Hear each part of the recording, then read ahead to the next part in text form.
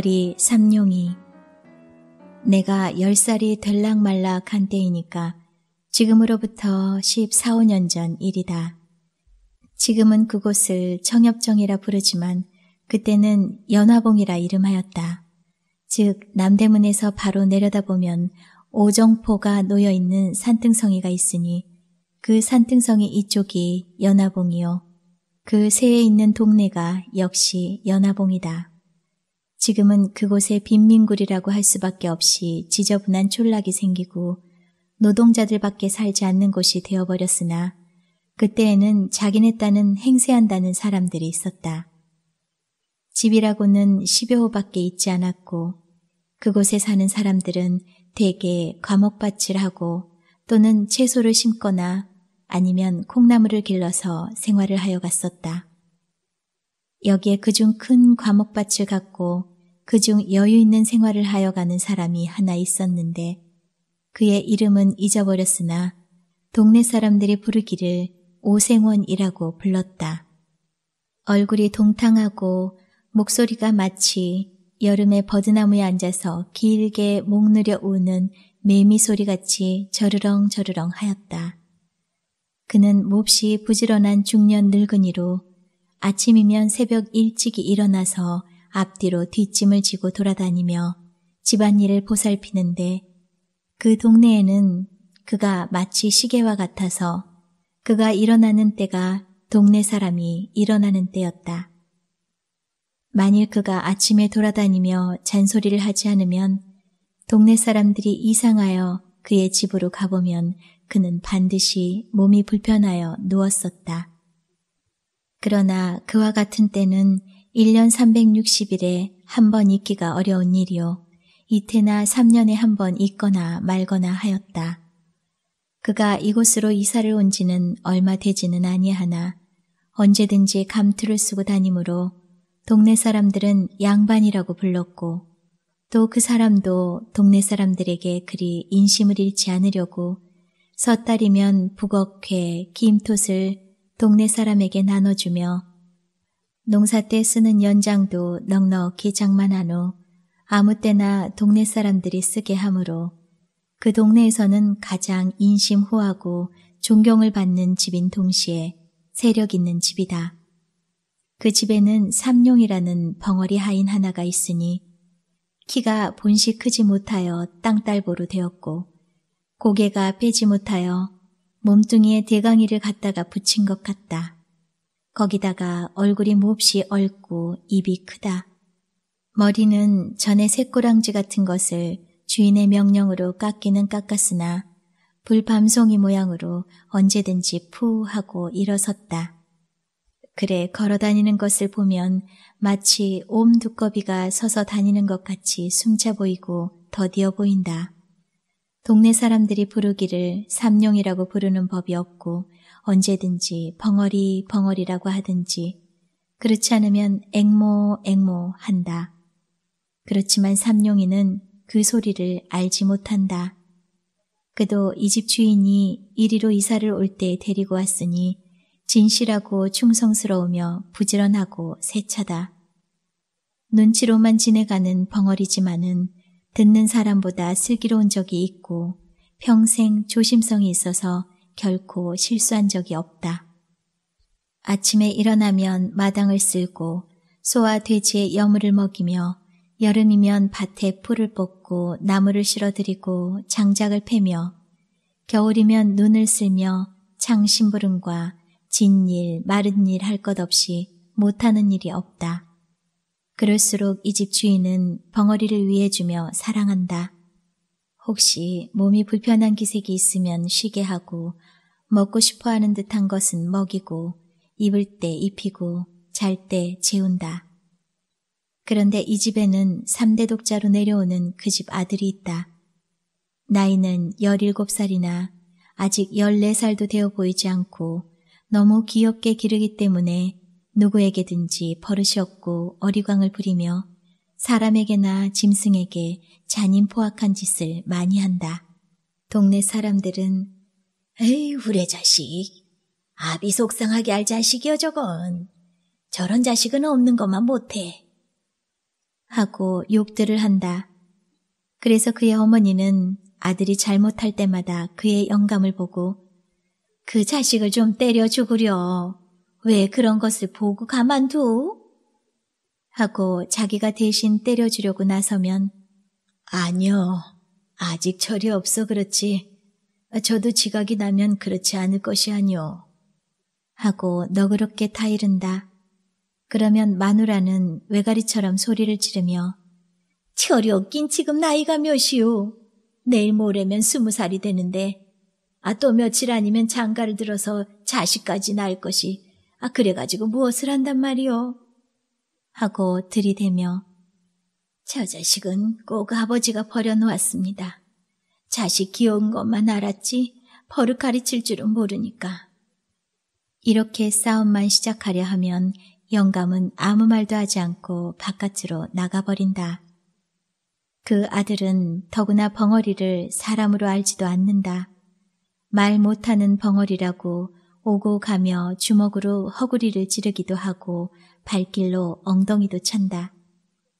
그러면 그 벙어리는 어린 것이 철없이 그러는 것이 도리어 귀엽기도 하고 또는 그 힘없는 팔과 힘없는 다리로 자기의 무쇠 같은 몸을 건드리는 것이 우습기도 하고 앙증하기도 하여 돌아서서 빙그레 웃으면서 툭툭 털고 다른 곳으로 몸을 피해버린다. 어떤 때는 낮잠 자는 벙어리 입에다가 똥을 먹인 때도 있었다. 또 어떤 때는 자는 벙어리 두 팔 두 다리를 살며시 동여매고 손가락과 발가락 사이에 화승불을 붙여놓아 질겁을 하고 일어나다가 발버둥을 하고 죽으려는 사람처럼 괴로워하는 것을 보고 기뻐하였다. 이러할 때마다 벙어리의 가슴에는 비분한 마음이 꽉 들어찼다. 그러나 그는 주인의 아들을 원망하는 것보다도 자기가 병신인 것을 원망하였으며 주인의 아들을 저주한다는 것보다 이 세상을 저주하였다. 그러나 그는 결코 눈물을 흘리지 않았다. 그의 눈물은 나오려 할 때 아주 말라붙어 버린 샘물과 같이 나오려 하나 나오지를 아니하였다. 그는 주인의 집을 버릴 줄 모르는 개 모양으로 자기가 있어야 할 곳은 여기밖에 없고 자기가 믿을 것도 여기 있는 사람들밖에 없을 줄 알았다. 여기서 살다가 여기서 죽는 것이 자기의 운명인 줄밖에 알지 못하였다. 자기의 주인 아들이 때리고 지르고 꼬집어 뜯고 모든 방법으로 학대할지라도 그것이 자기에게 을에 있을 줄밖에 알지 못하였다. 아픈 것도 그 아픈 것이 을에 자기에게 돌아올 것이요. 쓰린 것도 자기가 받지 않아서는 안 될 것으로 알았다. 그는 이 마땅히 자기가 받아야 할 것을 어떻게 면할까 하는 생각을 한 번도 하여 본 일이 없었다. 그가 이 집에서 떠나가려거나 또는 그의 생활 환경에서 벗어나려는 생각은 한 번도 해보지 못하였다 할지라도 그는 언제든지 그 주인 아들이 자기를 학대하고 또는 자기를 못 살게 굴 때 그는 자기의 주먹과 또는 자기의 힘을 생각하여 보았다. 주인 아들이 자기를 때릴 때 그는 주인 아들 하나쯤은 넉넉히 제지할 힘이 있는 것을 알았다. 어떠한 때는 아픔과 쓰림이 자기의 몸으로 스며들 때면 그의 주먹은 떨리면서 어린 주인의 몸을 치료하다가는 그것을 무서운 고통과 함께 꽉 참았다. 그는 속으로 아니다. 그는 나의 주인의 아들이다. 그는 나의 어린 주인이다. 하고 꾹 참았다. 그리고는 그것을 얼핏 잊어버렸다. 그러다가도 동네 집 아이들과 혹시 장난을 하다가 주인 아들이 울고 들어올 때는 그는 황소같이 날뛰면서 주인을 위하여 싸웠다. 그래서 동네에서도 어린애들이나 장난꾼들이 벙어리를 무서워하여 감히 덤비지를 못하였다. 그리고 주인 아들도 위급한 경우에는 언제든지 벙어리를 찾았다. 벙어리는 얻어맞으면서도 기어드는 충격 모양으로 주인의 아들을 위하여 싫어하지 않고 힘을 다하였다. 벙어리가 23살이 될 때까지 그는 물론 이성과 접촉할 기회가 없었다. 동네의 처녀들이 저를 벙어리 벙어리 하며 괴상한 손짓과 몸짓으로 놀려먹음을 받을 적에 분하고 곤란한 중에도 느긋한 즐거움을 느껴본 일은 있었으나 그가 결코 사랑으로서 어떠한 여자를 대본 일은 없었다. 그러나 정욕을 가진 사람인 벙어리도 그의 피가 차디찰 리는 없었다. 혹 그의 피는 더욱 뜨거웠을는지도 알 수 없었다. 뜨겁다 뜨겁다 못하여 엉기어버린 역과 같을지도 알 수 없었다. 만일 그에게 볕을 주거나 다시 뜨거운 열을 준다면 그의 피는 다시 녹을는지도 알 수 없었다. 그가 깜빡깜빡하는 기름 등잔 아래에서 밤이 깊도록 집신을 심을 때면 남모르는 한숨을 안 쉬는 것도 아니지만은 그는 그것을 곧 억제할 수 있을 만큼 정욕에 대하여 벌써부터 단념을 하고 있었다.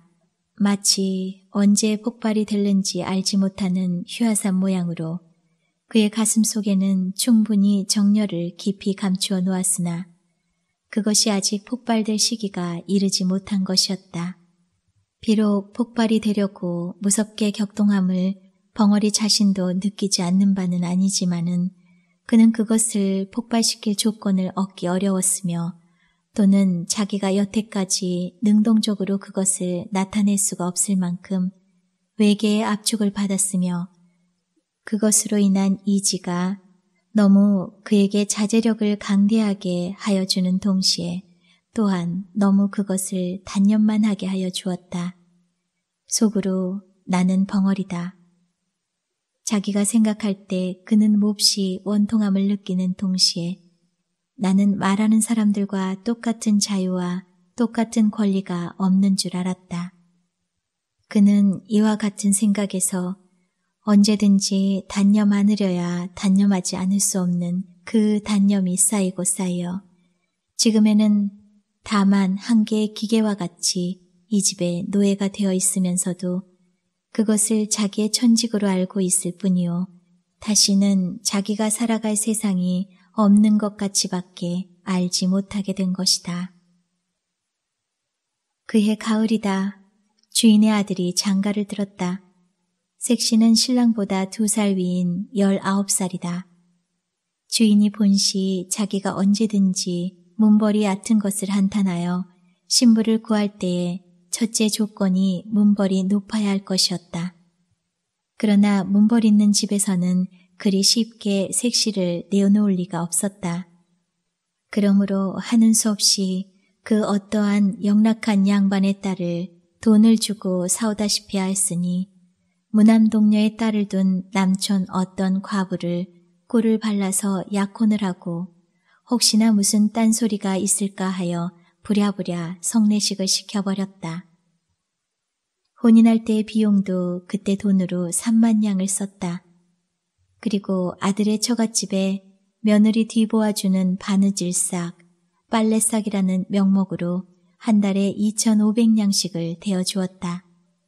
신부는 자기 아버지가 돌아가기 전까지 상당히 견디기도 하고 또는 금지오격같이 기른 터이라 구식 가정에서 배울 것, 익힐 것, 못하는 것이 없고 게다가 또는 인물이라든지 행동거지에 조금도 구김이 있지 아니하다. 신부가 오자 신랑의 흠절이 생기기 시작하였다. 신부에게다 대면 두루미와 까마귀지. 아직도 철딱서니가 없어. 아, 섹시에게 쥐어지내겠지. 신랑에게 과하지. 동네집 말 좋아하는 여편네들이 모여 앉으면 이렇게 비평들을 한다. 어떠한 남의 걱정 잘하는 마누라님은 간혹 신랑을 보고는 그대로 세워놓고 아 글쎄 인제는 어른이 되었으니 아 셈이 좀 나요. 저리고 어떻게 색시를 거느려 가누. 색시방에 들어가기가 부끄럽지 않담. 하고 들이대다시피 하는 일이 있다. 이럴 적마다 신랑의 마음은 그 말하는 이들이 미웠다. 일부러 자기를 부끄럽게 하려고 하는 것 같아서 그 후에 그를 만나면 말도 안 하고 인사도 하지 아니한다. 또 그의 고모되는 이가 와서 자기 조카를 보고 인제는 어른이야. 너도 그만하면 지각이 날 때가 되지 않았니? 아니 처가 부끄럽지 아니하냐? 하고 타이를 적마다 그의 마음은 그 말하는 사람이 부끄럽다는 것보다도 자기를 이렇게 하게 한 자기 아내가 더욱 밉살머리스러웠다. 여편 내가 다 무엇이냐? 저 빌어먹으려니 들어오더니 나를 이렇게 못살게들 굴지. 혼인한 지 며칠이 못 되어 그는 색시방에 들어가지를 않았다. 집안에서는 야단이 났다. 마치 돼지나 말새끼를 혼례시키려는 것 같이 신랑을 색시방으로 집어넣으려 하나 막무가내였다. 그럴 때마다 신랑은 손에 닥치는 대로 집어때려서 자기의 외사촌 누이의 이마를 뚫어서 피까지 나게 한 일이 있었다. 집안 식구들이 하는 수가 없어 맨 나중에는 아버지에게 밀었다. 그러나 그것도 소용이 없을 뿐더러 풍파를 더 일으키게 하였다. 아버지께 꾸중을 듣고 들어와서는 다짜고짜로 신부의 머리채를 쥐어잡아 마루 한복판에 태지를 쳤다. 그리고는 이년 네 집으로 가거라 보기 싫다. 내 눈앞에는 보이지도 마라. 하였다. 밥상을 가져오면 그 밥상이 마당 한복판에서 제주를 넘고 옷을 가져오면 그 옷이 쓰레기통으로 나간다. 이리하여 색시는 시집 오던 날부터 팔자 한탄을 하고서 날마다 밤마다 우는 사람이 되었다. 울면 요사스럽다고 때린다. 또 말이 없으면 방충 맞다고 친다. 이리하여 그 집에는 평화스러운 날이 하루도 없었다. 이것을 날마다 보는 사람 가운데 알 수 없는 의욕을 품게 된 사람이 하나 있으니 그는 곧 벙어리 삼룡이었다.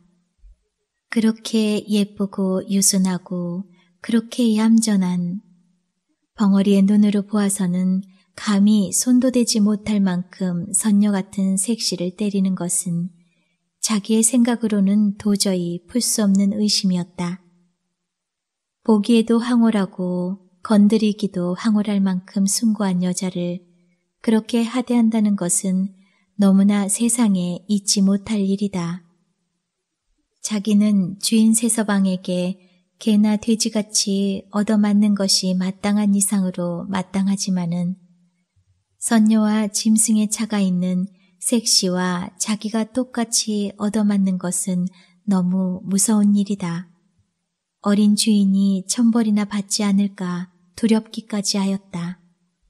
어떠한 달밤, 사면은 고요 적막하고 별들은 드문드문 눈들만 깜빡이며 반달이 공중에 뚜렷이 달려 있어 수은으로 세상을 깨끗하게 닦아낸 듯이 청명한데 삼룡이는 검둥개 등을 쓰다듬으며 바깥 마당 멍석 위에 비스시 드러누워 하늘을 쳐다보며 생각하여 보았다. 주인 색시를 생각하면 공중에 있는 달보다도 더 곱고 별들보다도 더 깨끗하였다. 주인 색시를 생각하면 달이 보이고 별이 보이었다. 삼라만상을 씻어내는 은빛보다도 더 흰 달이나 별의 광채보다도 그의 마음이 아름답고 부드러운 듯하였다. 마치 달이나 별이 땅에 떨어져 주인 새아씨가 된 것도 같고 주인 새아씨가 하늘에 올라가면 달이 되고 별이 될 것 같았다. 더구나 자기를 어린 주인이 때리고 꼬집을 때 감히 입 벌려 말은 하지 못하나 측은하고 불쌍히 여기는 정이 그의 두 눈에 나타나는 것을 다시 생각할 때 그는 부들부들한 개 등을 어루만지면서 감격을 느꼈다. 개는 꼬리를 치며 자기를 기어하는 줄 알고 벙어리에 손을 핥았다. 삼룡이의 마음은 주인 아씨를 동정하는 마음으로 가득 찼다. 또는 그를 위하여서는 자기의 목숨이라도 아끼지 않겠다는 의분에 넘치었다. 그것은 마치 살구를 보면 입속에 침이 도는 것 같이 본능적으로 느껴지는 감정이었다. 세대기 온 뒤에 다른 사람들은 자유로운 안출입을 금하였으나 벙어리는 마치 개가 맘대로 안에 출입할 수 있는 것 같이 아무 의심 없이 출입할 수가 있었다. 하루는 어린 주인이 먹지 않던 술이 잔뜩 취하여 무지한 놈에게 맞아서 길에 자빠진 것을 업어다가 안으로 들여다 누인 일이 있었다.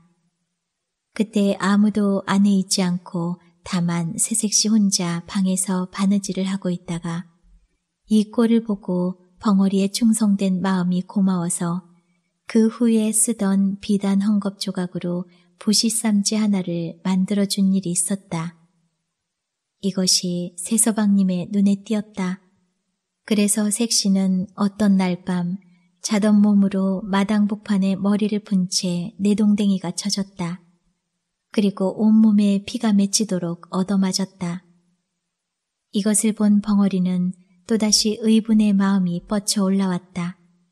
그래서 미친 사자와 같이 뛰어들어가 새서방님을 내어던지고 새색시를 둘러매었다. 그리고 나는 수리와 같이 바깥사랑 주인 영감 있는 곳으로 뛰어가 그 앞에 내려놓고 손짓과 몸짓을 열 번, 스무 번 거푸하며 하소연하였다. 그 이튿날 아침에 그는 주인 세서방님에게 물풀레로 얼굴을 몹시 얻어맞아서 한쪽 뺨이 눈을 얼러서 피가 나고 주먹같이 부었다. 그 때릴 적에 세서방의 입에서 나오는 말은 이 흉측한 벙어리 같으니 내 옆편내를 건드려? 하고 부시 쌈지를 빼앗아 갈갈이 찢어서 뒷간에 던졌다. 그리고 이놈아, 인제는 주인도 몰라보고 막 친다. 이런 것을 죽여야 해. 하고 채찍으로 그의 뒷덜미를 갈겨서 그 자리에 쓰러지게 하였다. 벙어리는 다만 두 손으로 빌 뿐이었다. 말도 못하고 고개를 몇백 번 코가 땅에 닿도록 그저 용서해달라고 빌기만 하였다. 그러나 그의 가슴에는 비로소 숨겨있던 정의감이 머리를 들기 시작하였다. 그는 아픈 것을 참아가면서도 복받치는 분노를 억제하였다. 그때부터 벙어리는 안방에 들어가지 못하였다. 이 들어가지 못하는 것이 더욱 벙어리로 하여금 궁금증이 나게 하였다. 그 궁금증이라는 것이 묘하게 빛이 변하여 주인 아 씨를 배웠고 싶은 심정으로 변하였다. 배웁지 못함으로 가슴이 타올랐다. 몹시 애상의 정서가 그의 가슴을 저리게 하였다. 한 번이라도 아씨를 배울 수가 있으면 하는 마음이 나더니 그의 마음의 넋은 느끼기를 시작하였다. 센티멘트란 가운데에서 느끼는 그 무슨 정서는 그에게 생명 같은 희열을 주었다. 그것과 자기의 목숨이라도 바꿀 수 있을 것 같았다. 어떤 때는 그대로 대강이로 담을 뚫고 들어가고 싶도록 주인 아씨를 배우고 싶은 것을 꼭 참을 때도 있었다. 그 후부터는 밥을 잘 먹을 수가 없었다. 일도 손에 잡히지 않았다.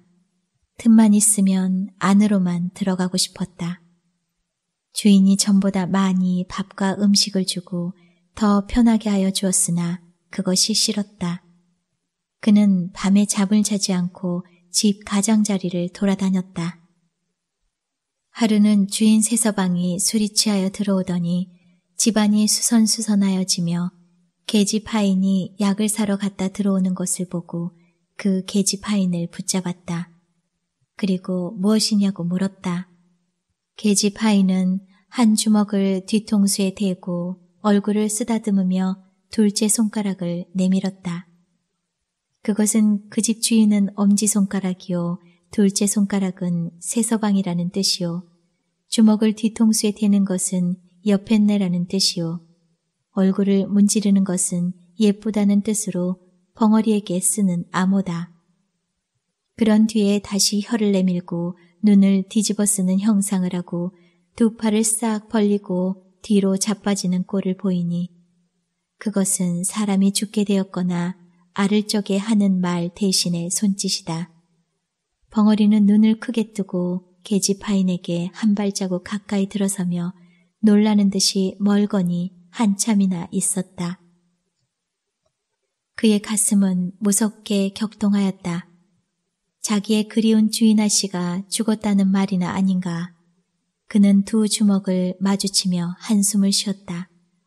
그리고는 자기 방에서 무엇을 생각하는 것처럼 두어 시간이나 두 눈만 껌뻑껌뻑하고 앉았었다.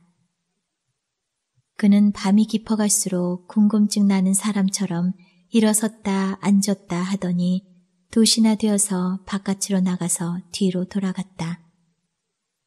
그는 도둑놈처럼 조심스럽게 바로 건넌방 뒤 미닫이 앞 담에 서서 주저주저 하더니 담을 넘었다. 가까이 창 앞에 서서 문틈으로 안을 살피다가 그는 진저리를 치며 물러섰다. 어두운 밤에 그의 손과 발이 마치 그 뒤에 서 있는 감나무 잎같이 떨리더니 그대로 문을 박차고 뛰어들어갔을 때 그의 팔에는 주인 아 씨가 한 손에는 기다란 명주 수건을 들고서 한 팔로 벙어리의 가슴을 밀치며 뻗디디었다. 벙어리는 다만 눈이 동그래서 에...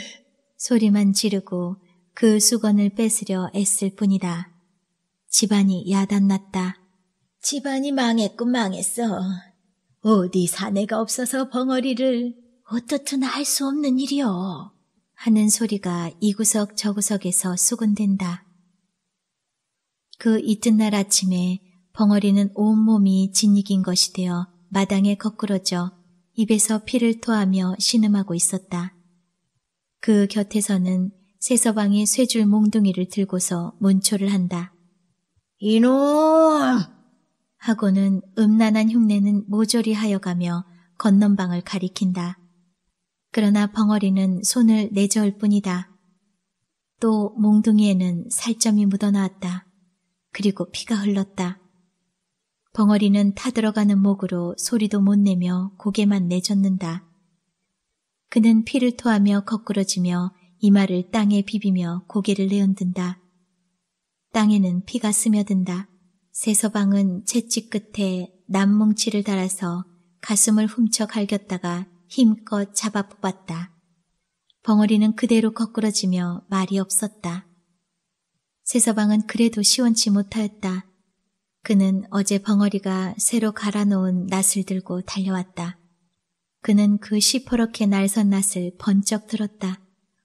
그래서 벙어리를 찌르려 할 때 벙어리는 한 팔로 그것을 받았고 집안 사람들은 달려들었다. 벙어리는 낫을 뿌리쳐 저리로 내던졌다. 주인은 집안이 망하였다고 사랑에 누워서 모든 일을 들은 채만 채 문을 닫고 나오지를 아니하며 집안에서는 색시를 쫓는다고 야단이다. 그날 저녁에 벙어리는 다시 끌려 나왔다. 그때에는 주인 세서방이 그의 입던 옷과 신짝을 주며 눈을 부릅뜨고 손을 멀리 가리키며 가! 인자는 우리 집에 있지 못한다! 하였다.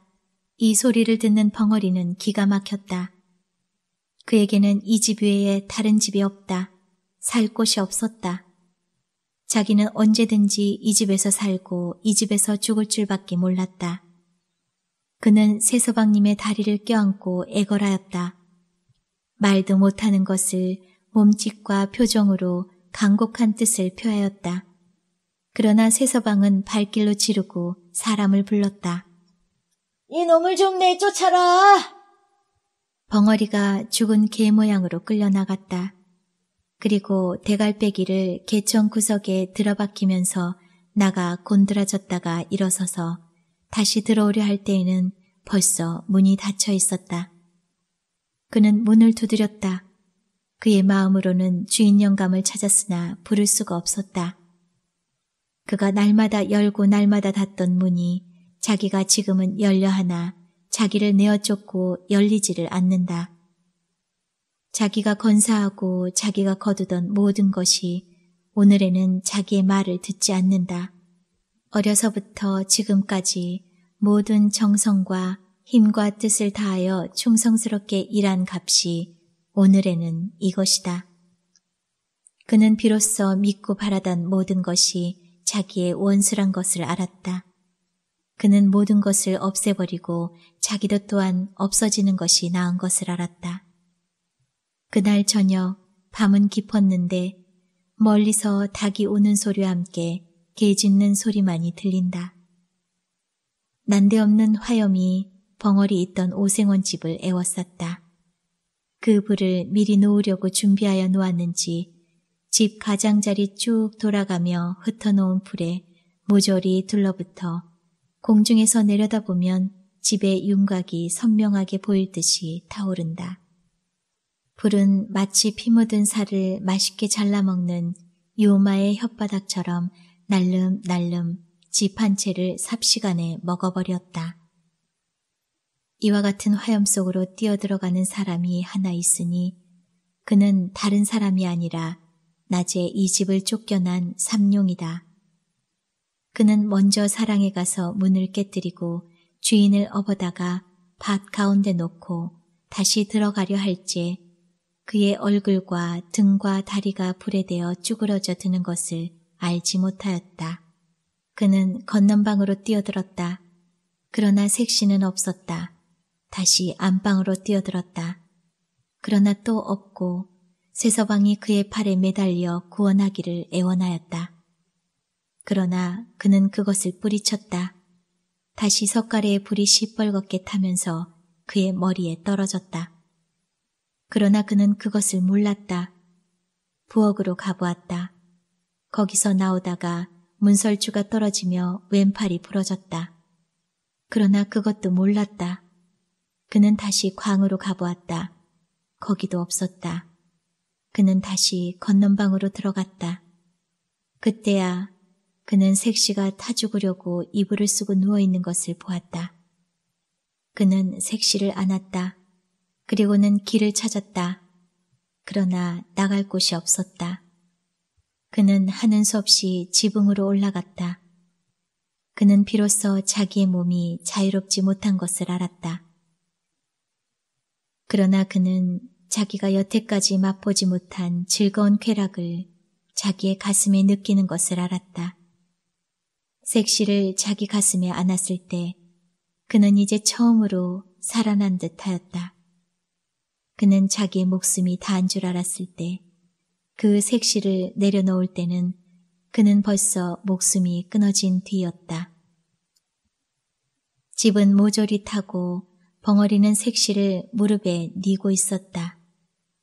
그의 울분은 그 불과 함께 사라졌을는지 평화롭고 행복스러운 웃음이 그의 입 가장자리에 열개 나타났을 뿐이다. 1925년 7월 출전 여명 김동인 배따라기 좋은 일기다. 좋은 일기라도 하늘에 구름 한 점 없는 우리 사람으로서는 감히 접근 못할 위험을 가지고 높이서 우리 조그만 사람을 비웃는 듯이 내려다보는 그런 교만한 하늘은 아니고 가장 우리 사람의 이해자인 듯이 낮추 뭉글뭉글 엉기는 분홍빛 구름으로서 우리와 서로 손목을 잡자는 그런 하늘이다. 사랑의 하늘이다. 나는 잠시도 멎지않고 푸른 물을 황해로 부어내리는 대동강을 향한 모란봉 기슭 새파랗게 돋아나는 풀 위에 뒹굴고 있었다. 이날은 3월 3일 대동강의 첫 뱃놀이하는 날이다. 까맣게 내려다 보이는 물 위에는 결결이 반짝이는 물결을 푸른 놀이배들이 타고 넘으며 거기서는 봄 향기에 취한 형형색색의 선율이 우단보다도 부드러운 봄 공기를 흔들면서 날아온다. 그리고 거기서 기생들의 노래와 함께 날아오는 조선 아악은 느리게, 길게, 유창하게, 부드럽게, 그리고 또 애처롭게 모든 봄의 정다움과 끝까지 좋아하지 않고는 안 되겠다는 듯이 대동강에 흐르는 시커먼 봄물, 정류벽에 돋아나는 푸르른 푸러름, 심지어 사람의 가슴 속에 봄에 뛰노는 불붙는 핏줄기까지라도 습기 많은 봄 공기를 다리 놓고 떨리지 않고는 두지 않는다. 봄이다. 봄이 왔다. 부드럽게 부는 조그만 바람이 시꺼먼 조선 소를 꿰매 또는 돋아나는 풀을 스치고 지나갈 때 그 음악은 다른 데서는 듣지 못할 아름다운 음악이다. 아, 사랑을 취케하는 푸르른 봄의 아름다며 15살부터의 동경 생활에 마음껏 이런 봄을 보지 못하였던 나는 늘 이것을 보는 사람보다 곱 이상의 감명을 여기서 받지 않을 수 없다. 평양성 내에는 겨우 툭툭 터진 땅을 헤치면 파릇파릇 돋아나는 나무새기와 돋아나려는 버들의 어음으로 봄이 온 줄 알 뿐 아직 완전히 봄이 안 이르렀지만 이 모란봉일 때와 대동강을 넘어 보이는 가나안 옥토를 연상시키는 장림에는 마음껏 봄의 정다움이 이르렀다. 그리고 또 꽤 자란 밀보리들도 새파랗게 장식한 장님의 그 푸른 빛, 만족한 웃음을 띠고 그 벌에 서서 내다보는 농부의 모양은 보지 않아도 생각할 수가 있다. 구름은 작고 하늘을 날아다니는 모양이다. 그 밀 위에 비치었던 구름의 그림자는 그 구름과 함께 저편으로 물러가며 거기는 세계를 아까 만들어 놓은 것 같은 새로운 눈빛이 퍼져나간다. 바람이나 조금 부는 때는 그 잘자란 밀들은 물결같이 누웠다 일어난다. 일록일청으로 춤을 춘다. 그리고 봄의 한가함을 찬송하는 솔개들은 높은 하늘에서 동그라미를 그리면서 더욱더 아름다운 봄의 향기로운 정치를 더한다. 다스한 봄정의 소사날이다. 다스한 봄정의 소사날이다. 나는 두어 번 소리나게 읊은 뒤에 담배를 붙여 물었다. 담배대는 우럭무럭 하늘로 올라간다. 하늘에도 봄이 왔다. 하늘은 낮았다. 모란봉 꼭대기에 올라가면 넉넉히 만질 수가 있으리만큼 하늘은 낮다. 그리고 그 낮은 하늘보다는 오히려 더 높이 있는 듯한 분홍빛 구름은 뭉글뭉글 엉기면서 이리저리 날아다닌다. 나는 이러한 아름다운 봄 경치에 이렇게 마음껏 봄의 속삭임을 들을 때는 언제든 유토피아를 아니 생각할 수가 없다. 우리가 시시각각으로 애를 쓰며 수고하는 것은 그 목적은 무엇인가? 역시 유토피아 건설에 있지 않을까? 유토피아를 생각할 때는 언제든 그 위대한 인격의 소유자며 사람의 위대함을 끝까지 즐긴 진나라 시왕을 생각지 않을 수 없다. 우리가 어찌하면 죽지를 아니할까 하여 소년 300을 배에 태워 불사약을 구하러 떠나보내며 예술의 사치를 다하여 아방궁을 지으며 매일 신하 몇 천 명과 잔치로서 즐기며 이리하여 여기 한 유토피아를 세우려던 시왕은 몇만의 역사가가 어떻다고 욕을 하든 그는 참말로 인생의 향락자이며 역사 이후에 제일 큰 위인이라고 할 수가 있다. 그만한 순전한 용기 있는 사람이 있고야 우리 인류의 역사는 끝이 날지라도 한 사람을 가졌었다고 할 수 있다. 큰 사람이었었다. 하면서 나는 머리를 흔들었다. 이때다. 기자묘 근처에서 웃은 슬픈 음률이 봄 공기를 진동시키며 날아오는 것이 들렸다. 나는 무심코 귀를 기울였다. 영유 배따락이다. 그것도 웬만한 광대나 기생은 발꿈치에도 믿지 못하리만큼 그만큼 그 배따락의 주인은 잘 부르는 사람이었다. 비나이다 비나이다 산천우토 1월 성신 하나님 전 비나이다. 신랄 같은 우리 목숨 살려달라 비나이다. 에야 어그여지야. 여기까지 이르렀을 때에 저편 아래 무태서 장고 소리와 함께 기생의 노래가 울려오며 배따라기는 그만 안 들리게 되었다. 나는 2년 전 한 여름을 영유서 지내본 일이 있다. 배따라기의 본고장인 영유를 몇 달 있어 본 사람은 그 배따라기에 대하여 언제든 한 속절없는 애처로움을 깨달을 것이다. 영유, 이름은 모르지만 그 산에 올라가서 내다보면 앞은 망망한 황해이니 그곳 저녁 때의 경치는 한 번 본 사람은 영구히 잊을 수가 없으리라. 불덩이 같은 커다란 시뻘건 해가 남실남실 넘치는 바다에 도로 빠질 듯 도로 솟아오를 듯 춤을 추며 거기서 때때로 보이지 않는 배에서 배따라기만 슬프게 날아오르는 것을 들을 때엔 눈물 많이 나는 때때로 눈물을 흘렸다. 이로 보아서 어떤 원의 아내가 자기의 모든 영화를 낡은 신같이 내어 던지고 뱃사람과 정처 없는 물길을 떠났다 함도 믿지 못할 말이랄 수가 없다. 영유서 돌아온 뒤에도 그 배타라기는 내 마음에 깊이 새겨져 잊을래야 잊을 수가 없었고 언제 한번 다시 영유를 가서 그 노래를 한 번 더 들어보고 그 경치를 다시 한번 보고 싶은 생각이 늘 떠나지를 않았다. 장구 소리와 기생의 노래는 먹고 배따라기만 구슬프게 날아온다. 결결이 부는 바람으로 말미암아 때때로는 들을 수가 없으되 나의 기억과 곡조를 종합하여 들은 배따라기는 이 대목이다. 강변에 나왔다가 나를 보더니만 혼비백산하여 꿈인지 생시인지 와르륵 달려들어 섬섬 옥수로 붙여잡고 호천 망극하는 말이 하늘로서 떨어지며 땅으로서 솟아났나. 바람결에 묻어오고 구름길에 쐬어왔나. 일이 서로 붙들고 울음을째 인니 죄인이며 일가 친척이 모두 모여 여기까지 들은 나는 마침내 참지 못하고 벌떡 일어서서 소나무 가지에 걸었던 모자를 내려쓰고 그곳을 찾으러 모란봉 꼭대기에 올라섰다. 꼭대기는 좀 더 노랫소리가 잘 들린다. 그는 배따라기의 맨 마지막 여기를 부른다. 밥을 빌어서 죽을 쓸지라도 제발 덕분에 뱃놈 노릇은 하지 마라.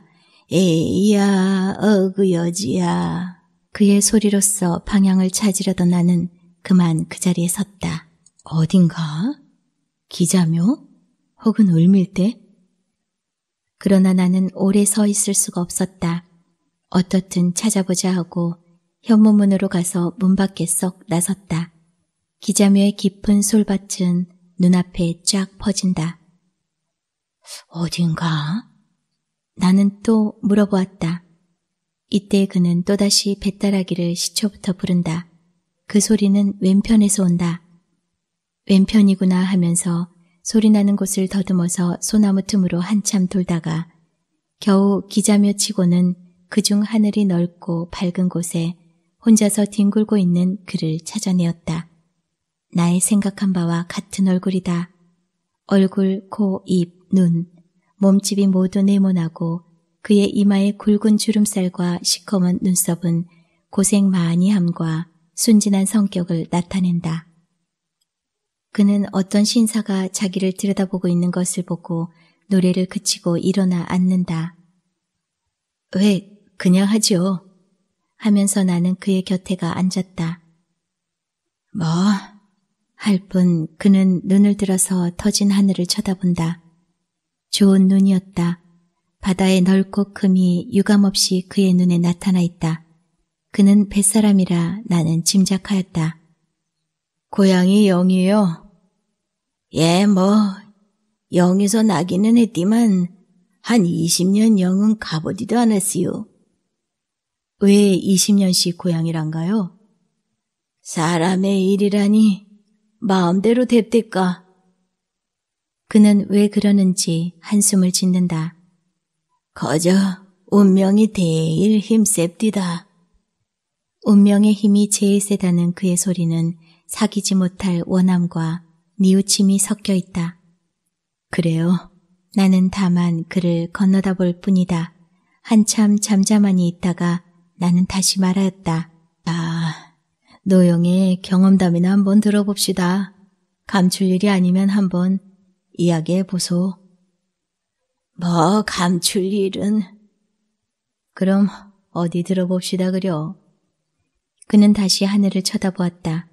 그러나 좀 있다가 하디오 하면서 내가 담배를 붙이는 것을 보고 자기도 담배를 붙여 물고 이야기를 꺼낸다. 내치지도 않고 19년 전 8월 열 하룻날 일인데요. 하면서 그가 이야기한 바는 대략 이와 같은 것이다. 그의 살던 마을은 영유 고을서 한 20리 떠나 있는 바다를 향한 조그만 어촌이다. 그의 살던 조그만 마을에서는 그는 꽤 유명한 사람이었다. 그의 부모는 모두 열 대세 났을 때 돌아갔고 남은 사람이라고는 곁집에 딴집 살림하는 그의 아우 부처와 그 자기 부처뿐이었다. 그들 형제가 그 마을에서 제일 부자이고 또 제일 고기잡이를 잘하였고 그중 글이 있었고 배따라기도 그 마을에서 빼나게 그 형제가 잘 불렀다. 말하자면 그 형제가 그 동네의 대표적 사람이었다. 8월 보름은 추석 명절이다. 8월 열 하룻날 그는 명절에 쓸 장도 볼 겸 그의 아내가 늘 부러워하는 거울도 하나 사올 겸 장으로 향하였다. 당손네 집에 있는 것보다 큰 것이여요. 니띠 말고요. 그의 아내는 길까지 따라 나오면서 잊지 않도록 부탁하였다. 안 잊어. 하면서 그는 떠오르는 새빨간 햇빛을 앞으로 받으면서 자기 마을을 나섰다. 그는 아내를 이렇게 말하기는 우습지만 고와했다. 그의 아내는 촌에는 드물도록 연연하고도 예쁘게 생겼다. 그는 나에게 이렇게 말하였다. 평양 갈보촌을 가도 그만한 거 쉽디 않카시오. 그러니까 촌에서는 그리고 그 당시에는 남에게 우습게 보이도록 그 내외의 새는 좋았다. 늙은이들은 계집에게 혹하지 말라고 흔히 그에게 권고하였다. 부처의 새는 좋았지만 아니 오히려 좋음으로 그는 아내에게 샘을 많이 하였다. 그리고 그의 아내는 시기를 받을 일을 많이 하였다. 품행이 나쁘다는 것이 아니라 그의 아내는 대단히 천진스럽고 쾌활한 성질로서 아무에게나 말 잘하고 애교를 잘 부렸다. 그 동네에서는 무슨 명절이나 되면 집이 그중 정결함을 핑계 삼아 젊은이들은 모두 그의 집에 모이고 하였다. 그 젊은이들은 모두 그의 아내에게 아즈만이라 부르고 그의 아내는 아즈바니 아즈바니 하며 그들과 짓거리고 즐기며 그 웃기 잘하는 입에는 늘 웃음을 흘리고 있었다. 그럴 때마다 그는 한편 구석에서 눈만 힐끔거리며 있다가 젊은이들이 돌아간 뒤에는 불문곡작하고 아내에게 덤벼들어 발길로 차고 때리며 이전에 사다 주었던 것을 모두 걷어 올린다. 싸움을 할 때에는 언제든 곁집에 있는 아우 부처가 말리러 오며 그렇게 되면 언제든 그는 아우 부처까지 때려주었다. 그가 아우에게 그렇게 구는 데는 이유가 있었다.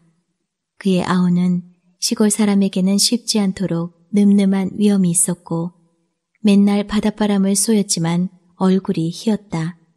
이것뿐으로도 시기가 된다 하면 되지만 특별히 아내가 그의 아우에게 친절히 하는 데는 그는 속이 끓어 못 견디었다. 그가 영유를 떠나기 반년 전쯤 다시 말하자면 그가 거울을 사러 장에 갈 때부터 반년 전쯤 그의 생일날이었다. 그의 집에서는 음식을 차려서 잘 먹었는데 그에게는 괴상한 버릇이 있었으니 맛있는 음식은 남겨두었다가 좀 있다 먹고 하는 것이 습관이었다. 그의 아내도 이 버릇은 잘 알 터인데 그의 아우가 점심때쯤 오니까 아까 그가 아껴서 남겨두었던 그 음식을 아우에게 주려 하였다. 그는 눈을 부릅뜨고 못 주리라고 암호하였지만 아내는 그것을 보았는지 못 보았는지 그의 아우에게 주어버렸다. 그는 마음속이 잠옷 편치 못하였다. 트집만 있으면 인연을 그는 마음먹었다. 그의 아내는 시아우에게 상을 준 뒤에 물러오다가 그만 그의 발을 조금 밟았다. 인연 그는 힘껏 발을 들어서 아내를 냅다 찼다. 그의 아내는 상위에 꼬꾸라졌다가 일어난다. 이년 사나이 발을 짓밟는 년이 어딨어? 아, 거 좀 밟아서 발이 부러졌을까? 아내는 낮이 새빨개져서 울음 섞인 소리로 고함친다. 이년 말 대답이 그는 일어서서 아내의 머리채를 휘어잡았다. 아, 형님, 왜 이러십니까? 아우가 일어서면서 그를 붙잡았다. 가만히 있거라, 이놈의 자식은. 하며 그는 아우를 밀친 뒤에 아내를 되는 대로 내리찌었다. 죽이려니, 이년 나가거라. 죽여라, 죽여라. 난 죽어도 이 집에서 못 나가. 못 나가? 못 나가디 않고 네 집이게. 이때다 그의 마음에는 그 못 나가겠다는 아내의 마음이 푹 들이박혔다. 그 이상 때리기가 싫었다. 우드커니 눈만 흘기고 있다가 그는 에이 망을렸니? 그럼 내가 나갈라. 하고 그만 문 밖으로 뛰어나와서 형님 어디 갑니까? 하는 아우의 말에는 대답도 안 하고 곁동네 탁주집으로 뒤도 안 돌아보고 가서 거기 있는 술 파는 계집과 술상 앞에 마주 앉았다. 그날 저녁 얼그은이 취한 그는 아내를 위하여 떡을 한 도너치 사가지고 집으로 돌아왔다. 이리하여 또 서너 달은 평화가 이르렀다. 그러나 이 평화가 언제까지든 계속될 수가 없었다. 그의 아우로 말미암아 또 평화는 쪼개져 나갔다. 5월 초송부터 영유 고을 출입이 잦던 그의 아우는 5월 금음께부터는 고을서 며칠씩 묵어오는 일이 많았다. 함께 고을에 첩을 얻어두었다는 소문이 퍼졌다. 이 소문이 있은 뒤는 아내는 그의 아우가 고을 들어가는 것을 벌레보다도 더 싫어하고 며칠 묵어 나오는 때면 곧 아우의 집으로 가서 그와談판을 하며 심지어 동서되는 아우의 처에게까지 못 가게 하지 않는다고 싸우는 일이 있었다. 7월 초승께 그의 아우는 고을에 들어가서 열흘쯤 무거운 일이 있었다. 이때도 전과 같이 그의 아내는 그의 아우며 제수와 싸우다 못하여 마침내 그에게까지 와서 아우가 그런 못된 데를 다니는 것을 그냥 둔다고 해보자 한다. 그 꼴을 곱게 보지 않았던 그는 첫마디로 고함을 쳤다. 네게 상관이 왜 가? 듣기 싫다. 못난 둥이 아우가 그런 데를 댕기는 걸 말리지도 못하고. 본 김에 이렇게 그의 아내는 고함쳤다. 이년이 뭐? 그는 벌떡 일어섰다. 못난 둥이. 그 말이 채 끝나기 전에 그의 아내는 악소리와 함께 그 자리에 거꾸러졌다. 이년이 이 사나이에게 그따위 말버릇 어디서 배완? 혜민에 때리는 건 어디서 배웠노? 못난 둥이. 그의 아내는 울음소리로 부르짖었다. 이 샹년 그냥 나갈. 우리 집에 있디 말고 나갈. 그는 내리찌으면서 부르짖었다. 그리고 아내를 문을 열고 밀쳤다. 나가지 않으래. 하고 그의 아내는 울면서 뛰어나갔다. 이 방을 연. 토하는 듯이 중얼거리고 그는 그 자리에 주저앉았다. 그의 아내는 해가 져서 어두워져도 돌아오지 않았다. 일단 내어 쫓기는 하였지만 그는 아내의 돌아옴을 기다리고 있었다. 어두워져서도 그는 불도 안 켜고 성이 나서 우두루들 떨면서 아내의 돌아오기를 기다렸다. 그러나 그의 아내의 참 기쁜 듯이 웃는 소리와 그의 아우의 집에서 밤새도록 울리었다. 그는 움쩍도 안 하고 그 자리에 앉아서 밤을 새운 뒤에 새벽 동토올 때 아내와 아우를 죽이려고 부엌에 가서 식칼을 가지고 들어와서 문을 벌컥 열었다. 그의 아내로서 만약 근심스러운 얼굴을 하고 그 문 밖에 우두커니 서서 문을 들여다보고 있지 않았다면 그는 아내와 아우를 죽이고야 말았으리라. 그는 아내를 보는 순간 마음에 가득 차는 사랑을 깨달으면서 칼을 내던지고 뛰어나가서 아내의 머리채를 휘어잡고 인연하면서 들어와서 뺨을 물어뜯으면서 함께 이리저리 자빠져서 뒹굴었다. 그런 이야기를 다 하려면 끝이 없으되 다만 그, 그의 아내, 그의 아우, 세 사람의 삼각관계는 대략 이와 같았다. 각설. 거울은 마침 장의 마음에 맞는 것이 있었다. 지금 것과 대보면 어떤 때는 코도 크게 보이고 입이 작게도 보이는 것이지만 그 당시에는 그리고 그런 촌에서는 둘도 없는 기물이었다. 거울을 사가지고 장을 본 뒤에 그는 이 거울을 아내에게 주면 그 기뻐할 모양을 생각하며 새빨간 저녁 햇볕을 받는 넘치는 듯한 바다를 안고 자기 집으로 늘 들러오던 탁주집에도 안 들러서 돌아왔다. 그러나 그가 그의 집 방 안에 들어설 때에는 뜻도 않아했던 광경이 그의 눈에 버려 있었다. 방 가운데는 떡상이 있고 그의 아우는 수건이 벗어져서 목 뒤로 늘어지고 저고리 고름이 모두 풀어져 가지고 한편 모퉁이에 서 있고 아내도 머리채가 모두 뒤로 늘어지고 치마가 배꼽 아래 늘어지도록 되어 있으며 그의 아내와 아우는 그를 보고 어찌할 줄을 모르는 듯이 움쩍도 안 하고 서 있었다. 세 사람은 한참 동안 어이가 없어서 서 있었다. 그러나 좀 있다가 마침내 그의 아우가 겨우 말했다. 그놈의 쥐 어디 갔니? 흥, 쥐? 훌륭한 쥐 잡댔구나. 그는 말을 끝내지도 않고 짐을 벗어던지고 뛰어가서 아우의 멱살을 그어잡았다. 아, 형님, 아, 정말 쥐가, 쥐? 이놈, 형수하고 그런 쥐 잡는 놈이 어디 있니? 그는 아우를 따기를 몇 대 때린 뒤에 등을 밀어서 문 밖에 내어 던졌다. 그런 뒤에 이제 자기에게 이를 매를 생각하고 우두루들 떨면서 아랫목에 서 있는 아내에게 달려들었다.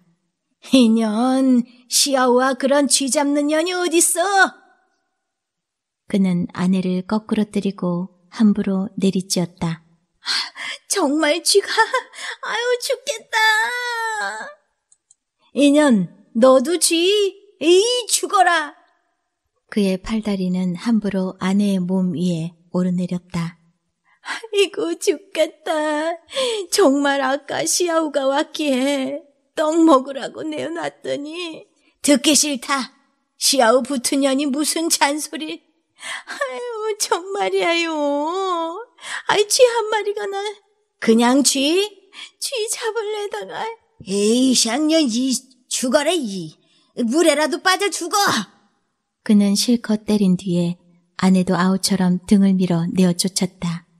그 뒤에 그의 등으로 고기 배때기에 장사해라! 하고 토하였다.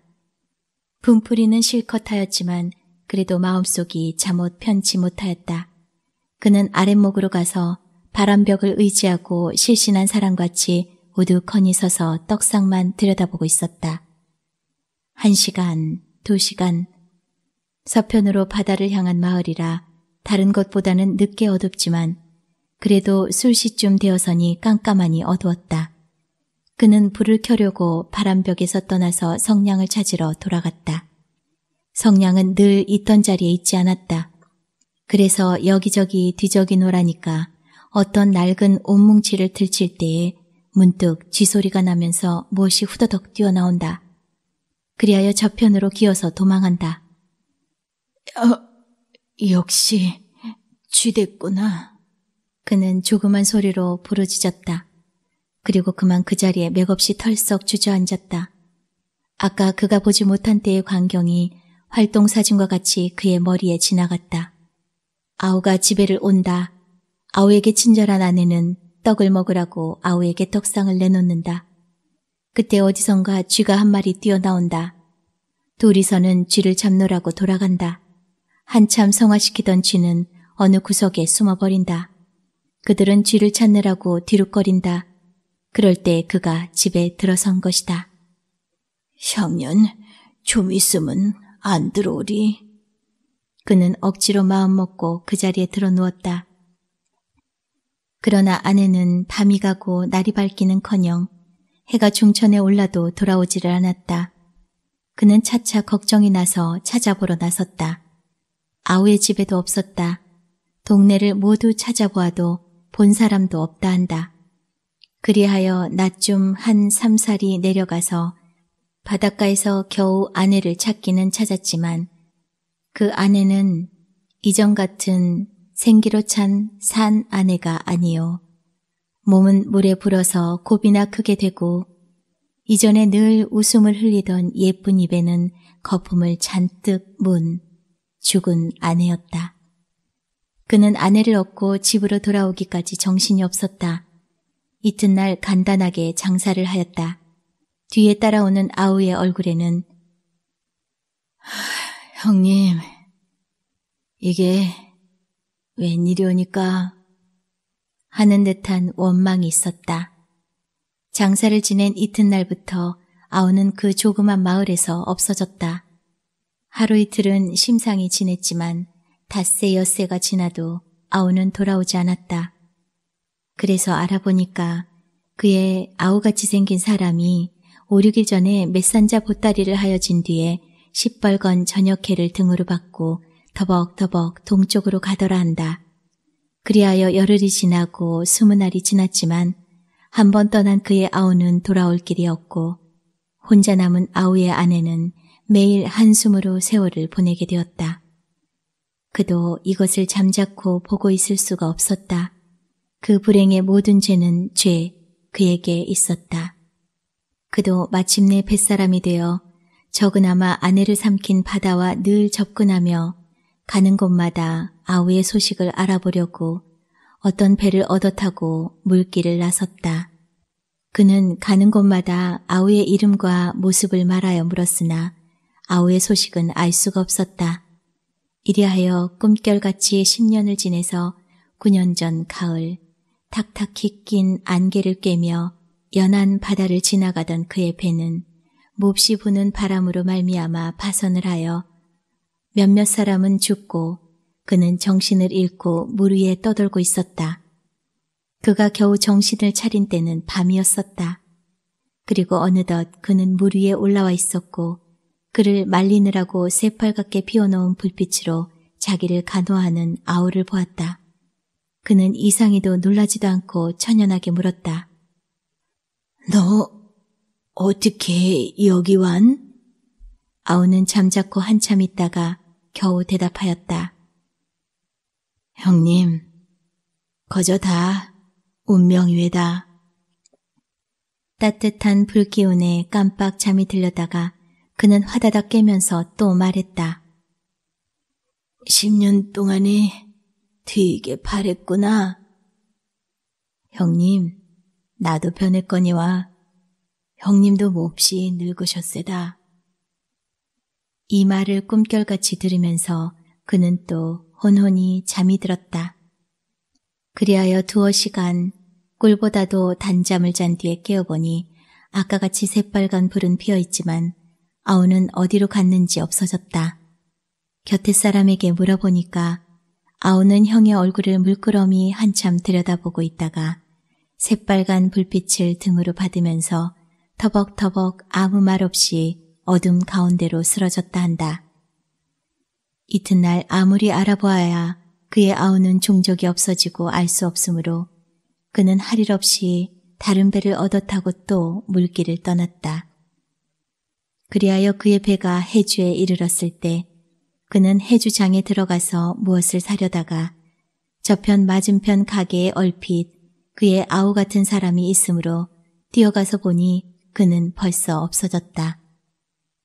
배가 해주에는 오래 머물지 않으므로 그의 마음은 해주에 남겨두고 또다시 바닷길을 떠났다. 그 뒤 3년을 이리저리 돌아다녔어도 아우는 다시 볼 수가 없었다. 그리하여 3년을 지내서 지금부터 6년 전에 그의 탄 배가 강화도를 지날 때에 바다를 향한 가파로운 외편에서 바다를 향하여 날아오는 배따라기를 들었다. 그것도 어떤 구절과 곡조는 그의 아우 특식으로 변경된 그의 아우가 아니면 부를 사람이 없는 그 배따라기이다. 배가 강화도에는 머무르지 않아서 그저 지나갔으나 인천서 열흘쯤 머무르게 되었으므로 그는 곧 내려서 강화도로 건너가 보았다. 거기서 이리저리 찾아다니다가 어떤 조그만 객주집에서 물어보니 이름도 그의 아우요, 생긴 모습도 그의 아우인 사람이 묵어있기는 하였으나 사나흘 전에 도로 인천으로 갔다 한다. 그는 곧 돌아서서 인천으로 건너와서 찾아보았지만 그 조그만 인천서도 그의 아우를 찾을 바가 없었다. 그 뒤에 눈 오고 비 오며 6년이 지났지만 그는 다시 아우를 만나보지 못하고 아우의 생사까지도 알 수가 없다. 말을 끝낸 그의 눈에는 저녁해 반사하여 몇 방울의 눈물이 반뜩인다. 나는 한참 있다가 겨우 물었다. 노형 개수는 모르디요. 20년을 영유는 안 가봤으니깐요. 노형은 이제 어디로 갈 테요? 겉도 모르디요. 덩터가 있나요? 바람 부으는 대로 몰려댕기디요. 그는 다시 한번 나를 위하여 배따라기를 불렀다. 아, 그 속에 잠겨 있는 사귀지 못할 뉘우침, 바다에 대한 애처로운 그리움. 노래를 끝낸 다음에 그는 일어서서 시뻘건 저녁해를 잔뜩 등으로 받고 을밀대로 향하여 더벅더벅 걸어간다. 나는 그를 말릴 힘이 없어서 멀거니 그의 등만 바라보고 앉아 있었다. 그날 밤 집에 돌아와서도 그 배따라기와 그의 숙명적 경험담이 귀에 쟁정이 울려서 잠을 못 이루고 이튿날 아침 깨어서 조반도 안 먹고 기자묘로 뛰어가서 또다시 그를 찾아보았다. 그가 어제 깔고 앉았던 풀은 모두 한편으로 누워서 그가 다녀감을 기념하되 그는 그 근처에 보이지 않았다. 그러나, 그러나 배따라기는 어디선가 쟁쟁이 울려서 모든 소나무들을 떨리지 않고는 안 되겠다는 듯이 날아온다. 모란봉이다. 모란봉에 있다. 하고 나는 한숨에 모란봉으로 뛰어갔다. 모란봉에는 사람이 하나도 없다. 부병로에도 없다. 을밀대다. 하고 나는 다시 을밀대로 갔다. 을밀대에서 부병류를 연한 지옥까지 연한 듯한 골짜기에 물 한 방울을 안 세일이라고 빽빽히 난 소나무에 그 모든 잎잎은 떨리는 배따라기를 부르고 있지만 그는 여기도 있지 않다. 기자묘에 하늘을 향하여 퍼져나간 그 모든 소나무의 천만의 잎잎도 그 아래쪽 퍼진 천만의 풀들도 모두 그 배따라기를 슬프게 부르고 있지만 그는 이 조그만 모란봉 일대에서 찾을 수가 없었다. 강가에 나가서 알아보니 그의 배는 오늘 새벽에 떠났다 한다. 그 뒤에 여름과 가을이 가고 1년이 지나서 다시 봄이 이르렀으되 잠깐 평양을 다녀간 그는 그 숙명적 경험담과 슬픈 배따라기를 남겨두었을 뿐 다시 조그만 모란봉에 나타나지 않는다.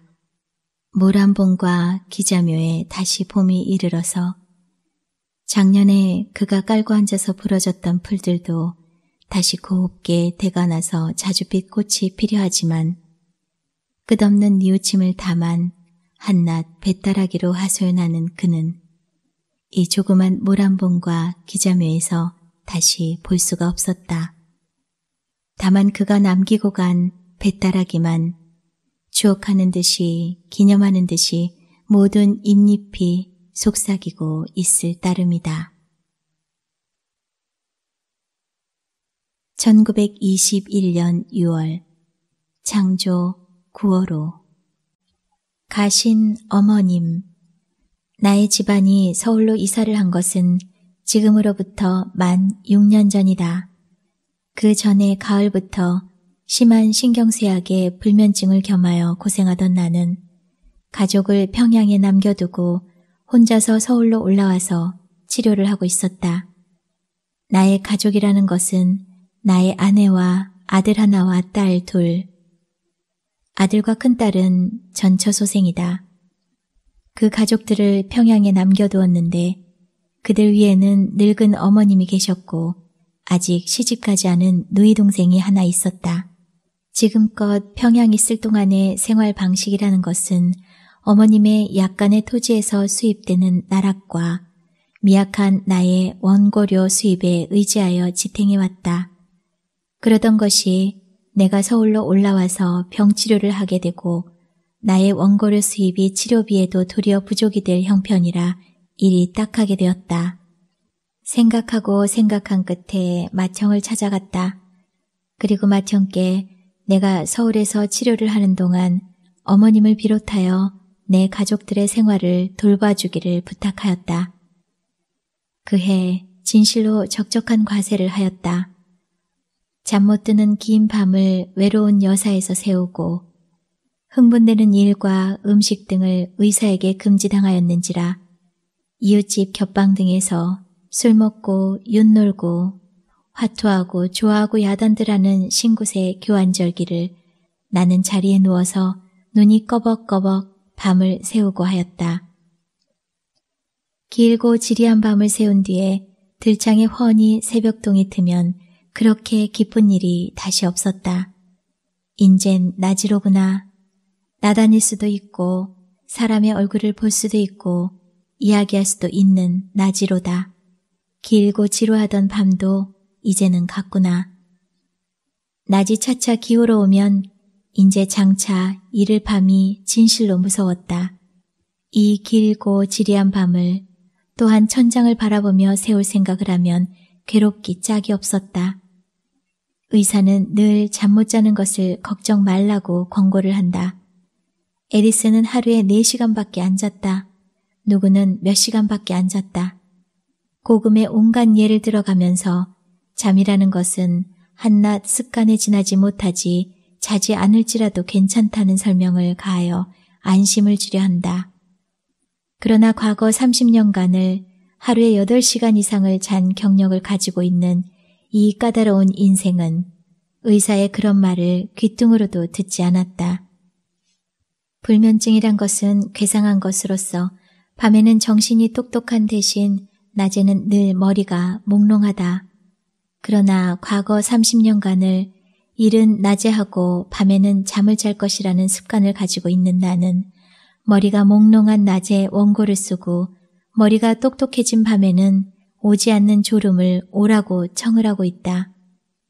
불면증은 체험해 본 사람이 아니고는 그 고통의 100분의 1도 상상을 못한다. K 박사의 지도하에 불면증 치료 3개월. 불면증은 이제는 웬만치 완화가 되었다. 자며 깨며 숙소는 못하나마 과한 고통은 면하리만치 되었다. 이렇게 되매 나는 나의 가족을 서울로 불러올려서 서울에서 살기로 계획을 정하였다. 원교로 생활을 하려면 서울에서 살림하는 것이 편리하다. 표면으로는 이러하였다. 그러나 이면으로는 델리케이트한 문제가 나의 가슴 깊이 있는 것이었다. 본시 우리는 삼형제로서 내가 가운데요. 삼형제의 아래로 막내로 누이가 하나 있었다. 내가 17살 적에 아버님이 세상을 떠나셨다. 삼형제에게는 각각 적당히 분재해 주셨다. 그러나 누이의 몫은 없었다. 마청은 장발하였는지라 따로이 살고 나와 나의 동생과 누이를 어머님이 거느리고 사셨다. 그러는 동안 어머님이 재산을 관할하시며 재산 수입에서 생활비에 충당하고 남는 것으로 약간의 토지를 마련하였다. 물론 그것을 마련한 당시에 어머님의 심산으로서는 그것을 딸에게 주려 하였음일 것이다. 그 뒤에 우리 형제는 방탕을 하였다. 홀짝 다 없이 하였다. 이렇게 되매 어머님의 마음은 다시 변하셨다. 어머님은 몇 자녀 중에 나를 가장 사랑하셨다. 내가 한 푼 없이 파산을 하매 어머님은 그 약간의 토지를 나에게 주시려고 본시의 예정을 돌이켰다. 그리고 그 토지에 걸리는 입비, 세비, 수리조합비, 기타 관할비 등등을 내게 부담을 시키시고 감독 등등도 내게 늘 명하셨다. 본시 입이 무거우시니라 그 땅을 장차 네게 주신다는 말씀은 입 밖에 낸 일이 없으나 암시는 충분히 하시고 하였다. 언젠가 변변찮은 일로 딸과 다투신 때 같은 때에는 등기와 도장을 내게 맡기시고 집을 나가신다고까지 한 일이 있었다. 그러나 나는 그 땅을 원하지 않았다. 아버님께 풍부히 물려받았던 재산을 탕진한 몸으로써 무슨 염치에 그것을 견눈질이라도 하랴. 그것이 거대한 재산으로서 욕심날 만한 거액이면 모르지만 그것을 가지고도 생활을 위한 원고를 쓰지 않고는 먹지 못할 이상에는 그만 것을 가져 무엇하랴. 이러한 생각을 가지고 있었다. 너희도 그때 스물을 지난 처녀로서 재산이란 것이 무엇인지 넉넉히 눈치를 알 처지였다. 누이의 심경도 내게는 뻔히 들여다보였다. 그 땅이란 본시 자기에게 올 것이었는데 오빠가 방탕을 하여 재산을 탕진한 탓에 빼앗기는구나. 이러한 눈치가 늘 여견히 보였다. 어렸을 적부터 내가 매우 사랑해왔고 자기도 나를 퍽 따라서 어떠한 고집을 부리다가도 내 말이 떨어지면 즉시로 승복하리만치 나를 따르던 누이인데 이 눈치를 알자부터 차차 내게 반항을 하며 공연히 앙심을 뽑는 것이 분명하였다.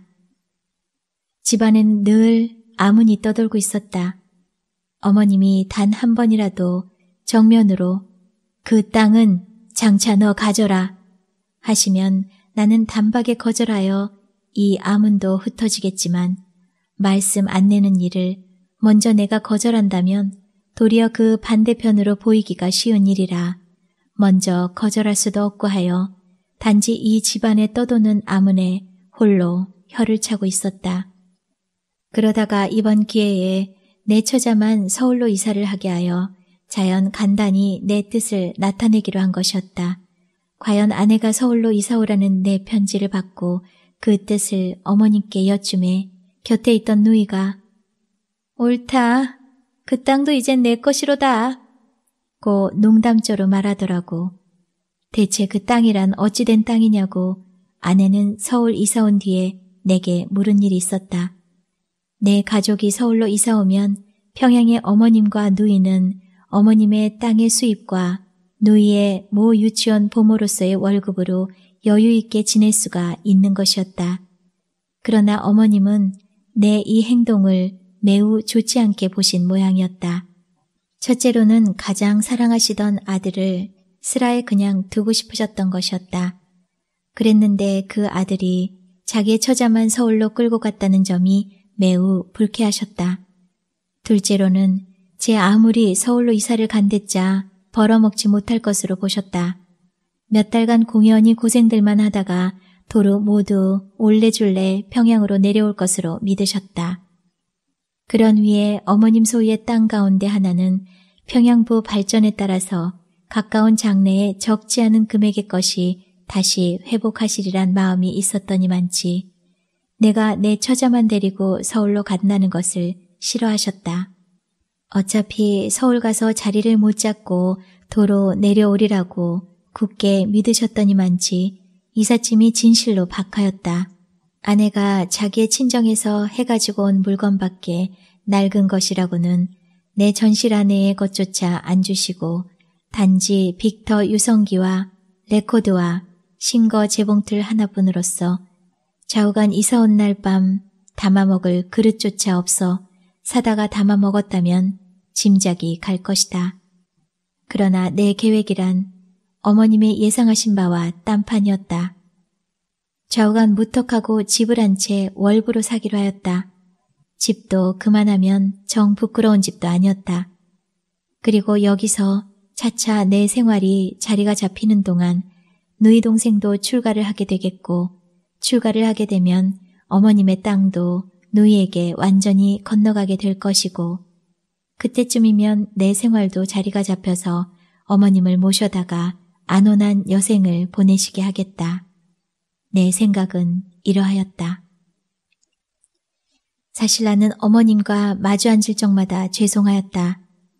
부기를 겸전한 가운데서 나셔서 청년, 중년 다 부기 중에 지내신 어머님을 나의 과도한 방탕 때문에 늑마에 고생하시게 하는 것이 늘 죄송하였다. 언제 어서 생활의 안정을 얻어서 어머님을 다시 평안히 지내시게 할까? 얼마 남은 수도 그리 많지 못하실 어머님. 어머님 생전에 다시 근심 없는 살림을 회복하여야겠다. 이것이 나의 제일 초조되는 바요, 근심되는 바였다. 그런데 어머님의 생각은 또한 그와 반대였다. 저것이 넉넉한 데서 나서 자라서 지금 재정에 몰려 쩔쩔매며 돌아가는 것이 도리어 민망하신 모양이었다. 이 중년의 아들을 강간 어린애들 몰래 즐겨하는 과일 같은 것을 사다 주시는 것을 받을 때마다 도리어 각 울고 싶었다.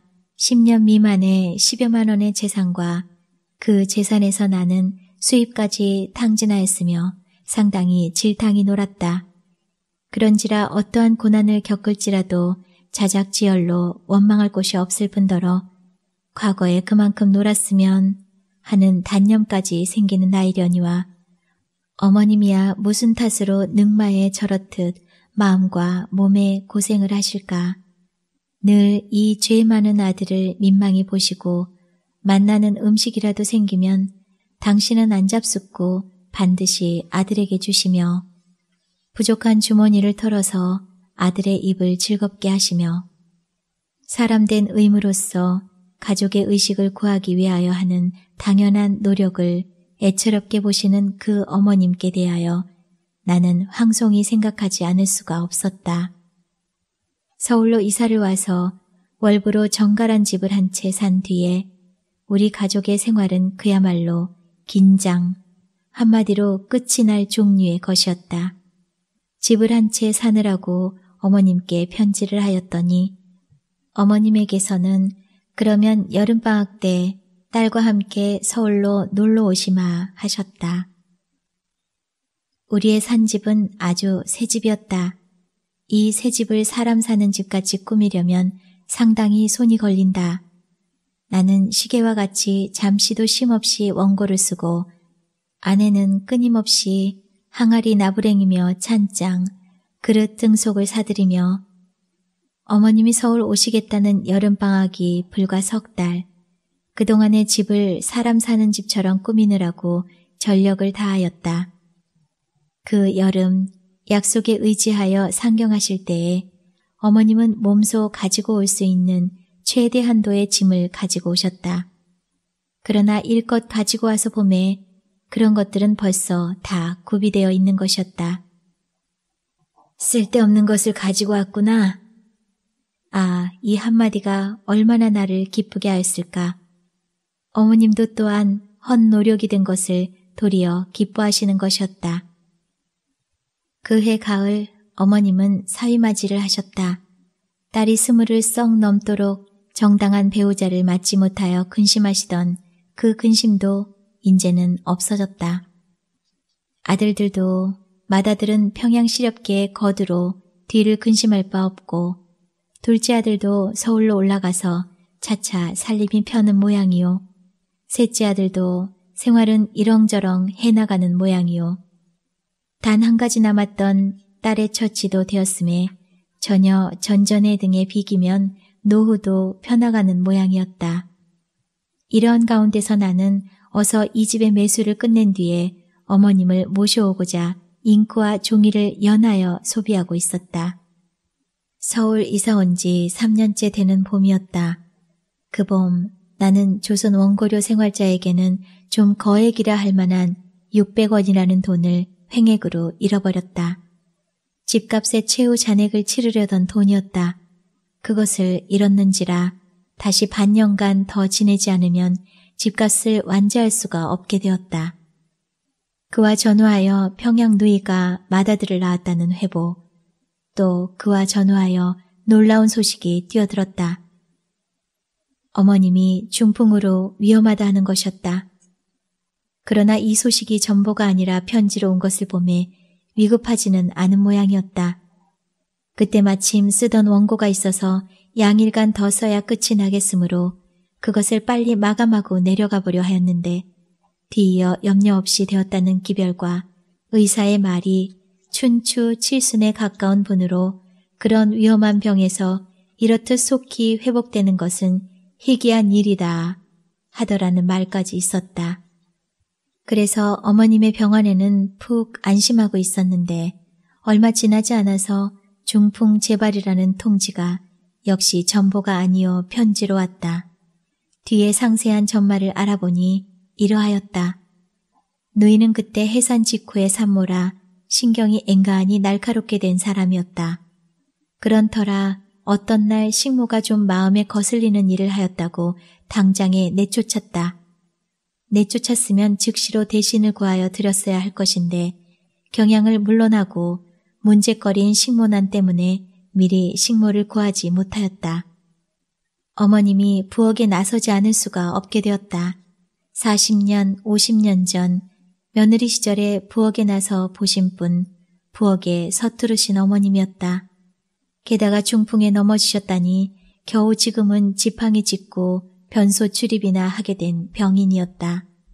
그 위에 산모에게는 하루에 7, 8회를 국을 끓여주어야 할 것이었다.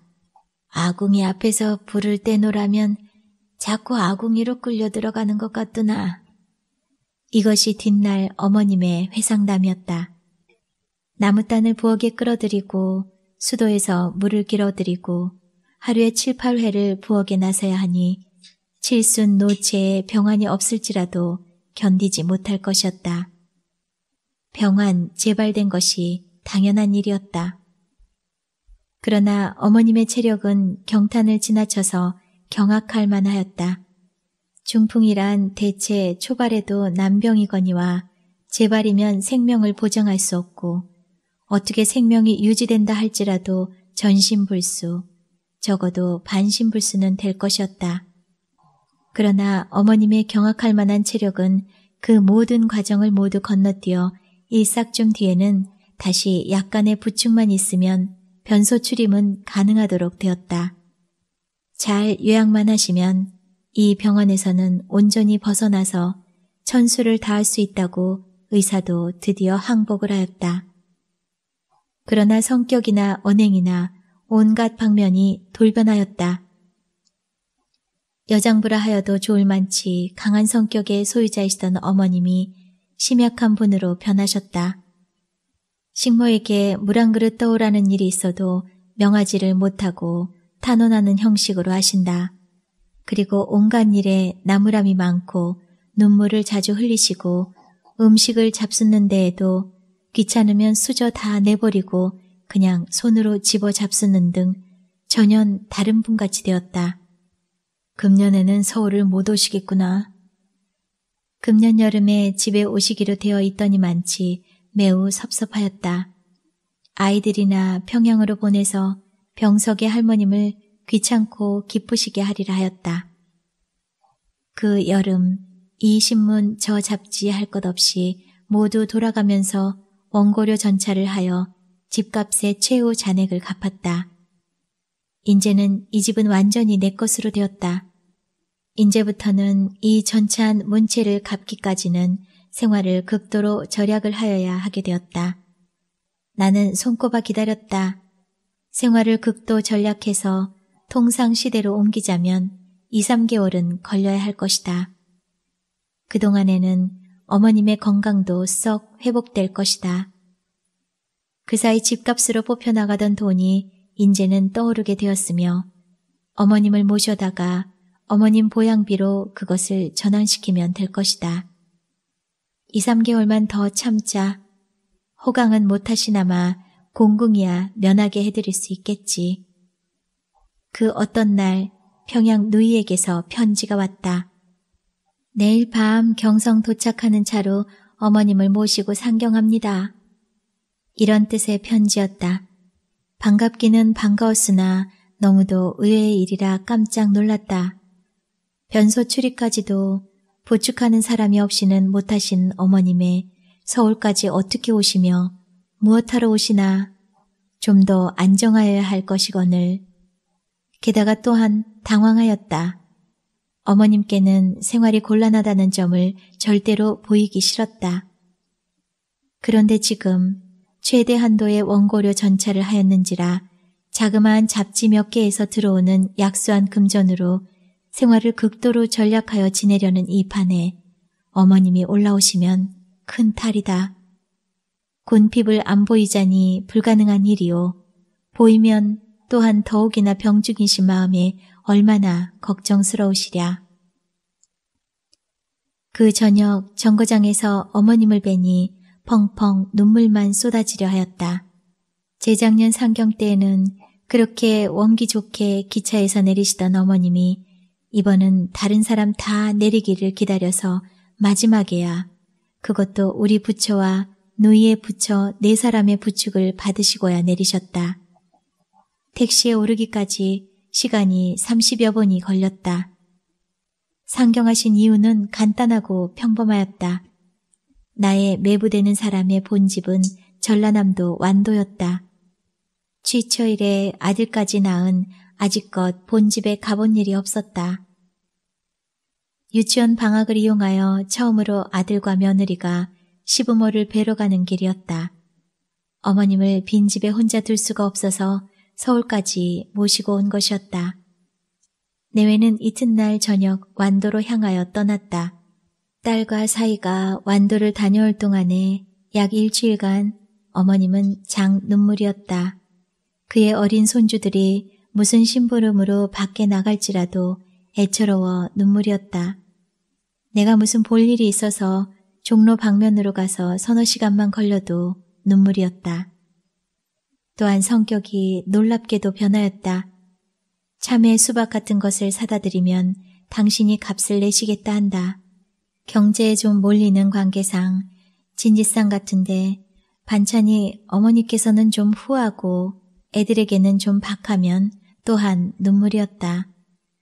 뜰 아랫방은 쓰지 않던 방이고 건넌방에는 빈대가 많고 하여 큰 방을 비워드리고 우리는 대청에서 잤더니 밤새도록 당신이 대청으로 나갈 터이니 우리들을 들어오라고 하시다 못하여 이튿날은 저녁이 끝나자마자 그 부자유한 몸으로 당신 이부자리를 어느 틈에 내다가 대청에 펴놓으신다. 변소에라도 가실 적에 부축에 드리려면 미안해하는 기색이 분명하였다. 그 어느 날 갑자기 당신 주머니에서 돈 5원을 꺼내주시며 한약으로 지금 당신 병원에 맞는 약을 지어다 달라신다. 이것은 과연 나의 실책이었다. 평양에서 올라오실 때에도 아무 약도 없기에 이 병원은 그저 안정 일로밖에는 없나 보다쯤으로 여겨두었던 것이었다. 병원 중에 계신 어머님께 약 채근을 받는다는 것은 자식된 도리에 희한한 일일 것이다. 나는 어머님이 내신 5원을 도로 드리고 한방의사를 알만한 친구들을 찾아다니며 수소문하여 박모 씨를 알아내어 톡톡히 비싼 약을 지어왔다. 그 약을 잡숴 보았지만 어지럼증만 더하지 차도가 없다고 하시면서도 다려드리는 것이라 잡숫기는 잡수었으나 평양 내려가서는 다시 안 잡수신 모양이었다. 이병 저병 겹치는 중에 또 조그마한 부스럼 하나가 목 뒤에 생겼다. 가렵다고 긁으시더니 그것이 저녁에는 뻘겋게 되었다. 그래서 고약을 붙여드렸으나 가렵다고 연방 떼버리고 그냥 긁으시는 바람에 이튿날은 더 범위가 넓어지며 뜬뜬하게 되었다. 그러나 고약만 잘 붙이면 도로 삭을 종류의 것이라 이튿날은 나의 아들을 할머니 뒤에 지키게 하여 떼버리면 다시 붙여드리고 떼버리면 또다시 붙여드리고 이러한 역할을 하게 하였다. 부스럼이 난 지 사흘 만에 완도 갔던 내외가 왔다. 와서 그 밤을 우리 집에서 지내고 이튿날은 어머님을 모시고 평양으로 내려갔다. 일행이 평양으로 내려간 뒤에 나도 무슨 볼 일이 있어서 3, 4일간 어디 갔었다. 돌아와 봄에 아직 이른 새벽임에도 불구하고 대문이 열려 있고 집안에는 아이들만이 있고 아내는 나를 찾으러 어젯밤 나갔다가 밤 깊어 돌아오고 방금 또 나갔다는 것이었다. 그리고 나 없는 동안에 평양에서 편지 한 장과 전보 두 장이 와 있었다. 먼저 전보부터 보았다. 첫 전보는 그저께 친 것으로 어머님을 대수술을 하니 즉시 오라는 것이오. 둘째 전보는 어제 친 것으로 왜 안 오느냐 위독하다는 것이었다. 편지는 평양 내려와서 목 뒤에 종초를 수술하셨다는데 수술한 자리가 성가시고 붕대를 풀고 심지를 뽑고 하여 잘못하다가는 큰 탈이 생길 듯 싶다. 는 뜻이었다. 정신이 아득하였다. 어찌할 바를 몰랐다. 무슨 일을 어떻게 하여야 할지 순서를 따질 수가 없었다. 기차 시간표를 보니 7시 반에 떠나는 북행이 있었다. 기차는 있기는 하고 아직 5시 반에 지나지 못하니 시간은 넉넉하다. 주머니에는 꼭 기차 싹뿐 점심 사 먹을 돈도 없었다. 좌우간 정거장으로 나간다고 아이들한테 말해두고 보스클로랄이라는 강렬한 체면제 한 병을 갖고 그 다름으로 정거장으로 나갔다. 먼저 정거장에 나간다 한들 기차가 먼저 가줄 리 없건만. 마치 우리 안의 사자와 같이 정거장에서도 잠시를 앉지를 못하였다. 다른 때 기차를 탈 때에는 생각해보지도 않던 일. 지금 이 정거장 안에서 기차를 타려고 기다리는 무리 중에 친척의 위독 혹은 사망 전보를 받고 황황히 달려가려니 태반이 그런 사람이 아닐까. 기차 안에서는 강렬한 최면제를 먹고 차장에게 평양에서 깨워주기를 부탁하고 내내 자면서 갔다. 깨면 마음이 지향할 바를 몰라서 평양에서 내려서 병원으로 달려가 보매 아직 떠나지 않았다. 후두부의 가죽을 죄에 뜯어내고 지금 저 붕대 아래는 두개골이 노출되어 있다 한다. 머리와 목 전체를 붕대로 싼 거대한 육체가 답답한 듯이 한 초도 쉬지 않고 오른편으로 왼편으로 몸을 뒤채는 것이었다. 저렇듯 뒤채는 것이 되려 피곤하시지 않을까. 그러나 피곤을 모르시는 모양이었다. 잠든 때 이외에는 저렇듯 몸을 한 초도 쉬지 않고 이쪽으로 저쪽으로 뒤채신다 한다. 침대에서 떨어지기를 방지하기 위하여 침대의 한쪽은 담벽에 붙여놓고 이쪽으로는 침대 하나를 더 놓았다. 나는 내가 온 것을 알리기 위하여 어머님의 눈이 향하기 가장 편한 쪽에 가 서서 어머님을 찾았다. 어머님은 나를 보셨다. 그러나 그것은 마치 맞은편에 무엇이 보이니 그냥 눈을 그리로 붓고 있는 따름이었다. 표정에 아무 움직임도 없었다. 그로부터 10여일 나는 죽음과 고토하시는 어머님을 지켰다. 불면증이라는 특수한 신체 조직을 가지고 있는 나는 병인을 지키기에는 가장 적당한 사람이었다. 한 번은 며칠째 되는 날인지 하도 보기에 민망하였던지 누이가 자기 남편과 한밤을 지킬 터이니 집에 가서 하루 편히 자라고 한다. 그래서 밤들어 누이의 집에 가서 한밤을 자고 이튿날 새벽에 병원으로 가서 뇌를 돌려보냈더니 내가 평양으로 내려온 지 여러 달 만에 처음으로 듣는 어머님의 의사표시가 있었다. 즉, 나더러 밤을 지켜달라는 것이었다. 목이 말라서 물을 달라 해도 모르고 자고 서늘에 무엇을 쓰고 싶으나 아무리 불러도 깨지를 않아 하룻밤을 매우 곤란히 지내셨다는 것이었다. 그 뒤로부터 밤을 남에게 맡겨보지를 않았다. 밤에는 자는 것이 당연하다. 아무리 정성이 있단들 생리적으로 오는 졸음을 어이하랴. 나 같은 불구자가 아닌 이상에는 거의 불가능한 일이다. 나는 이 반드시 다시 일어나지 못하실 어머님을 지키면서 여기서 때때로 인생이라는 것의 전면을 보곤 하였다.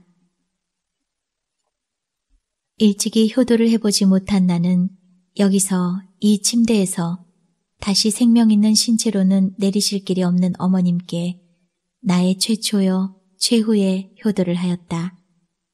그러면서 아, 이것을 어머님이 알아주실까? 이런 쓸데없는 기대를 해보고 하였다.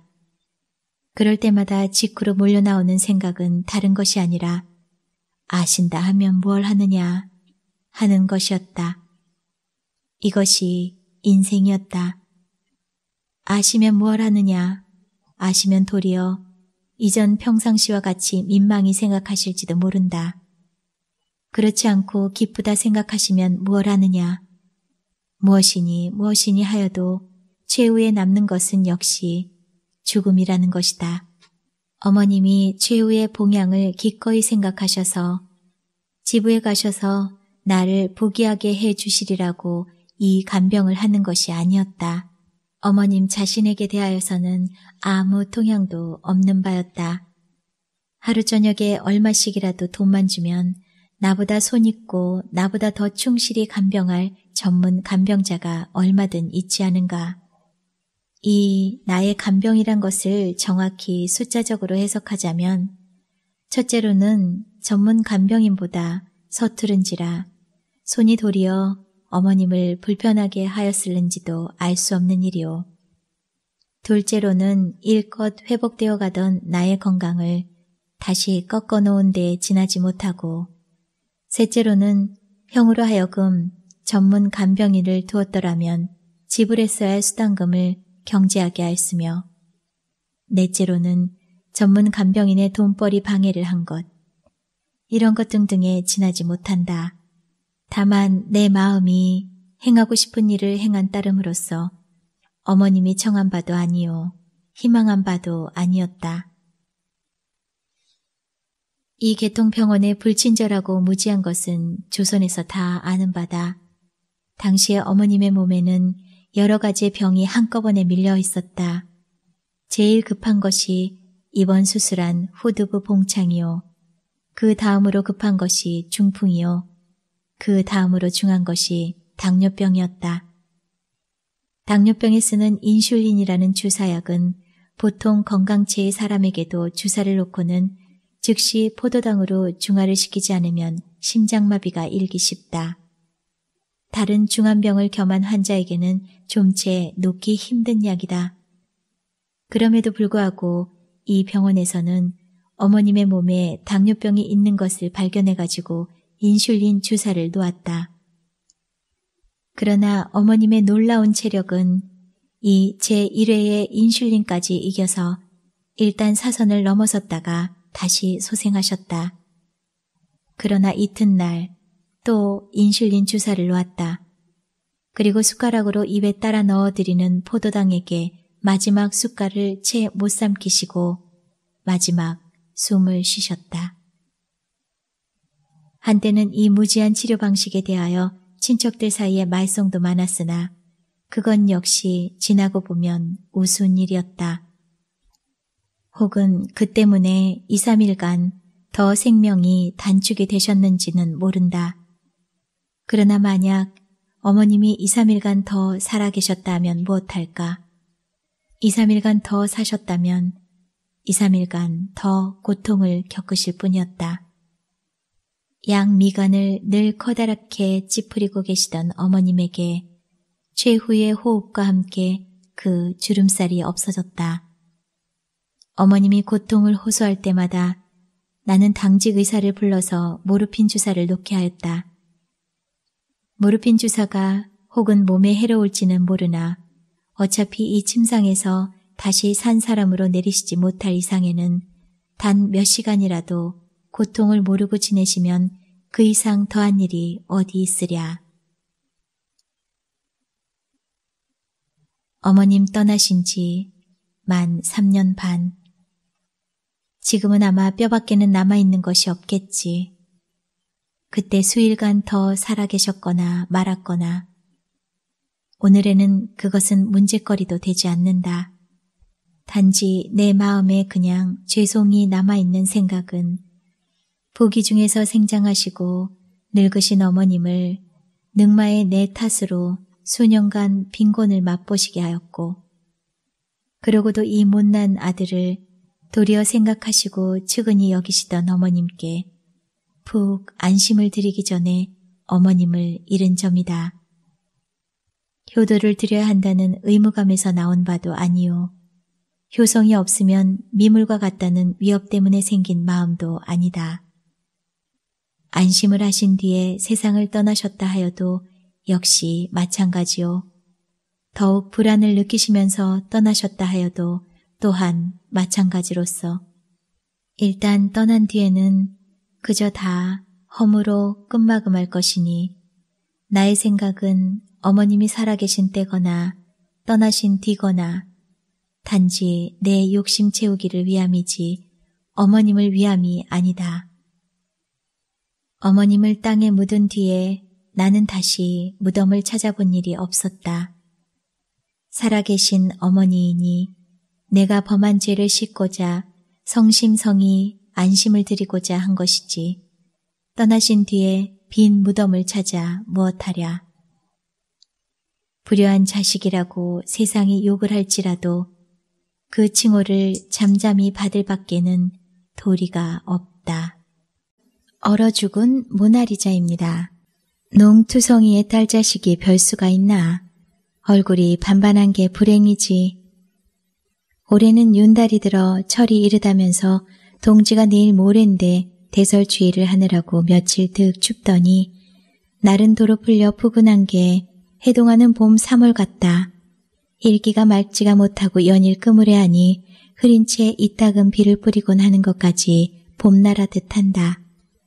오늘은 해는 떴는지 말았는지 어설프게 찌푸렸던 날이 낮때가 겨운둥 마는둥 하더니 그대로 더럭 저물어 버린다. 언덕배기 밭 가운데 외따로 토담집을 반길만 되게 햇집으로 울타리한 마당에서는 오목이네가 떡방아를 받기에 정신이 없이 바쁘다. 콩콩콩콩 단조롭기는 하되 졸리지 아니하고 갇히서 마음이 급해지게 야무진 절구 소리가 또 어떻게 들으면 훨씬 한가롭기도 하다. 오목이네 이마에서는 빚어진 땀방울이 벼태근 주근깨 새까만 얼굴로 흘러내리다가 구정물이 되어 그대로 절구 속 떡가루로 떨어진다. 떡이 소금을 두지 아니해도 찝찝할 것 같다. 시시하면서 찢느라고 침도 튀어 들어간다. 시하고 콩 하니 내려찍고는 이어 허리를 펴면서 절구대를 들어 올리느라면 때에 전 닭목 저고리 앞선 밑으로 시들어 빠진 왼편 젖퉁이 델룽 내다 보인다. 젖도 광대뼈가 툭 붉어지고 코가 펑 퍼지만이 공상스러운 데다가 건늙은 얼굴까지 시들어 빠졌다. 기름이 한창 오를 여인네 사십에 그러나 농군의 아내는 중성이 되어버린다. 여복에 머리 얹지 아니했으면 누가 여자라고 볼 사람은 없다. 콩콩콩콩 오르내리는 절구때는 바쁘다. 그래도 아직도 두 번은 더 쳐야지 무거리가 아깝다. 절구통 옆으로는 그새 찧어서 쳐놓은 떡가루가 하얗게 큰 함지박 가득 담겨 있다. 떡가루를 뒤집어 쓴 채가 절구에 울려 함지전에서 위태하게 달랑거린다. 절구통 가로 땅바닥에는 잔 놈, 굵은 놈, 떡가루가 아끼듯 살살 뿌려져 있다. 쌀 한 알갱이, 떡가루 한 낫도 새로워하는 규모지만 절구대 끝에서 튀기도 하고 채로 칠 때 날리기도 해서 하는 수 없이 그만큼씩은 번번이 허시를 하게 된다. 해는 더럭더럭 저물어만 간다. 들판 건너 앞마을에서 저녁 연기가 하나씩 둘씩 가느다랗게 솟아오르고 바로 언덕 밑 대밭집의 대숲에는 잘 새가 날아들어 요란스럽게 지저긴다. 이제는 저녁은 갈 데 없이 저물었다. 오목이네는 남편이 들에 나갔다가 잔뜩 시장에서 돌아올 텐데 냉큼 밥상을 갖다 주지 못할 것이 민망도 하거니와 성미가 사나운 남편이 시장한 화풀이로 한바탕 푸념을 할 터. 더군다나 날이 이래서 내일은 장이 깨어지기 쉬우니 떡은 그만두라고 하는 것을 우겨서 기어코 떡방아를 시작했으니 그랬다고 오금을 박을 터 그래 옥신각신하다가 저녁도 먹지 아니하고 동리 쇠죽방으로 휙 나가버릴 테니 이 일을 어쩌나 싶어 정신이 없고 떡방아는 그냥 건성으로 찌어진다. 이렇듯 일이 사뭇 몰려 각다분한 때면 그는 딸 오목이 일로 절로 안타까워 속이 상하곤 했다. 눈만 그렇게 멀지 아니했으면 왜 이다지 혼자서 쪼들리랴. 작년 초가을까지도 조석이며 바느질을 다 저 혼자 맡아서 해치우고 그러고도 낮으로는 들 일이며 밤으로 가만히 치기, 신삼기, 또 장 안날이면 떡방아까지 거들어주곤 했었는데 그 원수의 눈이 멀고 난 뒤로는 이렇게 혼자만 혀가 나오게 몰려 지내니 그래 안타깝고 그래 속이 상하는 것이오. 그런 때면 생트집이라도 잡아 입으로 남아 애꿎이 화풀이를 후련히 하고 싶어지기도 한다.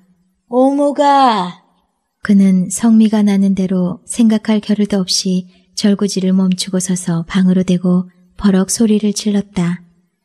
있는 양식에 물도 다 길어다 두었겠다. 계집애가 나이 18살에 눈이 아니 보이기로 써니 밥 한 끼 지어보지 못하랴. 어서 나와서 쌀도 씻고 불도 지피고 할 것이지 저녁이 이렇게 저무는데 아기 똥하고 방구석에 처박혀 앉았기만 하느냐고 여지없이 지천을 하였던 것이다. 그러나 그렇게 볼품 사납게 버럭 질러 부르는 소리에 그는 도리어 자기가 놀랐다. 눈먼 딸 자식이 무슨 죄가 있다고 그것도 따지자면 어미아비의 죄지 베네병신도 아니오. 작년 여름까지도 멀쩡하던 눈이 아프다는 것을 늦잡돌이에서 필경 멀고 말았으니 가난한 탓이오. 어미아비의 죄인걸. 그나마도 다른 자식이 있는 바도 아니요. 그야말로 눈먼 딸 자식 그것 하나뿐인 것을 갖다가 부려먹지 못해서 아등바등하며 화풀이를 하려 드는 어미의 심정이 몹시 불축스러워 그래 당장 뉘우치는 마음이 들었다. 오목이는 어두컴컴한 방 안에서 널쩍다리를 걷어올리고 앉아 신총을 비고 있었다. 어두운 방 안에서 눈 감은 처녀의 뚜렷한 얼굴과 걷어올린 널쩍다리는 유난스럽게 희다. 방은 방이 아니라 인간이 실족을 해서 돼지우리에 빠진 양이다. 벽은 벌 흙에다가 신문지를 그대로 바른 것이 검누렇게 퇴색이 되고 군데군데 찢어져 흙이 비어져 나온다. 북쪽 벽이 몸뚱이 하나 들락날락 할만하게 뚫리고 거기는 신용이 남아 백지를 발랐다. 잘못하면 선실의 창으로 보겠다. 앞쪽으로 문고를 박는 흉대만 내고 진짬, 죽창이 삐뚤음하게 달려있다. 방바닥에는 낡은 갈자리, 그나마 온목은 거적이다. 아랫목 한편 구석으로 가만히 쪽을 둘러 앉힌 것은 이 방에서 쾌쾌한 냄새가 나는 청국장 시루다. 그것이 아니라도 잘 사는 사람 집에 돼지우리 샘밖에 안 되는 이 방에서 악취가 나지 아니할 리가 없지만 온목으로는 가만히 들을 비롯해서 배영겁으로 깨어진 자국을 바른 독도 있고 누더기 이불을 올려놓은 괴짝도 있다. 괴짝은 색종이로 바르고 그 위에는 18살 처녀의 눈 떴을 때의 마음씨였던 듯이 무색 그림이 두어 쪽 붙어 있다. 집신삼을 집신총, 집신 삼아놓은 것이 제 가끔 제 멋대로 그득한 집북덕이와 한 가지로 널려져 있다. 이 속에서 눈 감은 처녀 오목이는 걷어올린 넓적다리에다 집태를 대고 족족 신총을 비고 있는 참이다. 르소가 살았더라면 보여주고 싶은 한 장면이다. 오목이는 신총을 비면서 그것은 손끝에 익어난 일이라 정신을 들일 것도 없고 감은 눈으로 고요한 세상을 보느라고 자지러진 어머니가 콩콩 떡방아를 찢는 절구 소리도 아득히 먼 세상의 일로 귓결에 들리고 해가 저무는 것도 몰랐었다. 그는 눈이 먼 뒤로부터는 언제고 그렇게 지낸다. 날이 새고 해가 저물고 밖에서 어머니 아버지가 일을 하고 있는 것을 유념하면 다 알 수는 있다. 그러나 그런 것을 알아차리고 염량을 해도 눈이 먼 오목에게는 아무 소용이 없다. 그러니까 그는 차라리 곰곰이 앉아 신총이나 비고 신이나 삼고 하면서 감은 눈으로만 보이는 고요한 세상, 그 중에도 지나간 해 가을 처녀의 마음이 싹 트면서 바로 만나던 한 사람 총각이 영상을 둘러싸고 가추가추 벌어지는 꿈 아닌 꿈의 세상을 두루두루 헤매느라고 거의 넋을 놓다시피 한다. 그러나 그렇게 즐거운 명상을 이 끝에서 저 끝까지 다시 저 끝에서 이 끝까지 되풀이하고 나면 그는 호하고 절로 한숨을 쉬고라야 만다. 그 명상의 세상이 눈이 멀고 난 시방 자기에게는 부러운 남의 일 같아서 눈먼 하늘 그처럼 한숨으로 힘없이 자탄하는 것이다. 역정이나 부르는 어머니의 목소리에 오목이는 정신이 들었다. 그는 나른하게 음? 대답을 하고 신총 빈 것을 한 줌 주먹에 쥔 채 더듬더듬 앞문을 열었다. 왜 또 어머니가 역정이나 하셨을까? 바람 기운이며 대숲의 새소리가 어쩐지 날이 저문 줄을 오목이도 알았다. 아마 떡방하는 바쁜데 날이 저물기는 하고 하니까 그래 어머니가 그러시나 보다. 그런 줄 알았더라면 진작 나가서 하나 못하나 거들어 드릴 걸. 오목이는 이렇게 뉘우치면서 문지방을 잡고 일어섰다. 방문 앞이 마루도 없이 바로 토방이요. 그 밑이 연달아 마당이다. 오목이는 대답을 하고 나가도 아까 그렇게 버럭 소리를 질러 부르던 어머니가 아무 말도 없으니까 아마 단단히 역정이 나셨나 보다 생각하고 그래서 주춤주춤하다가 어머니 나 불렀어? 하고 되불러 보았다. 본시 타고난 것이지만 약간 떨리는 듯한 소리가 가늘기까지 해서 자지러지게 애조롭다. 눈은 눈알에 허옇게 백태가 덮이고 동작계로 시뻘건 발이 서서 그것이 남이 보기에 얼마나 흉어우랴 싶어 일부러 육장 그렇게 감고 있는 것이다. 그래 눈을 감기는 했어도 눈알이 상에서 움푹 패어 들어간 다른 장님들 같이 그렇지는 아니하였다. 얼굴은 이름처럼 오목고목하니 애티가 나고 귀염성스럽다.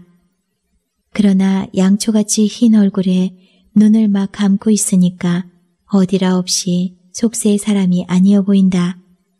오목이네는 그러지 아니해도 벌써 뉘우치는 마음이 들었는데 딸의 목소리가 들리고 이어 더듬더듬 기다시피 나서서 혹시 지천이나 들을까봐 놀란 비둘기처럼 조심하는 것이 그만 눈물이 나게 애처로웠다. 그는 얼른 목소리를 부드럽혀 딴 말로 둘러댄다. 어냐, 나오지 말아라. 나는 짝소리도 없길래 불러보았지야. 신총 비고 있었냐? 오목이는 어머니의 속을 알아차렸다. 그러나 어머니가 무언 일을 시키려다가도 또 나무람을 하려다가도 차마 불쌍해서 못하고 언제나 목소리 부드럽게 상냥히 구는 것이 도리어 슬프고 마음이 무거웠다. 차라리 그는 어머니가 그런 눈이 멀지 아니했을 때처럼 함부로 덤부로 일도 시키고 나무랄 때도 나무람도 하고 했으면 저기 마음이 가벼울 것 같았다. 오목이네는 절구에서 떡가루를 꺼내어 체에다 찰칵찰칵 치고 있다. 오목이는 잠시 우두커니 문지방을 잡고 서서 잠잠히 있다가 어머니 하고 부른다. 오냐 어머니의 목소리는 더욱 부드럽다. 내가 밥할까? 아소라, 네가 어떻게 밥을 한다고 그러냐. 인제는 거진 다 되었으니께로 그만두고 들어가거라. 어머니는 이렇게 반색을 해서 다독거리듯 말린다. 그러다가 그래도 미진해서 너 배고프냐? 하고 묻는다.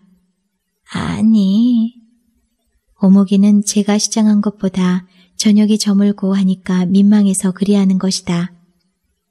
그러나 막상 배가 고프지 않느냐는 말을 듣고 보니 잊었던 시장기가 다시 들기도 했다. 아침은 좁쌀이 반도 더 섞인 것을 일찍이 먹고 점심을 먹지 아니하니까 언제든지 저녁 되면 시장은 하다. 오목이는 시장할 뿐 아니라 오늘은 어쩐지 속이 궁금해서 무엇 맛있는 것이 먹고 싶었다. 김장이라고 흉내 맞는 갈릭같이 뻣뻣하고 씁쓸한 김치에 청국장 한 뚝배기가 언제나 변찮고 밥상에 오르는 이 집의 반찬이다.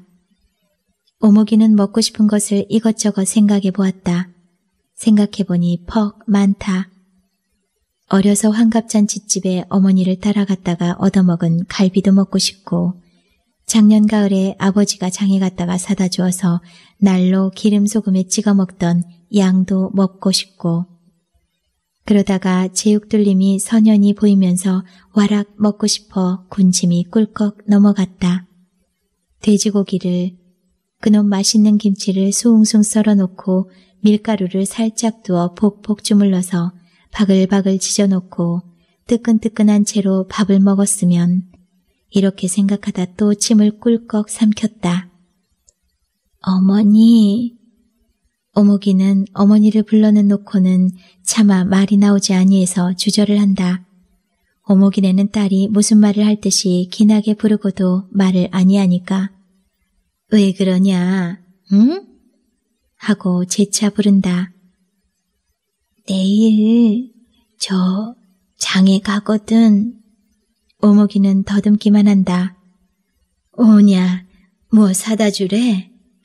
음, 아니, 저, 내 신 팔거든. 저 아버지더러. 네신판 것은 잘 메어둬야지 써서 쓰거냐. 내가 떡 판 돈으로 사다 줄게 말아요 봐라. 뭐 사다 주래? 아니, 내 심판 돈으로 사. 돼지고기 다 떠놓지만. 겨우 돼지고기란 말을 해놓고 오목이는 무색해서 해죽 웃는다. 오목이네도 딸을 바라다 보고 혼자 웃는다.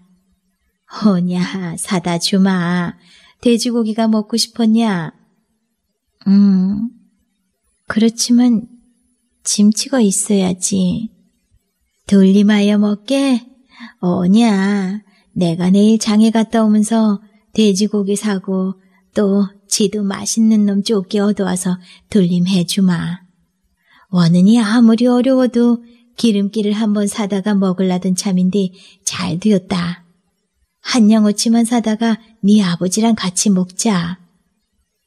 오목이는 제육 돌림 먹을 것을 생각하면서 침을 또 삼켰다. 그리고 그러자면 집신을 한 켤레라도 어서 더 삼아야겠는데 그렇지만 날이 흐렸다더니 어떨까 해서 걱정이 되었다. 날이 괜찮을까, 어머니?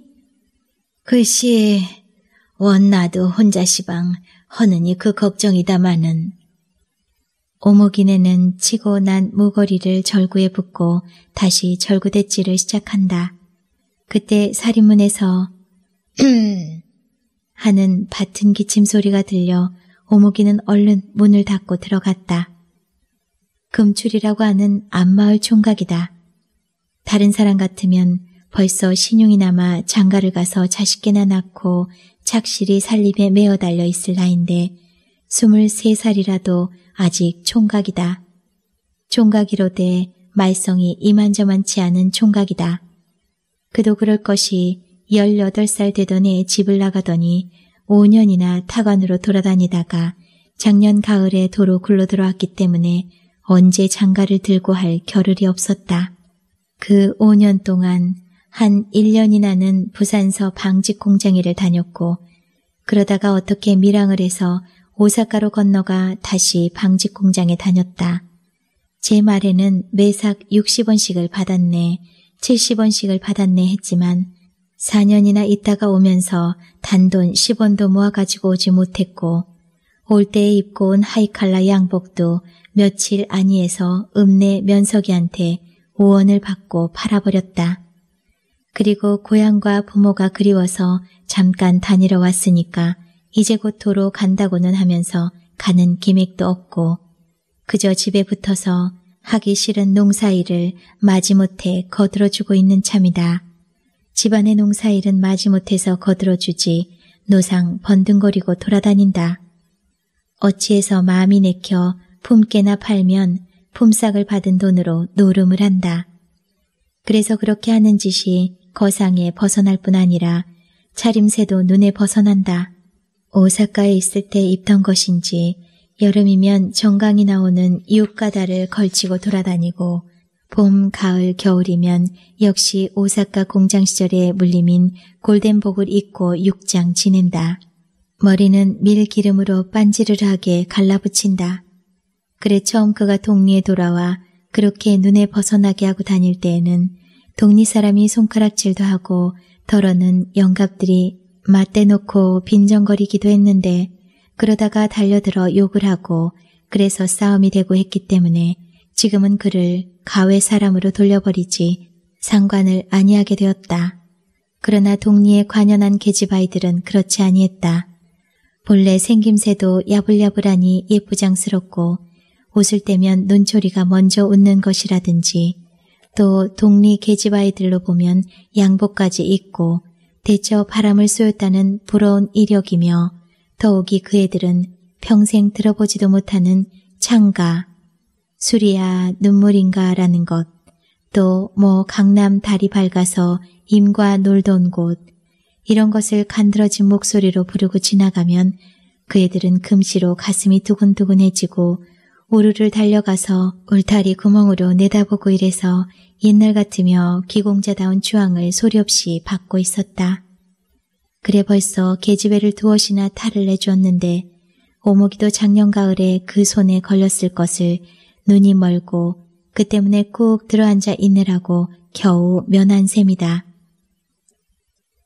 오늘 금추리가 오목이네 집에 오기는 오목이 아버지 두성이한테 품을 살려고 온 것이다. 그는 오면서 반길밖에 안 되는 집 울타리 너머로 오목이를 자세히 보았다. 보고 그는 놀랐다. 그는 오목이가 눈이 멀었다는 말을 듣고 나서는 보통 장님같이 생겼을 오목이를 생각하고 그만 금을 싹 그어버렸다.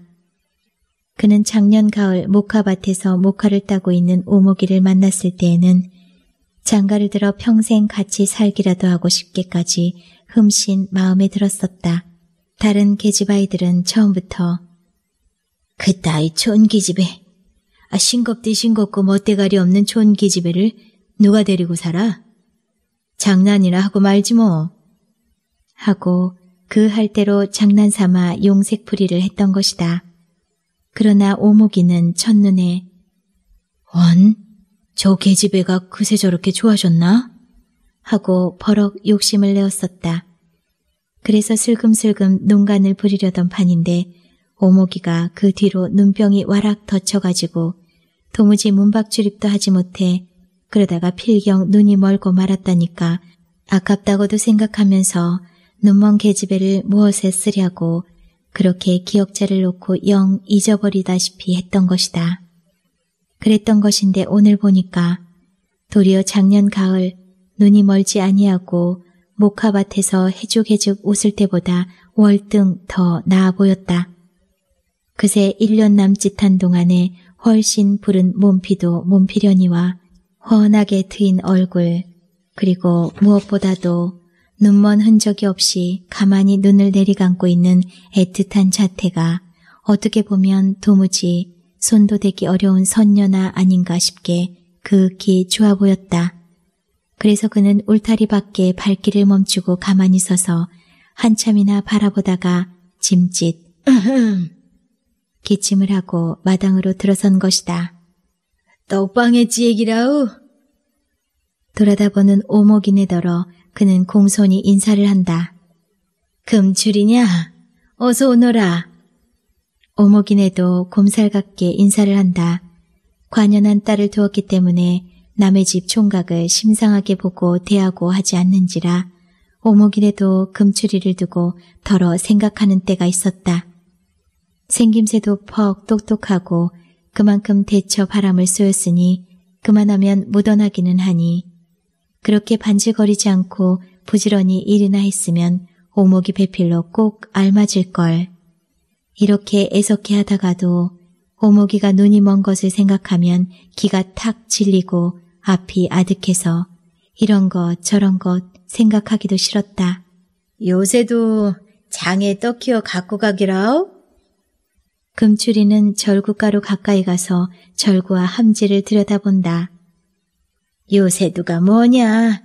요새가 시방 한참이지. 너희 집은 아직 양식이나 안 떨어졌냐? 이것은 오랜만에 만나는 촌 사람끼리 가까운 사이면 의뢰 묻는 인사다. 안 떨어진 게 뭐라오? 장리라도 좀 얻어와야 할 텐데 큰일 났구만이라오. 아 그놈의 좁쌀 한대두대 팔아다 먹을란 게 허천나서 죽겠고. 그러게 말이다. 1년 360날을 하루도 안 쉬고 소같이 일을 희어도 살 수가 없으니. 그게 다 조선 사람이 못나서 그려라오. 내지는 안 그려라오. 내지가 뭐다냐? 일본 말이라오. 거기서는 농사 짓는 사람들도 다 그렇게 만만찮여라오. 언제 그 방면의 농촌이며 농민의 사정을 알아보았으리오마는 공장에 다닐 때 농촌 사람들로 직공이 되어온 사람들한테 설들은 정담을 늘어놓는 푼수다.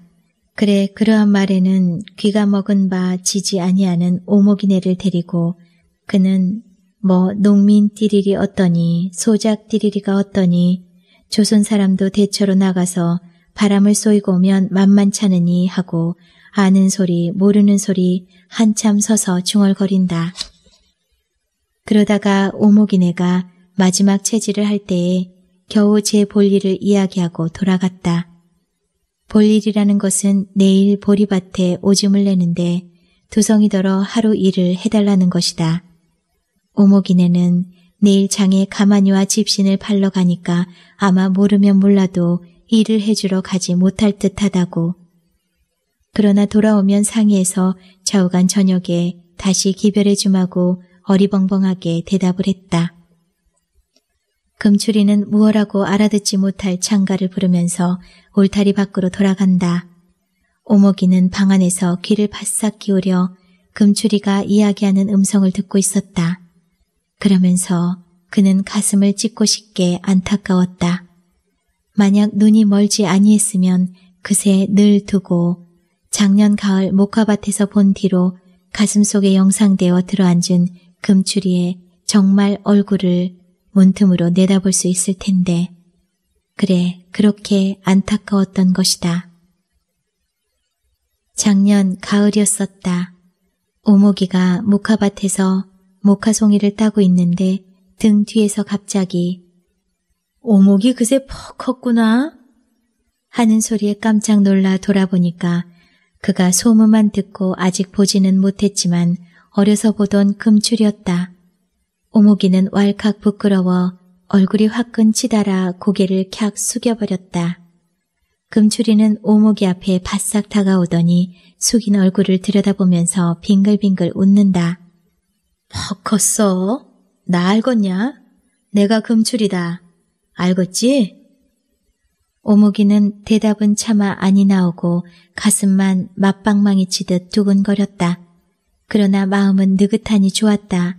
그래 잠깐 고개를 들고 방실에 웃었다. 안다고 말로 열 번 더한 것보다도 효과 있는 것이다. 금추리는 더욱 입이 해벌어져 오목의 손을 잡으려고 내밀다가 그래도 차마 못하고 바구니에서 모카만 한 송이 집어냈다. 흠, 알겠지? 그새 참퍽 컸다. 그리고 퍽 이뻐졌구먼. 오목이는 수줍은 웃음을 입술로 물고 바구니만 가만 만지작거린다. 퍽 반갑다. 난 그새 네가 시집간 줄 알았다. 오목이는 그만 부끄러움을 못 참아 빈밋이 싹 돌아섰다. 부끄러워서 그러냐? 참, 아는 사람 보고 무엇이 부끄러워서 그러. 이따가 저녁에 등 넘어 벌판으로 놀러 나오니라. 음, 나 돌아댕기면서 구경하던 이야기랑 또 장가랑 불러줄게. 응, 오모가? 오목이는 대답은 아니했으나 싫다는 눈치도 보이지 아니했다. 금추리가 부디 놀러 나오라고 몇 번이나 신신당부를 하고 돌아서 가자 오목이는 비로소 고개를 들고 그의 등 뒤를 바라다 보았다. 그는 재미가 나고 기뻐서 소리를 내어 웃고 싶었다. 그날 밤 달이 밝았다. 오목이는 저녁 늦으기 등 넘어 벌판으로 놀러 갈까 하고 몇 번이나 망설이다가 차마 가지는 못했다. 누구 동물을 하나 청해서 같이 갈까 생각도 해보았으나 그것은 혼자 볼 재미를 동무한테 나누어 주는 것 같아서 싫었다. 가려면 혼자 가야지. 그러나 가자고 들면 어쩐지 무섭기도 하고 부끄럽기만 해서 갈까 말까 벼르는 동안에 그냥 밤은 깊고 말았다. 그 뒤에 오목이는 눈이 와락 더 아프기 시작했다가 이내 문박 출입도 더 해보지 못하고 눈은 영영 멀어버렸다. 눈이 멀어 들어앉으면서부터 금추리의 영상은 오목이 가슴속에 뚜렷이 들어박혔다. 오목이 가슴 속에 들어앉은 금추리의 영상은 매일 그렇게 품고 지나는 사이에 요모로 조모로 변해가지고 지금은 예수교인 같으면 예수다. 불도하는 사람 같으면 부처님같이 숭엄하되 그러나 숭엄만 하지 아니하고 정다운 우상이 되어버렸다. 오목이는 그새 1년을 두고 그 우상의 실체인 금추리가 오기를 오기를 기다렸다. 그는 그렇게 기다리고 있노라면 꼭 언제 그가 와서 찾을 것을 믿었다. 그리하던 금추리가 과연 오늘 왔다. 기다리던 참이나 너무 뜻밖에 왔기 때문에 사모하던 환상대로 금추리가 해주지 아니하는 것을 이상하게든지 혹은 섭섭하게든지 여길 겨를도 없이 우선 그는 놀랐고 그 다음은 반가웠고 그러다가 마침내는 그토록 가슴속에 위에 앉히고 사모하던 금추리가 당장 거기에 와서 있건만 그를 보지 못하는 것이 안타까웠다. 그날 밤 오목이는 어머니 아버지 잠이 든 사이에 밖에 나와 생각하면서 울고 울면서 생각하고 날이 밝는 줄은 몰랐다. 이튿날 아침 때가 조금 겨워서 어머니 아버지는 장에 가고 오목이는 혼자 방에 앉아 신총을 피웠다. 마당에서 발자국 소리가 들려왔다. 오목이는 놀라지도 아니하고 의심도 아니하고 당연한 일로 여겨 기다리고 있었다. 금추리로 보면 오목이 부모가 장에 가고 없을 것을 엿보아 어제 오늘 비로소 꾸민 일이지만 오목이는 그것이 하늘이 시키는 정한 소리대로 되는 것 같이 태연하게 이를 맞이했다. 금추리는 마당에서 뱉은 기침을 한 번 하고 짐짓 오서방 어른 집에 계시라오? 하고 부른다. 물론 아무도 대답하고 나올 사람은 없다. 그러나 그래도 막상 몰라 그는 또 한 번 불러본다. 그러고 나서 영 대답이 없으니까 성큼성큼 방문 앞으로 다가선다. 여기서 비로소 오목이는 가슴이 조이기 시작했다. 금추리가 오는 것은 의례 당연한 일로 여겼으니까 발자국 소리가 들리고 음성이 들리고 할 때에는 태어날 수가 있었다. 그러나 그는 왔다. 왔으니 이제는 긴장이 새로운 것이다. 그것은 마치 첫날 밤 신랑을 맞이하는 신방의 신부와 같은 긴장이다. 오목이 혼자 있냐? 금추리는 방문을 조용히 열고서 방 안을 들여다본다. 금추리는 넌지시 물러앉아 양복 바지춤을 다스리고 나서 담배를 피워문다. 노린내가 나고 해프게 타버리는 단풍이라도 명색은 권련이다. 오목이는 새 채비로 수줍은 생각이 들어 고개를 숙이고 빈밑이 돌아앉아 손에 잡히는 대로 치맛고름만 만지작거린다. 그는 금추리가 시푸하고 담배만 피우면서 말이 없는 것이 속이 답답했다. 뭐라고 이야기도 좀 해주고 그러느냐면 오목이도 스스러운 마음이 좀 풀려 그 사이 두고 그렇게도 하고 싶던 쌓이고 쌓인 이야기를 다 할 텐데. 그렇게 마주 앉아 오손도손하니 놀면 퍽도 재미가 있을 텐데 어쩌면 성이 난 것처럼 앉았기만 하니까 오목이는 답답도 하거니와 더욱이 오래잖아 어머니 아버지가 장에서 돌아오기 전에 금추리는 돌아가게 될 텐데 그렇게 심심하게 금추리가 돌아간다는 것이 오목이는 몸부림이 나게 안타깝고 섭섭했다.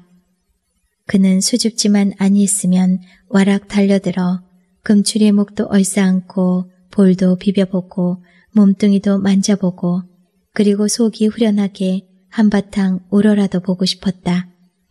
그럼에 그는 아까 금추리에게 몸뚱이를 내맡겨 그의 품에 안겨 있을 때에 정신이 없고 얼떨떨해서 그리 못한 것이 저욱이 후회가 났다.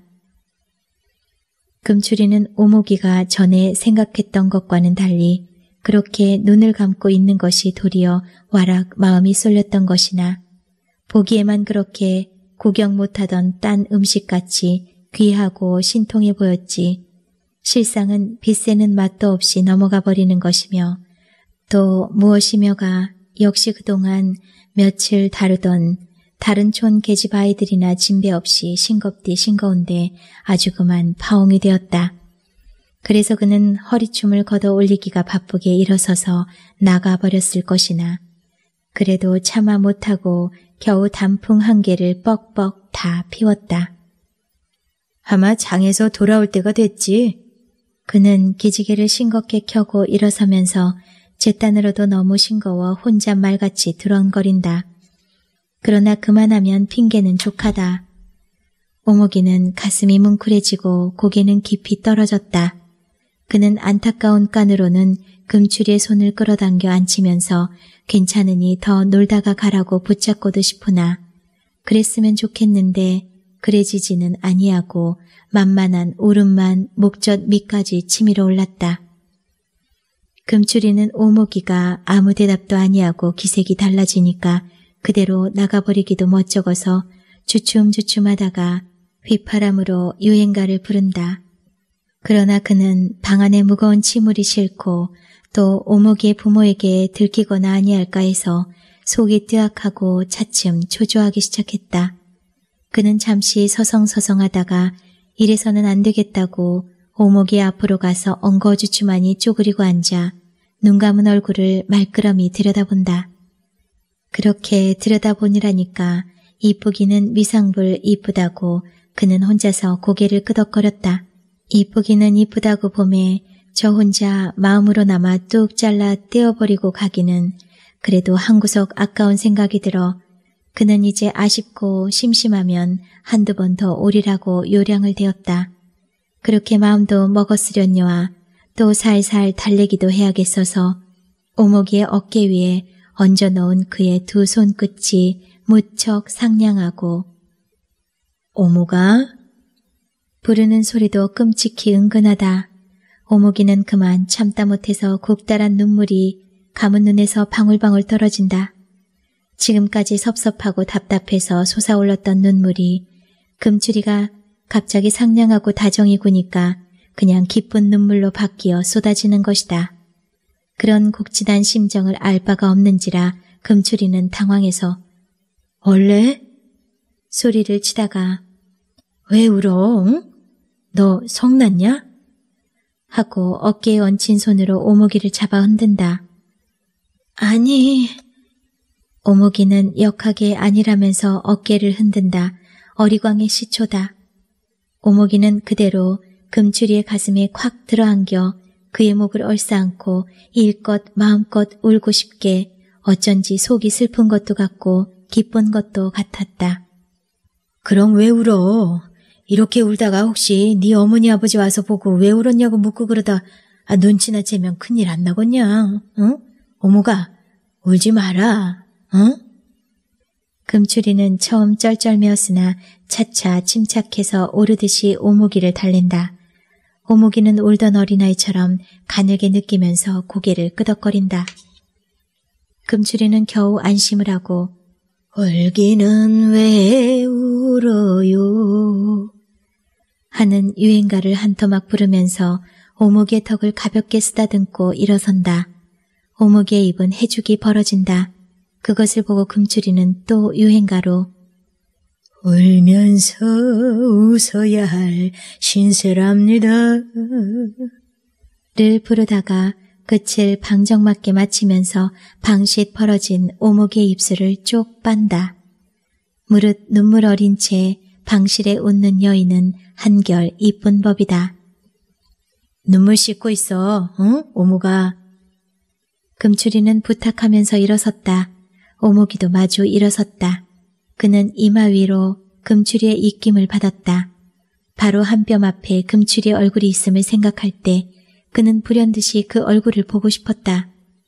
순간에 문득 일어난 이 생각은 오목이로 하여금 자기가 눈이 멀었다는 것을 잊게 했다. 그는 그 찰나의 아쉬움만 여겨 감은 두 눈을 번쩍 떴다. 뜨려고 할 때 그는 자지러지게 놀랐으나 때는 늦고 할 수 없이 눈이 한번 떠지고라야 도로 감아졌다. 그는 금추리가 눈 뜬 것을 아니 보았다면 다행일 텐데 그렇지 않고 똑바로 보았으면 어찌하나 해서 애가 쓰였다. 오목의 걱정은 바로 들어맞았다. 금추리는 갑자기 뜨는 오목의 눈동자를 언뜻 보자 어깨를 오싹음 추렸다. 곱게 감은 눈두덩이 휙 벌어지면서 굵다랗게 붉어진 두 눈동자는 뿌옇게 백태가 덮인 데다가 붉은 발까지 섞여 흉없다 못해 무섭기까지 했다. 비록 일순간에 보고 말았을 망정 그는 징그러운 두 눈동자를 잊을 수가 없었다. 그는 방금까지 이뻐 보이던 눈 감은 얼굴도 다시 보기가 싫었다. 오목이는 혼자 무참한 것을 어찌할 줄 모르다가 손을 뻗쳐 더듬더듬 금추리에 팔을 잡고 몸을 기댄다. 오목이로는 아직 부리지 못할 교태다. 그는 순간의 얕다란 자포자기로 그렇게 강행해서라도 금추리의 내색을 살피자는 것이다. 금추리는 획 뿌리치고 싶은 것을 참았다. 언제 또 와? 오목이는 제법 대단하게 금추리한테 몸을 비비면서 아양을 부린다. 나? 글씨, 음, 어, 오지 인제. 금추리는 몸소리가 치는 것을 참으면서 어물어물한다. 그는 이 자리에서 말은 좋도록 그런 내색은 보이지 아니하려고 마음은 먹어도 말하는 운이며 몸가짐이 어쩔 수 없이 서먹서먹해진다. 하물며 보지 못하는 대신 귀와 손끝이 예민해진 장님한테야 좀처럼 속일 수 없는 것이다. 뭘 안 올 거면서 오목이가 넘겨짓는 것을 금추리는 의젓이 시치미를 떼면서 안 오기는 왜 오지 말래도 올걸 하고 뻥등그린다. 그럼 언제? 음, 글씨, 어, 어느 날이 좋을꼬? 금추리는 이렇게 더듬다가 언제라니 다시 올 수 있는 때라야 다 뻔한 것인데 핑계대는 눈치를 채웠겠구나 하고 얼른 돌아오는 장날 오지. 장날이래야 너 혼자 있을 테니께로. 그치, 오모가? 하고 으스하게 얼버무려 넘긴다. 정말? 그럼 내가 거짓말할 줄 아냐? 자, 그럼 나 돌아오는 장날 올게. 응? 꼭? 어, 꼭. 오목이는 문지방을 짚고 서서 돌아가는 금추리의 발자국 소리에 귀를 기울이고 있다. 아까 조금 조금 부르던 그런 창가나 부르지 아니하나 하고 기다렸으나 그대로 발자국 소리만 감감이 사라져버리고 만다. 오목이는 영영 금추리를 놓쳐버리고 만 것만 같아 다시금 눈물이 쏟아져 내렸다. 오목이네는 마침 점심때라 떡을 팔기에 한창 분주하다 날이 흐려서 비가 올까 염려는 되었지만 그 대신 춥지 아니한 것이 다행이다. 또 호박을 무말랭이 썰듯 썰어 많이 두고 결을 두텁게 해서 팥고명을 얹은 호박떡은 아무나 먹기는 별미다. 더구나 그놈을 식지 않게 하느라고 솜든 누더기로 시루를 둘러싸고 꼭 맞는 나무 뚜껑으로 덮었기 때문에 떡 한 시루가 동이 나도록 김이 무럭무럭 올라 뜨끈뜨끈해 보이는 것이 지나가는 사람의 구미를 당기게 한다. 오목이네는 벌써 1년이나 두고 이 황화전 옆에서 떡 장사를 하기 때문에 철을 따라 보피떡, 인절미, 송편, 무시루떡, 그리고 겨울 한철은 호박떡. 아주 이 장에서는 낯익은 단골이 되고 도박이 장꾼들은 떡 생각이 나면 이리로 찾아오기까지 하게 되었다. 오늘도 오목이네의 그 육중한 노점 앞에는 네 사람이 가끔씩 호박떡 한 사발씩을 받아들고 혹은 선체로 혹은 한편으로 비껴 앉아 먹고 있고 두어 사람이 나 는 그릇이 나기를 기다리고 있다. 오전이면 한 사발이니 요기는 든든히 된다. 그래서 한참 이렇게 분주한 판에 남편 두성이가 한 어깨에 집신 한 죽을 그대로 둘러맨 채 가만히 석장을 한 팔로 질질 끌면서 브루퉁에 가지고 이리로 온다. 또 불 맞았소? 오목이네는 손은 떡시 중에 바쁘면서 언뜻 남편을 바라보다가 말고 물어본다. 물어보나 마나 좋지 아니한 기색이며 가만히 석장만 도로 가지고 오는 것을 보면 알조다. 그렇다, 제 얘기를. 두성이는 가만히를 오목이네 옆에다 아무렇게나 휙 내던진다. 신도 아직 못 팔고? 신전으로 가야지. 두성이는 곰방대를 삐뚤음하게 물고 어슬렁 어슬렁 걸어간다. 집시는 가만히를 검사하는 동안에 혹시 임자를 만나 파는 수도 있지만 대개는 가만히를 팔고 나서 다시 집신전까지 가서라야 팔게 된다. 두성이가 만일 홍치객이어서 그 집신을 둘러매고 장판으로 돌아다니면서 자, 알뜰한 집신이 오. 18살 먹은 꽃 같은 처녀가 눈먼 눈을 감고 앉아 손끝에 정성을 들여 한숨 섞어 삼은 집신이요. 다정다안한 집신이요. 하고 외운다면 혹시 호사하는 온치객도 있어 집신이야 쓸데 있건 없건 덜어 중값을 주고 사려는 사람도 있었을 것이다. 두성이는 오늘따라 가만히를 불을 맞은 것이 아예 심정이 좋지 아니했다. 하기야 가만히를 한 죽을 가지고 오면 무사히 다 등급에 드는 때도 있지만 불을 몇 장씩 맞는 때도 없는 것은 아니다. 그래 그저 예사로운 일인데 어쩐 일인지 오늘은 그렇게 심정이 좋지 못했다. 그는 하마터면 검사원한테 한바탕 들이대줄 뻔까지 했었다. 그러나 꾹 참고 혼자 속으로 이놈의 자식 인제 이놈을 둘러 꾸며가지고 와서 기어코 내 손으로 합자를 지킬 테니 두고 봐라. 하고 앙심을 먹고서 겨우 돌아섰던 것이다. 여보, 오목 아버지! 오목이네가 분주한 서슬에 멎었다가 깜빡 생각이 나서 남편을 부른다. 두성이는 장군들 틈에서 말없이 돌아본다. 고기 다 동나기 전에 제육 한 양어치만 사시오이?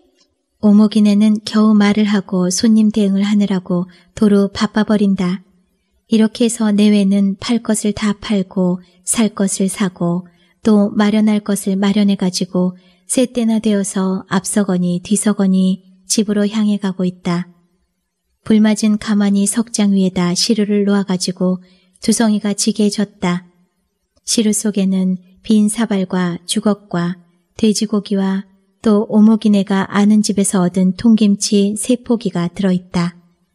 그리고 밀가루와 양식에 이 다음 장 떡살 하려고 판 것은 오목이네가 머리에 이고 간다.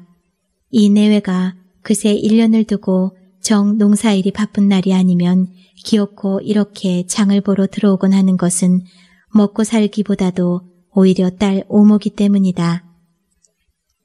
두성이는 가만히를 치고 오목이네는 떡을 하고 오목이가 삼은 집신까지 해서 장에 가지고 들어와 팔면 오목이의 집신 몫은 고스란히 손을 대지 아니해도 한 장에 내외 아울러 일원 각수는 이문이 남는다.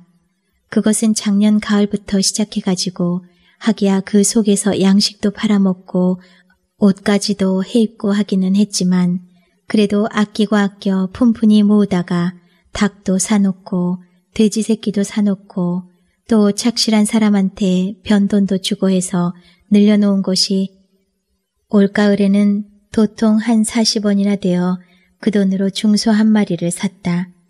그래서 소는 도지소로 내주었고 그 밖에 변돈 내준 것이 돈 10원이나 착실이 되고 배매기로 내준 돼지도 두어 마리나 된다. 또 오목이는 제대로 배매기 돼지도 대주고 변돈도 주기는 했지만 그것보다도 거지반은 옷을 해서 방 운목 구석에 허술하게 놓여있는 괴짝 속에 차곡차곡 넣어두었다. 이것은 시집가려는 처녀가 누구나 하는 것이다. 어머니가 시키기도 하려니와 그 당자도 하고 싶어 하는 것이다. 눈먼 오목이도 시집갈 채비로 그리하는 것이요. 어머니 되는 오목이네도 그것을 한편으로는 예사로이 보아버리는 것이다. 하기야 오목이 자신이나 또는 오목이네가 눈이 멀어서 시집을 가기가 막연하다는 것을 생각하면 그런 것이 모두 마음에 없고 심란스럽기만 하지만 그렇지만 육장 두고 걱정만 하고 사는 바는 아니다.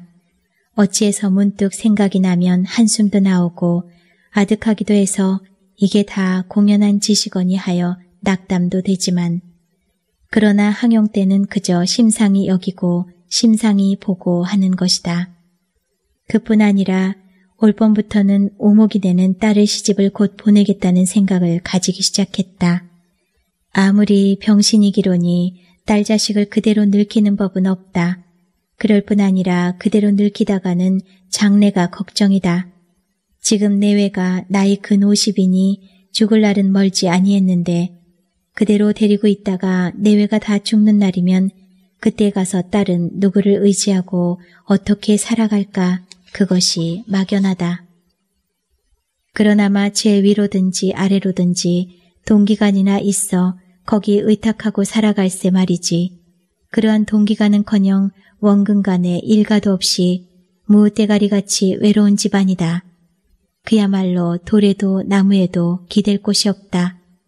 그러니까 불갑을 시집을 보내야 할 형편인데 그러나 실상 시집을 보낸다는 것도 예사로운 일이 아니다. 눈먼 계집애를 데려갈 사람이 있을 턱이 없는 때문이다. 그래 이리저리 혼자 공리를 하다가 이 가을로 들어서는 마침내 한 꾀를 생각해냈다. 속여서 저 편을 속여서 혼인을 하자는 것이다. 속 모르고 소문 아니날 타관으로 여새겨보아 신랑이 그저 병신이나 아니고 거지나 아니거든 이 편에서 우선 선을 보아놓고 저 편에서 선을 보러 오거든 독립집 처녀나 하나 슬금 데려다가 대신 선을 보이고 혼인날은 신부가 의례 눈을 감는 법이니까 그것이 요행이라 그렇게 해서 예를 지나거든. 당일 신행으로 그저 그 자리에서 얼버무려 신행을 시켜버리고 그러고 나면 첫날 밤 신방에서든지 그 다음 날이든지 조만간 탈로가 나기는 하겠지만 그러나 다 성례를 치르고 난 다음이니까 도로 쫓지는 못할 것이요. 저편에서도 울며 겨자 먹기로 무엇라고 말마디나 보내다가 말 것이고 미상불 야트막 하나 그럴듯한 꾀는 꾀다. 그래서 오목이네는 떡장사를 하여 돈을 모으는 것도 오목이를 시집을 보내 미천인지라 크게 많은 것을 바라는 것이 아니오. 그저 1, 2년의 계획이다. 1, 2년 그렇게 해서 돈 100원이나 앞채면 급작이 정원을 해서 얼른 혼인을 해버릴 양으로. 그래서 그는 남편도 몰래 이 가을로 들어 멀찍한 터간으로 대고 신랑감을 물색하던 중이다. 그러나 두성이는 그렇지 아니했다. 그는 아내가 더러 딸 시집 보내 상의를 하면 대꾸도 잘 하지 아니했다. 사위를 고른 데야 다 같은 농군일 텐데 농군의 집에서 호삭감으로 며느리를 얻어가는 것도 아니오. 반은 소같이 부려먹지 않은 것인데 눈이 멀어 옴쭉 못할 며느리를 누가 얻어가랴. 또 요행 갓대자 눈이 멀었다고 구박이나 받고 서러운 눈물 흘릴 테니 자식이래야 그것 하나뿐인 것 그나마 제가 웃어도 어미 아비는 속으로 울어야 할 불쌍한 병신 자식을 왜 굳이 그런 못할 노릇을 시킬까 보냐는 것이다. 차라리 자기가 아직도 몸이 성하니 늙어 죽는 날까지 양을 줄이고라도 푼푼히 모으고 늘려두었다가 그놈을 물려주면 시집은 못 보내도 그것이 도리어 제게는 몸 편하고 마음 편하게 먹고 살아갈 돌이라고. 그래서 그의 돈 모으는 계획은 크고 멀찍했다. 그런지라 이 가을에 아내가 그러한 야트막한 꾀를 내어가지고 그런 상의를 할 때도 그는 고개를 가로흔들었다. 도로 쫓겨오지 말라는 법은 어디 있으며 그렇게 쫓겨오고 보면 딸 자식 몸 망치고 돈 없애고 그리고 취소당하고 말 터이니까 아예 안 될 말이라는 것이다. 그러나 오목이네는 콧대가 세었다. 그는 젊어서부터 무엇이고 남편을 억눌러가며 자기 요랑대로 해나왔다. 오목이의 혼사도 우선 그렇게 운만 떼어놓았으니까 반대야 하거나 말거나 자기 혼자 범벅을 꾸며놓고 부득부득 밀고 나가면 남편도 그때 가서는 할 수 없이 구필이라고 그 뒤에는 남편과 별반 상의도 하지 않았다. 금추리가 오마고 했던 그 다음 장날 오목이는 기다렸어도 금추리는 오지 아니했다. 오목이는 나 때까지는 해가 몹시 더딘 것 같이 기다렸다. 혹시 아니오지나 아니하나 마음은 조마조마하여서 지리하게 나 때까지 기다렸다. 그러나 금추리는 오지 아니하고 나 때는 겨웠다. 멀리서 개 짖는 소리만 들려도 혹 저게 금추리가 오는 게 아닌가 하고 금추리의 버젓하고 좋아 보이는 양자를 머릿속에 그려보면서 기다리다가는 허탕을 치고 그렇게 까맣게 기다리다가 올 때가 마침내 겨움에 그는 여러 가지로 걱정도 되고 의심도 났다. 혹시 알지나 아니하나 그렇다면 이거니와 요전날 눈을 뜬 것을 보고 어쩐지 기색이 다르더니 그래 정남이가 떨어져서 영영 아니올 작정을 하고 가버린 것이나 아닌가. 정이 그렇다면 그 일을 어떻게 하나. 이렇게 생각함에 가슴이 막히고 눈물이 쏟아져 내렸다. 나 때가 겨운 뒤에부터는 옳지 말지 않은 금추리를 그래도 기다리느라니까 장에서 어머니 아버지가 쉬 돌아올 때가 가까움에 해가 도리어 빨리 가는 것 같아 속이 초조했다. 마지막 마당에서 들리는 신발 소리에 금출인가 어머니 아버진가 하고 죄다가 그는 눈물이 아직 마르지 아니한 얼굴을 수습도 하지 못하고 어머가 부르면 방문을 여는 어머니한테 뜨이고 말았다. 오목이네는 딸의 기색이 다른 것을 알고 그래 얼굴을 먼저 유심히 보다가 눈물 자국이 있는 것을 보았다. 지난 장에도 장에서 돌아오니까 그렇게 먹고 싶어 하던 돼지고기를 사왔건만 반가워하지도 않고 어쩐지 아이가 서먹서먹한 게 눈치가 다르더니 그래 웬일인지 모르겠다고 내외가 걱정을 했었는데 오늘은 울기까지 한 것이 아무리 해도 조련차는 일인 것 같아 오목이네는 마음이 저기 불안했다. 너 어디 아프냐? 오목이네는 방으로 들어오면서 묻는다. 응? 왜 그려? 아프다니? 오목이는 대답을 아니하고 고개를 숙이는데 두성이가 놀라 집 내리던 것을 그만두고 열어놓은 방문 앞으로 와서 굽어보며 걱정을 한다. 나도 모르겠소. 아, 글쎄 내가 방문을 여니께 눈물을 씻고 있구먼. 왜 그려, 어? 너 어디 아프냐? 두성이가 조련찮게 묻는다. 안 아파라. 오목이는 겨우 가느랗게 대답을 한다. 어머니 아버지가 귀해해주고 하는 깐으로는 금추리가 온다더니 아니 왔어요 하고 어리광같이 하소라도 하고 싶었다. 그럼 왜 혼자 울어? 누구 동네 애들이 와서 욕이나 하고 달아났냐? 오목이네는 그런 것이나 아닌가 하고 물어본다. 눈먼 계집아이 혼자 있으니까 짓궂은 어린아이들이 혹 지나다가 보고 놀려먹기나 했나. 그래서 싸운 것인가 생각한 것이다. 아니라우. 아, 그럼 왜 울었어? 내외는 다 같이 한 말로 묻는다. 그래도 오목이는 대답할 수가 없다. 내외는 잠잠히 있더니 서로 쳐다보고 한숨을 마주 내신다. 내외가 꽃같이 아, 저도 나이는 들어가고 하니까 제 신세를 생각해서 혼자 울었나 보다고 생각했던 것이다. 울지 말어라. 그것도 다 팔자속 아니지. 운다고 소용있냐? 그렇잖아도 너 보면 불쌍하다고 심실하시는 네 아버지 속상하신다. 아예 울지 마라. 오목이네는 비감이 들어 도리어 자기가 울 듯이 타이른다. 오목이는 와락 방바닥에 엎드려 느껴서 온다. 오목이네가 딸의 등을 어루만지며 달랜다는 것이 마주 온다. 주성이는 피해를 어찌할 수 없어. 아, 듣기 싫어. 왜 방정맞게 쭉쭉 울고 있어 들? 소리를 버럭 지르고 휴 한숨을 쉬면서 돌아선다. 그 뒤로 한 달이 훨씬 지나갔다. 겨울은 깊었고 눈도 자주 쌓였다. 오목이는 장날이면 장마다 아니오는 금추리를 그래도 기다렸다. 금추리를 그렇게 한번 만나기 전에는 그는 기쁘게 기다렸었다. 이제 꼭 그가 찾아오리라고 든든히 믿고 기다렸다. 그러나 이제는 울면서 기다린다. 금추리는 영영 오지 아니하리라고 울면서 그래도 기다린다.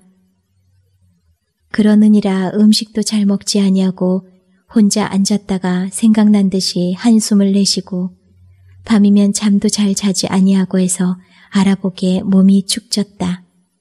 부모는 애를 태우며 걱정을 했다. 약도 지어다 먹이고 영하다는 장님한테 목구리도 해보았으나 모두 효험이 없다. 그러나 그러면서 오목이의 혼사도 뜻밖의 좋은 자리가 있어 급급히 말이 어울렸다.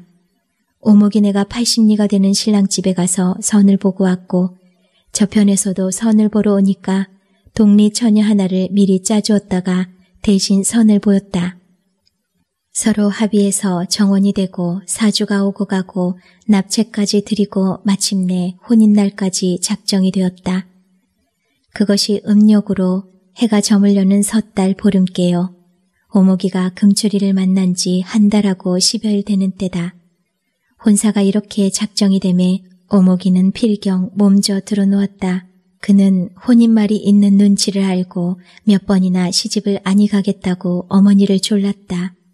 울기도 하면서 어리광도 부리면서 그러나 속을 모르는 어머니는 그래서는 못 쓴다고 내내 타이르기만 했다. 미상불 오목이는 금추리 일을 젖혀놓고 생각하더라도 시집을 가고 싶었고 그래서 옷도 해두고 돈도 모으고 했었으나 막상 그렇게 속여가지고 시집을 가게 되니까 가서 병신인 것이 탄로가 나고 그래서 괄시와 욕을 당할 일을 곰곰이 생각하면 창피하고 치사스러워 그런 걸 무엇하러 부득부득 할까 보냐고 고개가 절로 흔들렸다. 그러한 데다가 금추리를 생각하면 그는 더욱이나 시집 같은 것은 천만리 밖의 일로 마음에 없건만 그러나 그것이 들이밀 듯 닥쳐오니까 속이 사뭇 초조했다. 오목이는 아버지가 좀 더 단단히 야단을 쳐서 어머니를 못하게 막아냈으면 했으나 그도 처음은 무엇라고 역정을 내고 몇 번 큰 소리를 하고 나더니 마침내 슬며시 물러앉아 나는 모른다는 듯이 내맡겨버리고 말았다. 그래서 오목이는 마침내 내일로 혼인날을 앞둔 전날 밤을 당했다. 밤이 이슥하도록 동네 여인들이 모여 앉아 음식이며 그 밖에 이것저것을 마련하느라고 분주하다가 다 돌아가고 집안은 조용해졌다. 어머니 아버지도 벌써 잠이 들었다.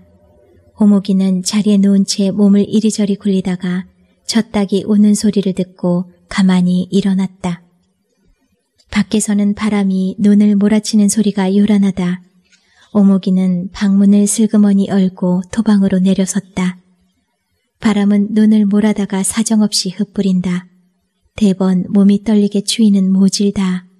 오목이는 눈에 반이나 덮인 신발을 손 떠듬어 겨우 찾아 신고 살금살금 기다시피 마당으로 내려섰다. 지팡 막대도 없다. 그는 금추리를 찾아가자는 것이다.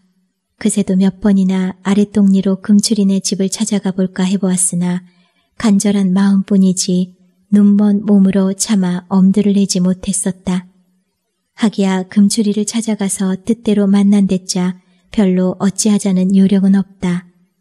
시집을 그곳으로 가기가 싫으니 나를 데리고 어디로 가달라든가 또는 왜 그렇게 무정하냐든가 하는 그런 넋두리를 하자는 것도 아니다. 다만 그리운 금추리를 한 번만이라도 좋으니 만나자는 다만 그것뿐이다. 그래서 몇 번이나 두고 별렀으나 낮에 나갔다가는 남몰래 해야 할 것을 남은 보고 보는 남은 못 보는 터라 들키기가 십상이요. 그러니 밤에나 가야 할 터인데 그러나 가기는 간다더라도 집을 찾을 도리가 없는 것이다. 눈이 멀었으니 전에 보던 그 길로 해서 그 집을 찾아갈 수도 없는 것이요.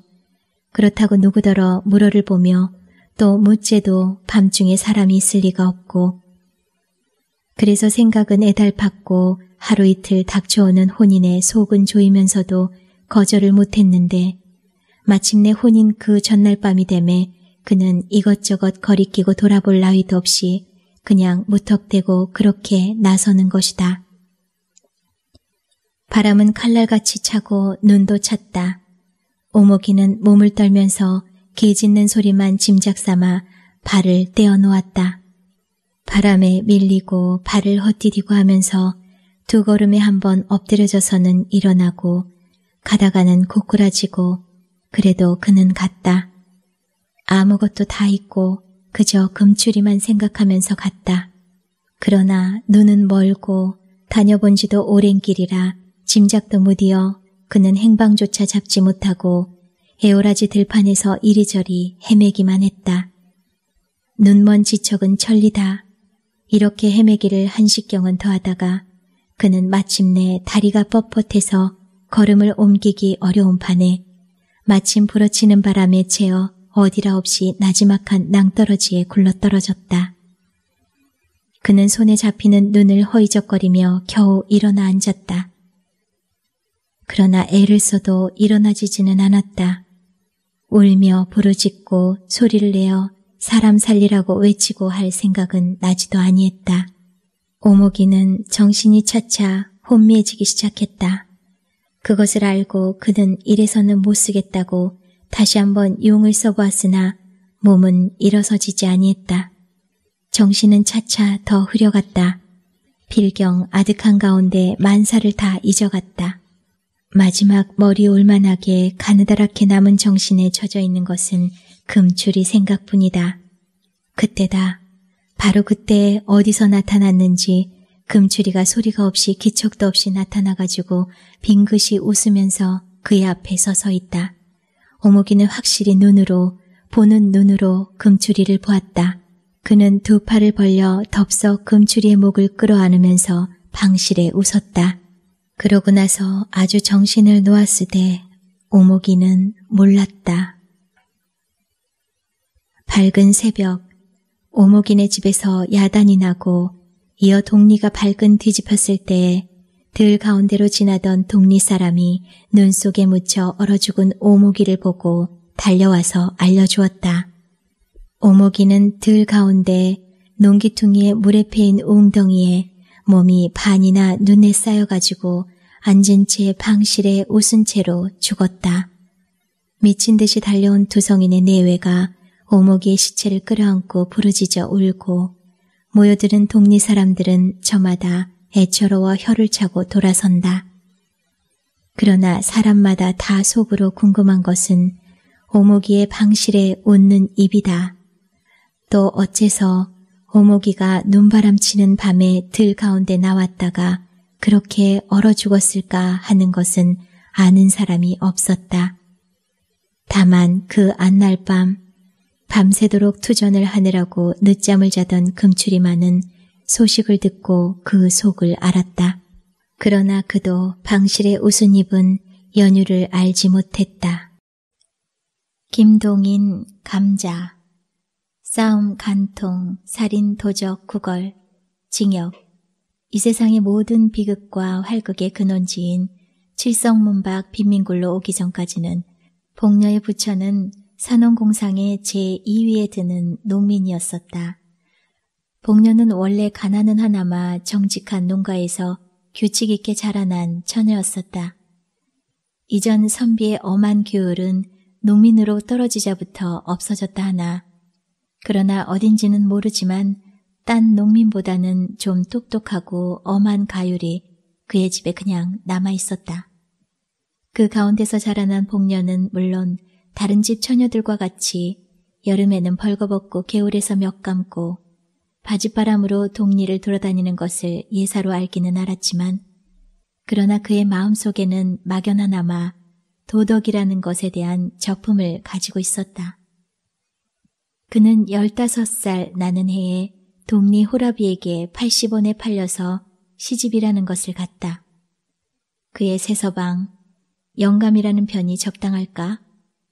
그 사람은 그보다 20년이나 위로서 원래 아버지의 시대에는 상당한 농군으로서 밭도 몇 마지기가 있었으나 그의 대로 내려오면서는 하나 둘 줄기 시작하여서 마지막에 복료를 산 80원이 그의 마지막 재산이었었다. 그는 극도로 게으른 사람이었었다. 동리 노인들의 주선으로 소작 밖에나 얻어주면 종자만 뿌려 둔 뒤에는 후치질도 안 하고 김도 안 매고 그냥 내버려 두었다가는 가을에 가서는 되는 대로 거두어서 금년은 흉년이네 하고 전주집에는 가져도 안 가고 자기 혼자 먹어버리고 하였다. 그러니까 그는 한 밭을 이태를 연하여 붙여본 일이 없었다. 이리하여 몇 해를 지내는 동안 그는 그 동리에서는 밭을 못 얻으리만큼 인심을 잃고 말았다. 복녀가 시집을 간 뒤 한 3, 4년은 장인의 덕택으로 이렁저렁 지나갔으나 이전 선비의 꼬리인 장인은 차차 사위를 밉게 보기 시작하였다. 그들은 처가에까지 신용을 잃게 되었다. 그들 부처는 여러 가지로 의논하다가 할일 없이 평양성 안으로 막벌이로 들어왔다. 그러나 게으른 그에게는 막벌이나마 역시 되지 않았다. 하루 종일 지게를 지고 영광정에 가서 대동강만 내려다보고 있으니 어찌 막벌이인들 될까? 한 서너 달 막벌이를 하다가 그들은 요행 어떤 집 막간 행랑살이로 들어가게 되었다. 그러나 그 집에서도 얼마 안 하여 쫓겨나왔다. 복녀는 부지런히 주인집 일을 보았지만 남편의 게으름은 어찌할 수가 없었다. 매일 복녀는 눈에 칼을 세워가지고 남편을 채근하였지만 그의 게으른 버릇은 개를 줄 수는 없었다. 뱃섬 좀 치워달라오요. 남 졸음 오는데 님자 치우시관. 내가 치우나요? 20년이나 밥 먹고 그걸 못 치워? 아이고, 각 죽구나 말디. 2년? 뭐? 이러한 싸움이 그치지 않다가 마침내 그 집에서도 쫓겨나왔다. 이젠 어디로 가나 그들은 할일 없이 칠성문 밖 빈민굴로 밀려 나오게 되었다. 칠성문 밖을 한 부락으로 삼고 그곳에 모여 있는 모든 사람들의 정업은 거라지요. 부업으로는 도적질과 자기네끼리의 매음, 그 밖에 이 세상의 모든 더럽고 무서운 죄악이었었다. 복녀도 그 정업으로 나섰다. 그러나 19살의 한창 좋은 나이의 여편네에게 누가 밥인들 잘 줄까? 젊은 거이 거랑질은 왜? 그런 소리를 들을 때마다 그는 여러 가지 말로 남편이 병으로 죽어가거니 어쩌거니 핑계는 되었지만 그런 핑계에는 단련된 평양 시민의 동정은 역시 살 수가 없었다. 그들은 이 칠성문 밖에서도 가장 가난한 사람 가운데 드는 편이었다.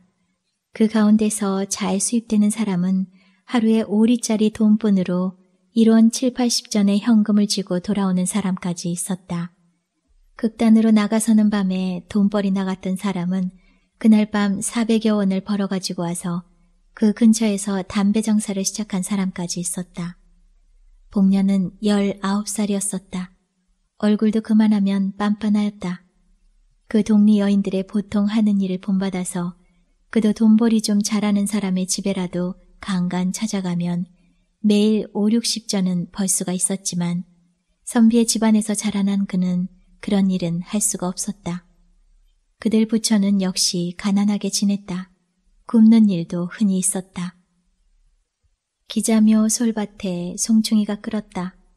그때 평양부에서는 그 송충이를 잡는데 은혜를 베푸는 뜻으로 칠성문 밖 빈민굴의 여인들을 인부로 쓰게 되었다. 빈민굴 여인들은 모두 다 지원을 하였다. 그러나 뽑힌 것은 겨우 50명쯤이었다. 복녀도 그 뽑힌 사람 가운데 한 사람이었었다. 복녀는 열심으로 송충이를 잡았다.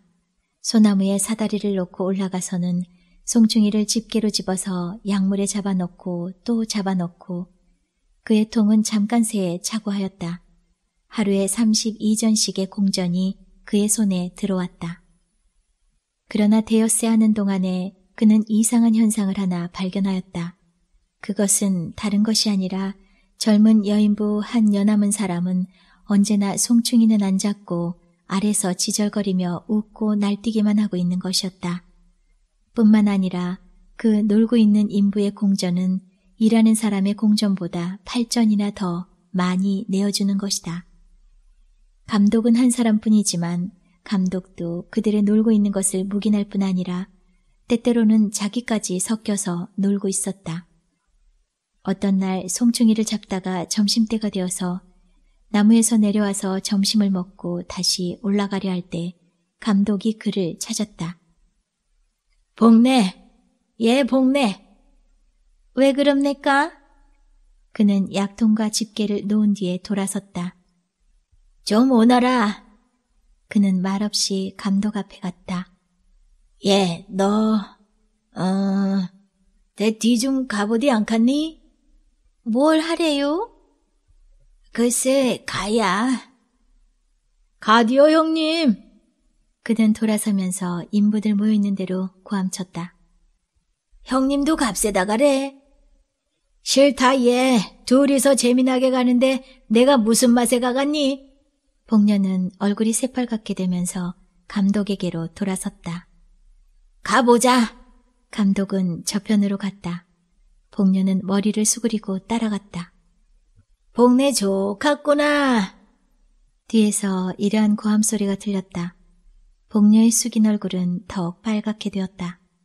그날부터 복녀도 일 안 하고 공전 많이 받는 인부의 한 사람으로 되었다. 복녀의 도덕관 내지 인생관은 그때부터 변하였다. 그는 아직껏 딴 사내와 관계를 한다는 것을 생각하여 본 일도 없었다. 그것은 사람의 일이 아니요 짐승의 하는 짓으로만 알고 있었다.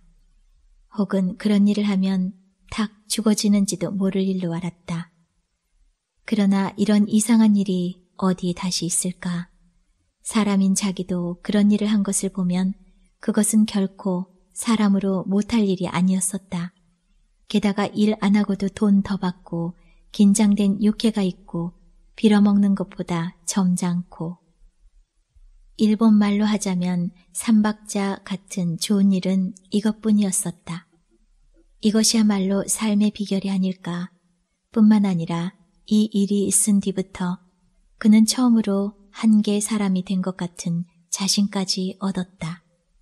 그 뒤부터는 그의 얼굴에는 조금씩 분도 바르게 되었다. 1년이 지났다. 그의 처세의 비결은 더욱더 순탄히 진척되었다. 그의 부처는 이제는 그리 궁하게 지내지는 않게 되었다. 그의 남편은 이것이 결국 좋은 일이라는 듯이 아랫목에 누워서 벌신벌신 웃고 있었다. 복녀의 얼굴은 더욱 이뻐졌다. 여보, 아지바니, 오늘은 얼마나 벌었소? 복녀는 돈 좀 많이 번 듯한 거라지를 보면 이렇게 찾는다. 오늘은 많이 못 벌었세다. 얼마? 도무지 열 서너냥. 많이 벌었세다 가래.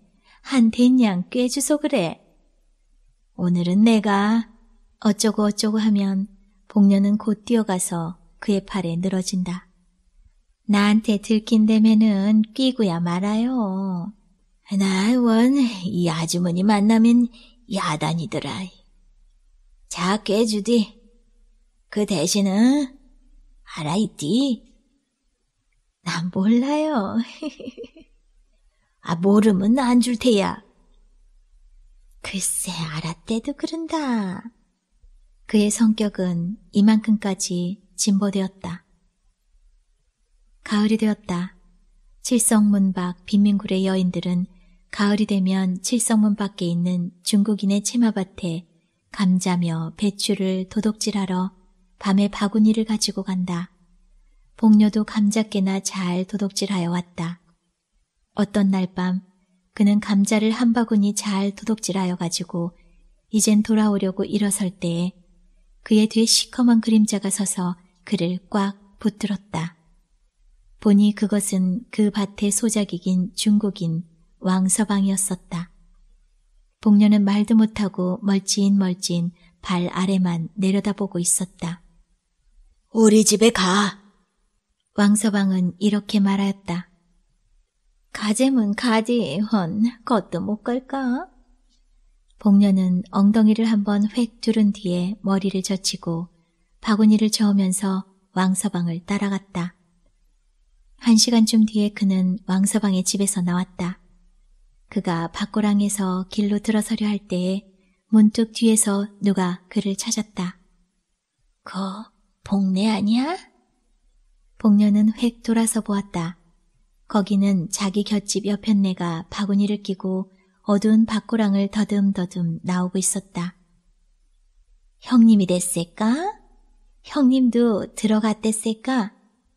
님자도 들어갔댔나? 형님은 네 집에? 나 녹서방네 집에. 님자는? 난 왕서방네. 형님 얼마 받았소?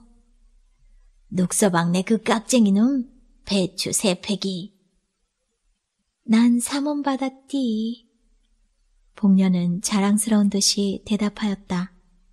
10분쯤 뒤에 그는 자기 남편과 그 앞에 돈 3원을 내어놓은 뒤에 아까 그 왕서방의 이야기를 하면서 웃고 있었다.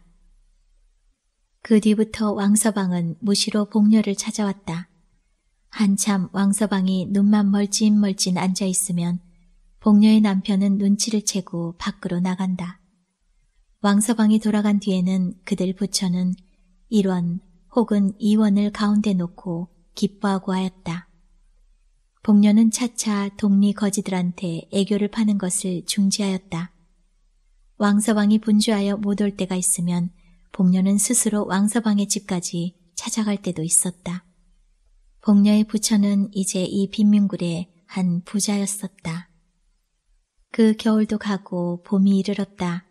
그때 왕서방은 돈 100원으로 어떤 처녀를 하나 마누라로 사오게 되었다.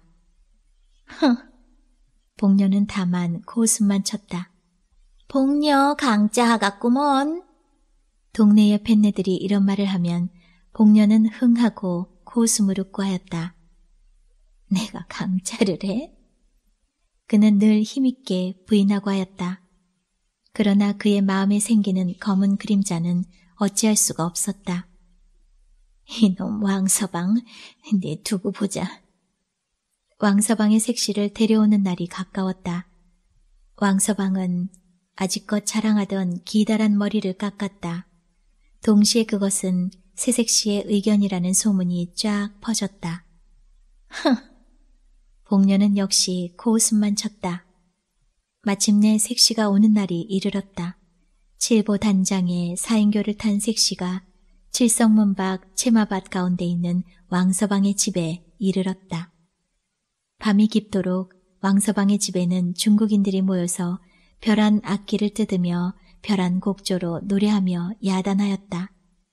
복녀는 집 모퉁이에 숨어 서서 눈에 살기를 띠고 방 안의 동정을 듣고 있었다. 다른 중국인들은 새벽 2시쯤 하여 돌아갔다. 그 돌아가는 것을 보면서 복녀는 왕서방의 집안에 들어갔다. 복녀의 얼굴에는 분이 하얗게 발려 있었다. 신랑 신부는 놀라서 그를 쳐다보았다. 그것을 무서운 눈으로 흘겨보면서 그는 왕서방에게 가서 팔을 잡고 늘어졌다. 그의 입에서는 이상한 웃음이 흘렀다. 자, 우리 집으로 가요. 왕서방은 아무 말도 못하였다. 눈만 정처 없이 두룩두룩 하였다. 복녀는 다시 한번 왕서방을 흔들었다. 자, 어서. 우리 오늘 밤 일이 있어 못 가. 일은 밤중에 무슨 일? 그래도 우리 일이... 복녀의 입에 아직껏 떠돌던 이상한 웃음은 문득 없어졌다. 이까짓 거? 그는 발을 들어서 치장한 신부의 머리를 찼다. 자, 가자우, 가자우. 왕서방은 와들와들 떨었다. 왕서방은 복녀의 손을 뿌리쳤다. 복녀는 쓰러졌다. 그러나 곧 다시 일어섰다. 그가 다시 일어설 때는 그의 손에는 얼른 얼른 하는 나시 한 자로 들려 있었다. 이 되놈, 죽어라, 죽어라 이놈, 나 때렸지? 이놈아, 아이고 사람 죽이는 아. 그는 목을 놓고 쳐올면서 낯을 휘둘렀다. 칠성문 밖 외딴 바가운데 홀로 서 있는 왕서방의 집에서는 일장의 활극이 일어났다. 그러나 그 활극도 곧 잠잠하게 되었다. 복녀의 손에 들려있던 낫은 어느덧 왕서방의 손으로 넘어가고 복녀는 목으로 피를 쏟으면서 그 자리에 꼬꾸라져 있었다. 복녀의 송장은 사흘이 지나도록 무덤으로 못 갔다. 왕서방은 몇 번을 복녀의 남편을 찾아갔다. 복녀의 남편도 때때로 왕서방을 찾아갔다. 둘의 새에는 무슨 교섭하는 일이 있었다. 사흘이 지났다. 밤중에 복녀의 시체는 왕서방의 집에서 남편의 집으로 옮겼다. 그리고 그 시체에는 세 사람이 둘러앉았다. 한 사람은 복녀의 남편, 한 사람은 왕서방, 또 한 사람은 어떤 한방 의사. 왕서방은 말없이 돈주머니를 꺼내어 10원짜리 지폐 석 장을 복녀의 남편에게 주었다. 한방이의 손에도 10원짜리 두 장이 갔다. 이튿날 복녀는 뇌일혈로 죽었다는 한방이의 진단으로 공동묘지로 가져갔다. 행랑 자식, 나도 향. 어떠한 날 춥고 바람 많이 불던 겨울밤이었다. 박 교장의 집 행랑에서 글 읽는 소리가 나더니 꺼져가는 촛불처럼 차츰차츰 소리가 가늘어 간다. 그러다가는 다시 옆에서 어린애 입에 젖꼭지를 물리고서 졸업 섞어 꽥 지르는 소리로 어서 읽어! 하는 어머니 소리에 다시 글소리는 굵어진다. 나이는 12살, 보통학교 4년급에 다니는 진태라는 아이니 그 박교장의 집 행랑 아범의 아들이다. 웽웽 외우던 글소리는 단 2분이 못 되어 다시 사라졌다. 그리고는 독립집 시계가 11시를 치는 소리가 들리더니 사면은 고요하였다. 이튿날 날이 밝은 뒤에 보니까 온 마당, 지붕, 나뭇가지에 눈이 한박같이 쏟아졌다. 그런데 아직까지도 눈이 다 끝나지 않고 보슬보슬 쌀래기 눈이 내려온다. 진태는 문 뒤에 세워놓았던 모지랑비를 들고 나섰다. 처음에는 새로 빨아 펼쳐놓은 하얀 요 위에 뒹구는 것처럼 몸 가볍고 마음 상쾌한 기분으로 빗자루를 들었으며 모지랑 비와 약한 자기 팔로써 능히 그 많은 눈을 쳐버릴 줄 알았으나 두어 삼태기를 가까스로 퍼버리고 나니까 팔이 떨어지는 것 같고 허리가 부러지는 듯 하였다. 그러나 아니칠 수는 없었다. 날마다 아침에 일어나서 마당을 쓰는 것이 자기의 직분이다. 어머니는 안으로 밥을 지으러 들어가고 아버지는 병문으로 인력거를 끌러 나갔다. 한두 삼태기를 개천에 부은 후에 다시 새 삼태기를 들고서 낑낑 하면서 개천으로 간다. 두 손끝은 눈에 녹아서 닭 뒤에 뜯을 때 발험을 벗겨내듯 빠지는 듯하고 발끝은 저려서 토막을 내는 듯하다. 그는 발을 억지로 옮겨 놓았다. 눈 든 삼태기가 자기를 끌고 가는 듯하다. 그렇게 그가 길 중턱까지 갔을 때 그의 팔의 힘은 차차 없어지고 다리에 맥이 획 풀렸다. 그래서 그는 손에 들었던 눈 삼태기를 탁 놓치었다. 그러자 누구인지 이걸 좀 봐라! 하는 어른의 호령 소리가 바로 자기 머리 위에서 들리자 고개를 쳐들고 보니까 교장 어른이 아침 일찍이 어디를 다녀오시다가 발등에다가 눈을 하나 잔뜩 덮어 쓰시고 역정나신 얼굴로 자기를 내려다보고 계시다. 진태는 그만 얼굴이 핫핫하여졌다.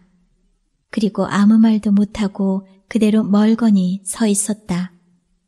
그는 무엇으로 그 미안한 것을 풀어야 좋을지 알지 못하였다.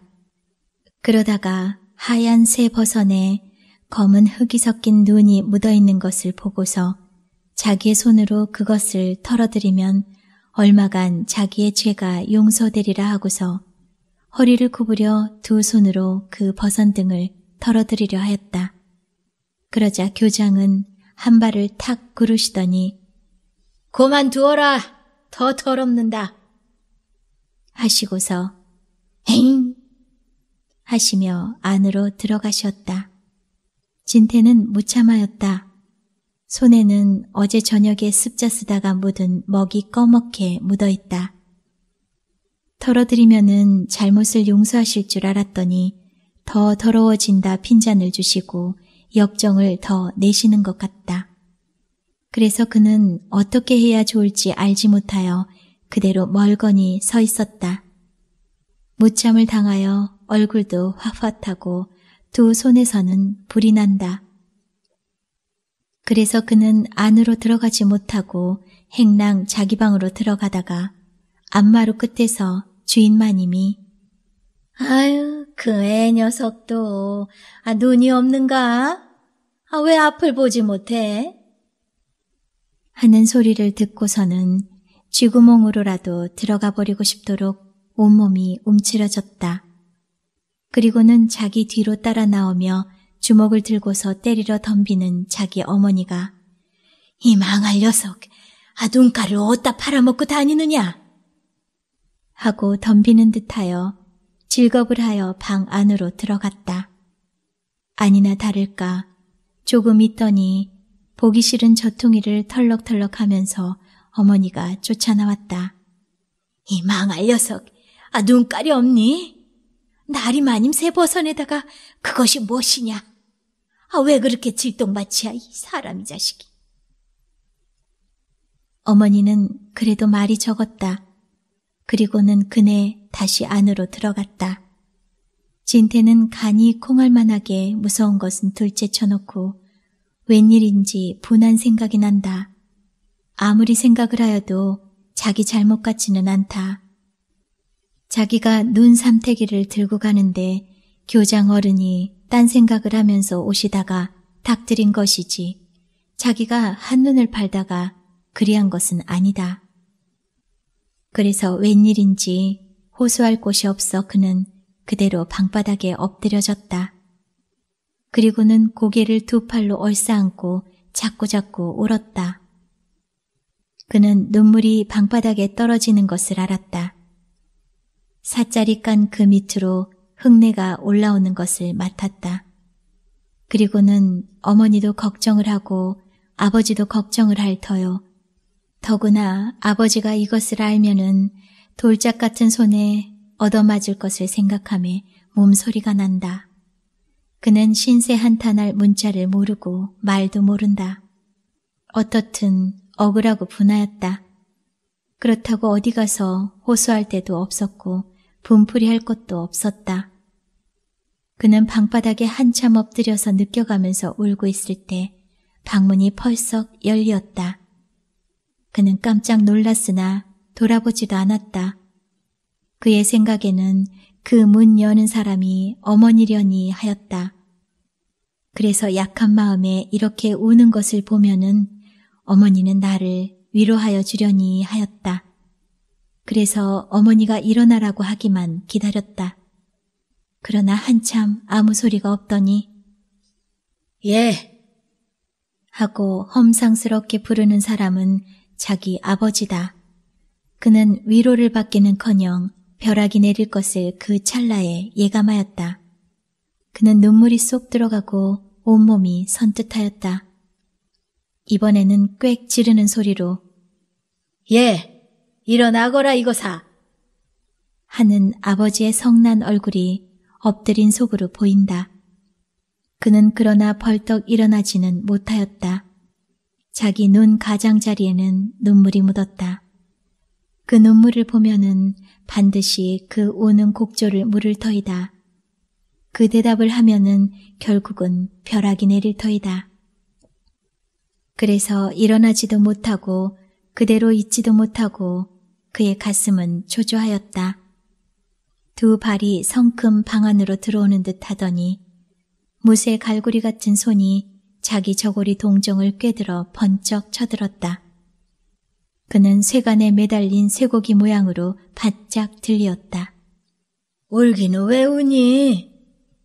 하는 그의 아버지도 자식 우는 것을 볼 때 어떻든 그 눈물을 동정하는 자정이 일어나는지 목소리가 조금 낮아지며 또는 웃음이 섞였으니 그것은 그 눈물 나는 마음을 위로하려는 본능이다. 왜 울어?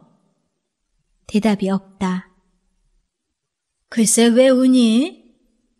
가슴이 타나 대답할 수는 없었다. 엄마가 때려주든? 진태는 고개를 내흔들며 느껴 울었다. 그러면 왜 우니? 꼬지람 들었니? 아니요. 진태는 다시 고개도 흔들지 않았다.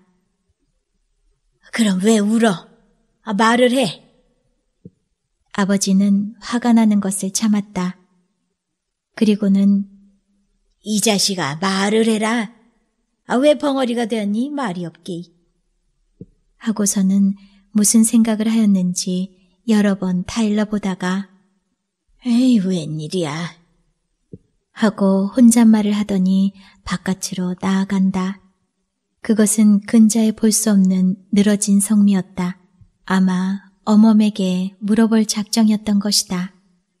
아범은 문 밖으로 나갔다. 그러더니 다시 들어오며 삼택이 어땠니? 응? 삼택이. 하며 안팎으로 들락날락하는 서슬에 안부엌에서 어멈이 설거지를 하면서 아, 왜 아까 진태가 마당 쓴다고 가지고 나갔는데? 하고 걔더러 물어보구려. 한다. 아범은 화가 나는 듯이 그런데 쭉쭉 울고 있으니 무엇이라고 그랬나? 하며 어멈을 본다. 그러자 안마루에서 마님이 무엇을 보다가 온다는 소리를 듣더니 미안한 생각이 났던지 아까 눈인가 무엇인가 친다고 나리마님 발등에다가 눈을 쏟아뜨렸다네. 그래서 지 어멈이 말마디나 한 것인 게지. 아범의 눈은 실룩해졌다. 그리고는 잡아먹을 짐승에게 덤비려는 호랑이 모양으로 고개가 쓱 내밀리더니 어깨가 으쓱 올라간다. 그리고는 아무 말 없이 바깥 행랑으로 나간다. 바깥으로 나온 아범은 다짜고짜로 방문을 열어 젖들인다. 그의 생각에는 주인나리의 발등에 눈 엎은 것은 외려 둘째이다. 삼택이 하나 잃어버린 것이 자기 자식을 쳐 죽이고 싶도록 아깝고 분하고 망할 자식이다. 이 녀석! 자기 아들을 움켜잡았다. 이리 나오너라! 진태는 두 손 두 다리를 가슴에다 모으고서 발발 떨면서 자기 아버지만 쳐다본다. 이 망할 자식, 울기는 애비를 잡아먹었니? 애미를 잡아먹었니? 식전 아침부터 훌쩍훌쩍 울게. 하더니 돌덩이 같은 주먹이 그의 둥줄기를 보기 좋게 울리었다. 에휴, 아버지, 에휴, 아버지. 하며 복가치는 소리가 줄을 대어 나왔으나 그 뒷말은 없었다. 매를 맞는 진태도 잘못했습니다를 조건 없이 할 수는 없었다. 뭐야, 아버지? 이 녀석이 망할 자식? 하고서는 사정없이 들이팬다. 울고 호령하는 소리가 야단스럽게 나니까 어머니 안에서 뛰어나오며 아유, 이제 그만둬, 그만둬요. 아유, 요란스럽소. 하고 만류를 하나. 이게 왜 이래? 가만히 있어. 저리 가요. 하고 팔꿈치로 뿌리치고는 이놈아, 그래 눈깔이 없어서 나리마님 벗어내다가 눈을 들이부어 놓고 아, 또 무엇에 마음이 팔려서 삼태기를 밖에다가 놓아도 잃어버리겠니? 응? 이 집안 망할 자식. 아범의 손이 자기 아들의 볼기짝, 등허리, 넓적다리 할 것 없이 사정없이 때릴 때마다 어린 살에는 푸르게 멍이 들고 피가 맺힌다. 그러할 때마다 아범의 목소리는 더 한층 높아지고 떨리고 슬픔과 호소가 엉키었다. 그는 자기 아들을 때릴 때마다 눈앞에서 자기 손에 매달려 애걸하는 자기 아들이 보이지 않고 안방 아랫목에 앉아있는 주인 나리가 보인다. 그리고는 자기 아들을 때리는 것 같지 않고 자기 주인 나리를 욕하고 원망하고 주먹질하고 싶었다. 이제 그만 좀 둬. 하는 어멈은 자식을 가로챘다. 그래가지고는 다시 자기 아들을 껴안았다. 그날 해가 3시나 넘어 4시가 되었다. 진태는 학교에 다녀왔다. 앞 대문을 들어오려다가 보니까 새로이 삼태기 하나를 사다 놓았다. 쌀이나무로 얽은 노랗고 붉은 삼태기를 볼 때 그의 매맞은 자리가 다시 아프고 얼얼하다. 덴마루에 걸터 앉으니까 어머니는 상에다 밥을 차려가지고 방으로 들어오라고 부른다. 방 안에는 모닥불이 제만 남았는데 인두 하나가 꽂혀 있고 또는 다 삭은 회젓가락과 부삽 하나가 꽂혀 있다. 어머니는 누더기 천에다가 작년에 낳은 어린애를 안고서 젖을 먹인다. 어린애는 젖꼭지를 물고서 입을 오물오물하면서 한 손으로 다른 젖꼭지를 만진다. 진태는 그 동생을 볼 때 말없이 귀여웠다. 그래서 손가락으로 볼따구니도 건드려 보고 억구억구 혓바닥 소리를 내어서 얼러보기도 하였다. 어린애는 벙싯 웃었다. 그리고는 젖꼭지를 쑥 빼고서 진태를 돌아다 보았다. 어머니는 침착한 얼굴로 어린애의 손가락만 만지고 있더니 옛다 하고 어린애를 내밀면서 좀 업어줘라 하고서 어린애를 곤두세운다. 그러자 진태는 밥도 안 먹고 하고 밥을 얼른 먹고서 어린애를 업었다. 그러나 진태의 집에는 아직 밥을 짓지 않았다. 어머니는 안에 들어가 밥을 지으려 하기는 해도 우리 먹을 밥은 지으려 하지 않는다. 진태는 어머니가 안으로 들어간 후 어린애를 업고서 방 안으로 왔다 갔다 하면서 밥을 짓지 않으니 아마 쌀이 없나 보다 하였다. 그리고는 아버지가 얼른 돌아와야 할 것이라 하였다. 진태는 뚫어진 창틈으로 바깥을 내다보면서 아버지가 혼자 인력거를 끌어서 쌀 팔 돈을 가지고 오지나 않나 하고서 고대하였다. 그래도 미심하여서 그는 쌀 넣어두는 항아리를 들여다보았다. 들여다보니까 겨묻은 쌀 바가지가 시커먼 항아리가 쾅 빈 데 들어있을 뿐이다. 진태는 힘없이 뚜껑을 덮고서 섭섭한 마음으로 방 안을 왔다 갔다 하였다. 어린애는 등에서 꼼지락 꼼지락 하고서 두 발을 비빈다. 오늘도 또 밥을 하지 못하는구나. 하고서 펄럭펄럭 하는 문을 열고 쪽마루로 내려왔다. 내려와서는 냄비가 걸려있는 아궁지 밑을 보았다. 거기에는 타다 남은 푼거리 장작이 두어 개재 속에 남아있다. 그는 다시 장작 갖다 놓아두는 부엌 구석을 보았다. 부스러기 나무도 없다.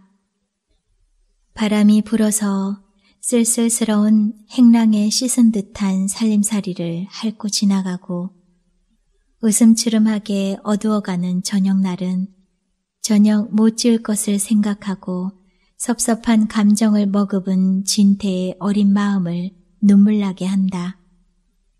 조금 있다가 어머니는 허둥지둥 나왔다. 아마 부엌에 불을 지피고 나온 모양이다. 진태의 눈에는 아궁리에서 타나오는 장작불을 한 발로 툭툭 차놓던 어머니의 집세기 발이 보인다. 어머니는 나오면서 등에 업힌 어린애를 보더니 해그 추워. 저런 무엇을 좀 씌워주려무나. 하고서 남바이 어쨌니? 손이 다 나왔구나. 하더니 방으로 들어가 진태가 돌에 쓰던 것이니까 10년이나 되는 남바위를 들고 나온다.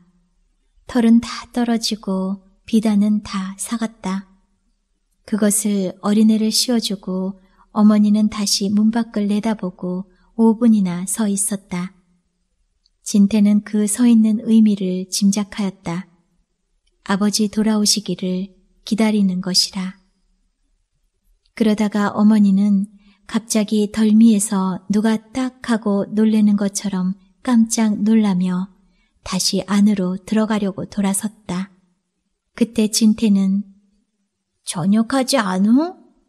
하고서 어머니 뒤를 따라 들어갔다. 어머니는 화가 나고 초조하던 판에 밥도 쌀이 있고 나무가 있어야지 하고 소리를 꽥 지른다. 진태 잔등에 엎혀있던 어린애가 깜짝 놀라며 와 온다. 진태는 어린애를 주춤주춤 추슬러 달래면서 아무 말 못하고 섰었다. 어머니는 다시 안으로 들어갔다. 진태도 따라 들어갔다. 그리고는 부엌 앞에 앉아서 불을 넣고 앉았었다. 날이 어두웠고 전기불이 켜졌으나 밥을 하지 못하였다. 그리고 아버지도 아직 돌아오지를 않는다. 진태 어머니는 상을 차려드리고 바깥으로 나오려고 하니까 마님이 어멈 하고 부르신다. 네 하고서 어멈은 문을 열려다가 다시 돌아다 보았다. 오늘 저녁 하였나? 어멈은 조금 주저주저 하다가 먹을 거 있어요. 하고서 부끄러운 웃음을 웃었다. 아범 들어왔나? 아직 안 들어왔어요. 그럼 저녁도 짓지 못하였겠네 그려. 어멈은 아무 말도 없었다. 마님은 벌써 알아채고서 그래서 되겠나? 어린 것들이 치워서 견디겠나? 하고서 자, 이것이나 하고서 산 끝에 먹다 남은 밥을 이 그릇에서 저 그릇으로 모두어 놓으면서 그놈도 들어오라고 그래. 불도 안 뗀 모양이지. 아, 추워서들 견디겠나?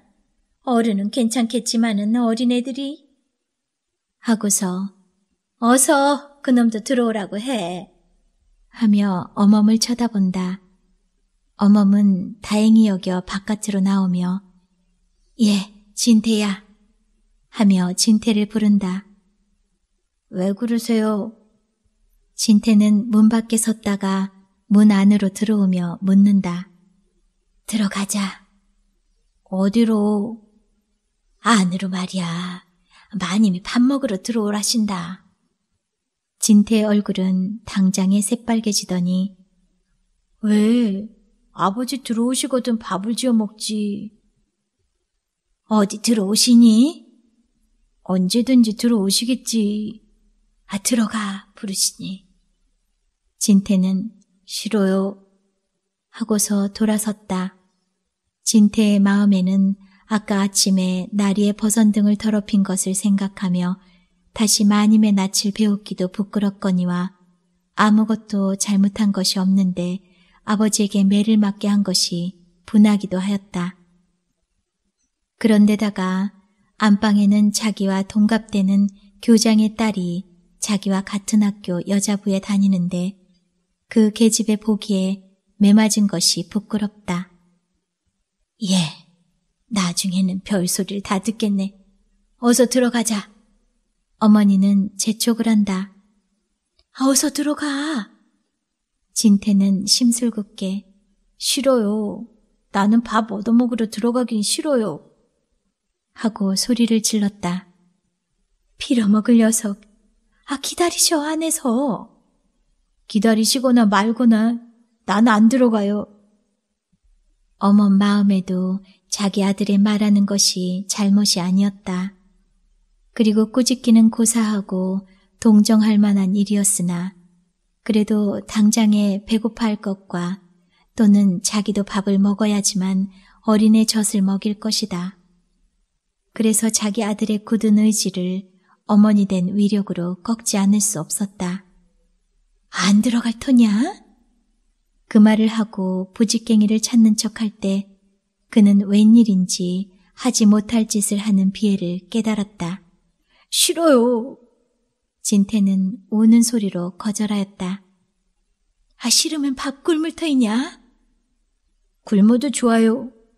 어디 보자, 이고. 어린애나 이리 내라. 어린애를 안고서 어머니는 안으로 밥을 얻어먹으러 들어갔다. 그러나 진태는 방에 들어가 깜깜한 속에 드러누워 있었다.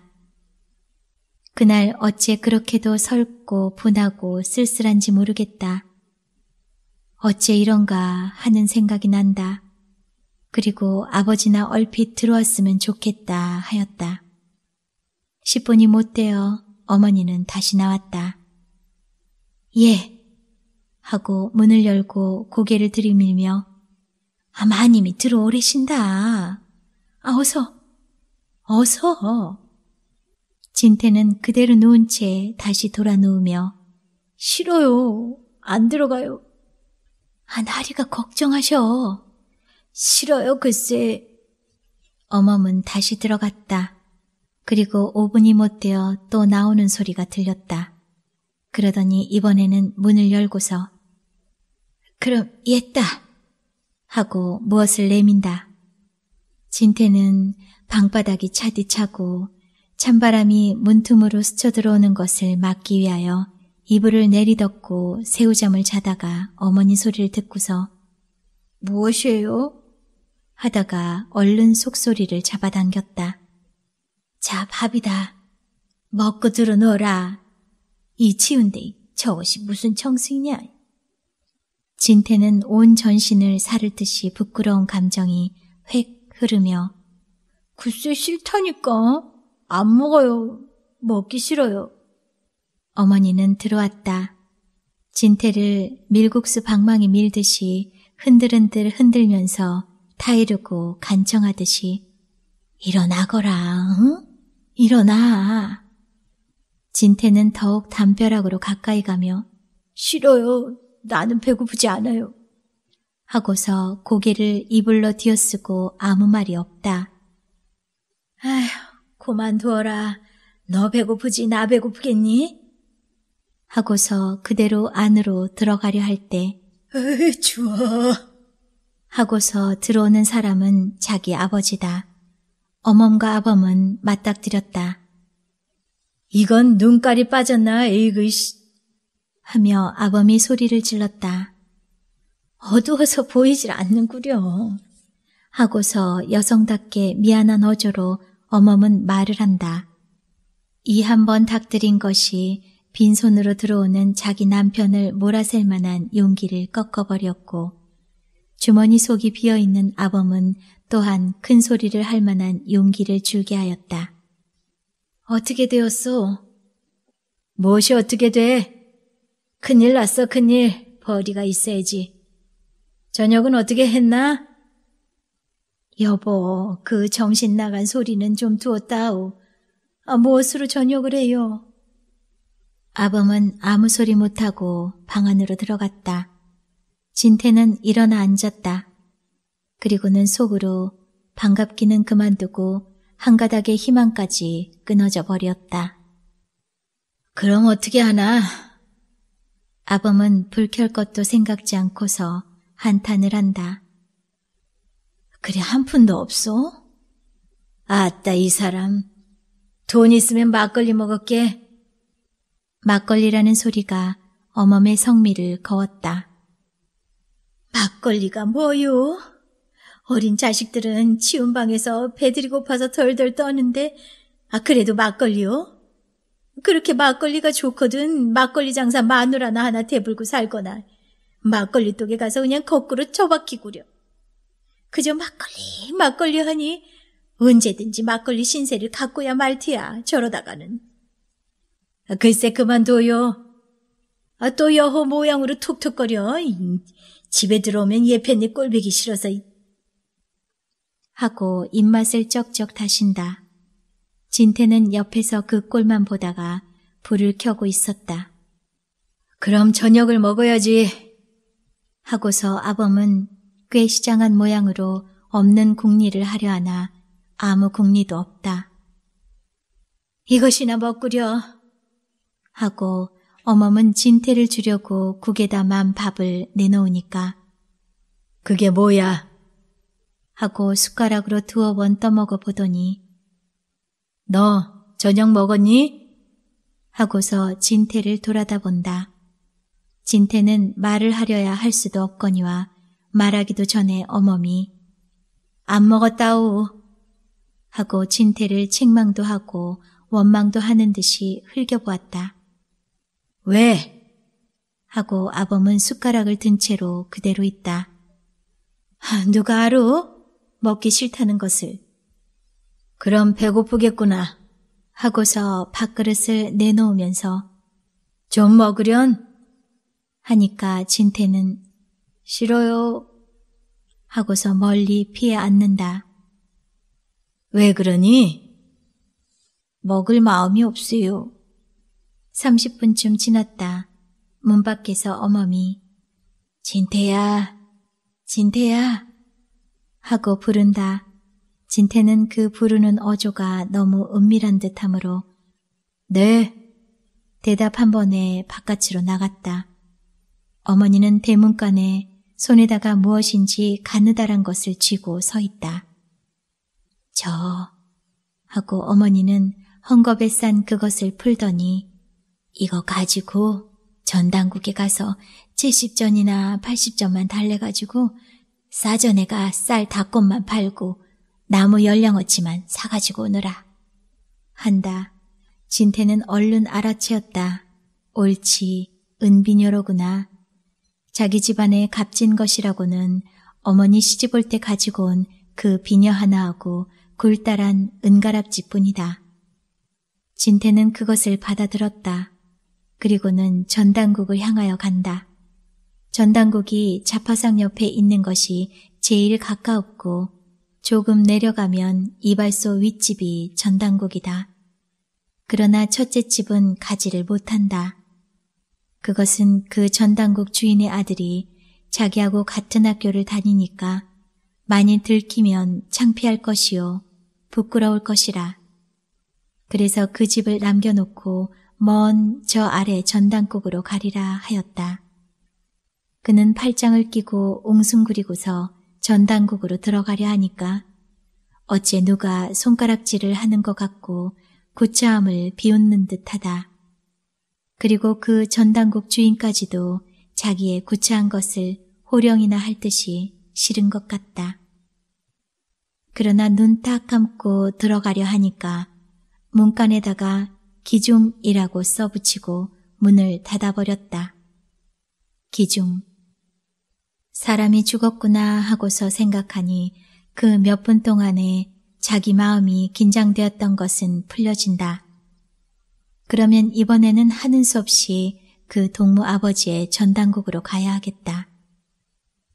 한 발자국이라도 더디게 떼어놓아 그 전당국으로 들어설 때 가슴은 거북하고 머리에는 열이 올라와서 흐리벙덩하다. 기우시 들여다보니까 아무도 없다.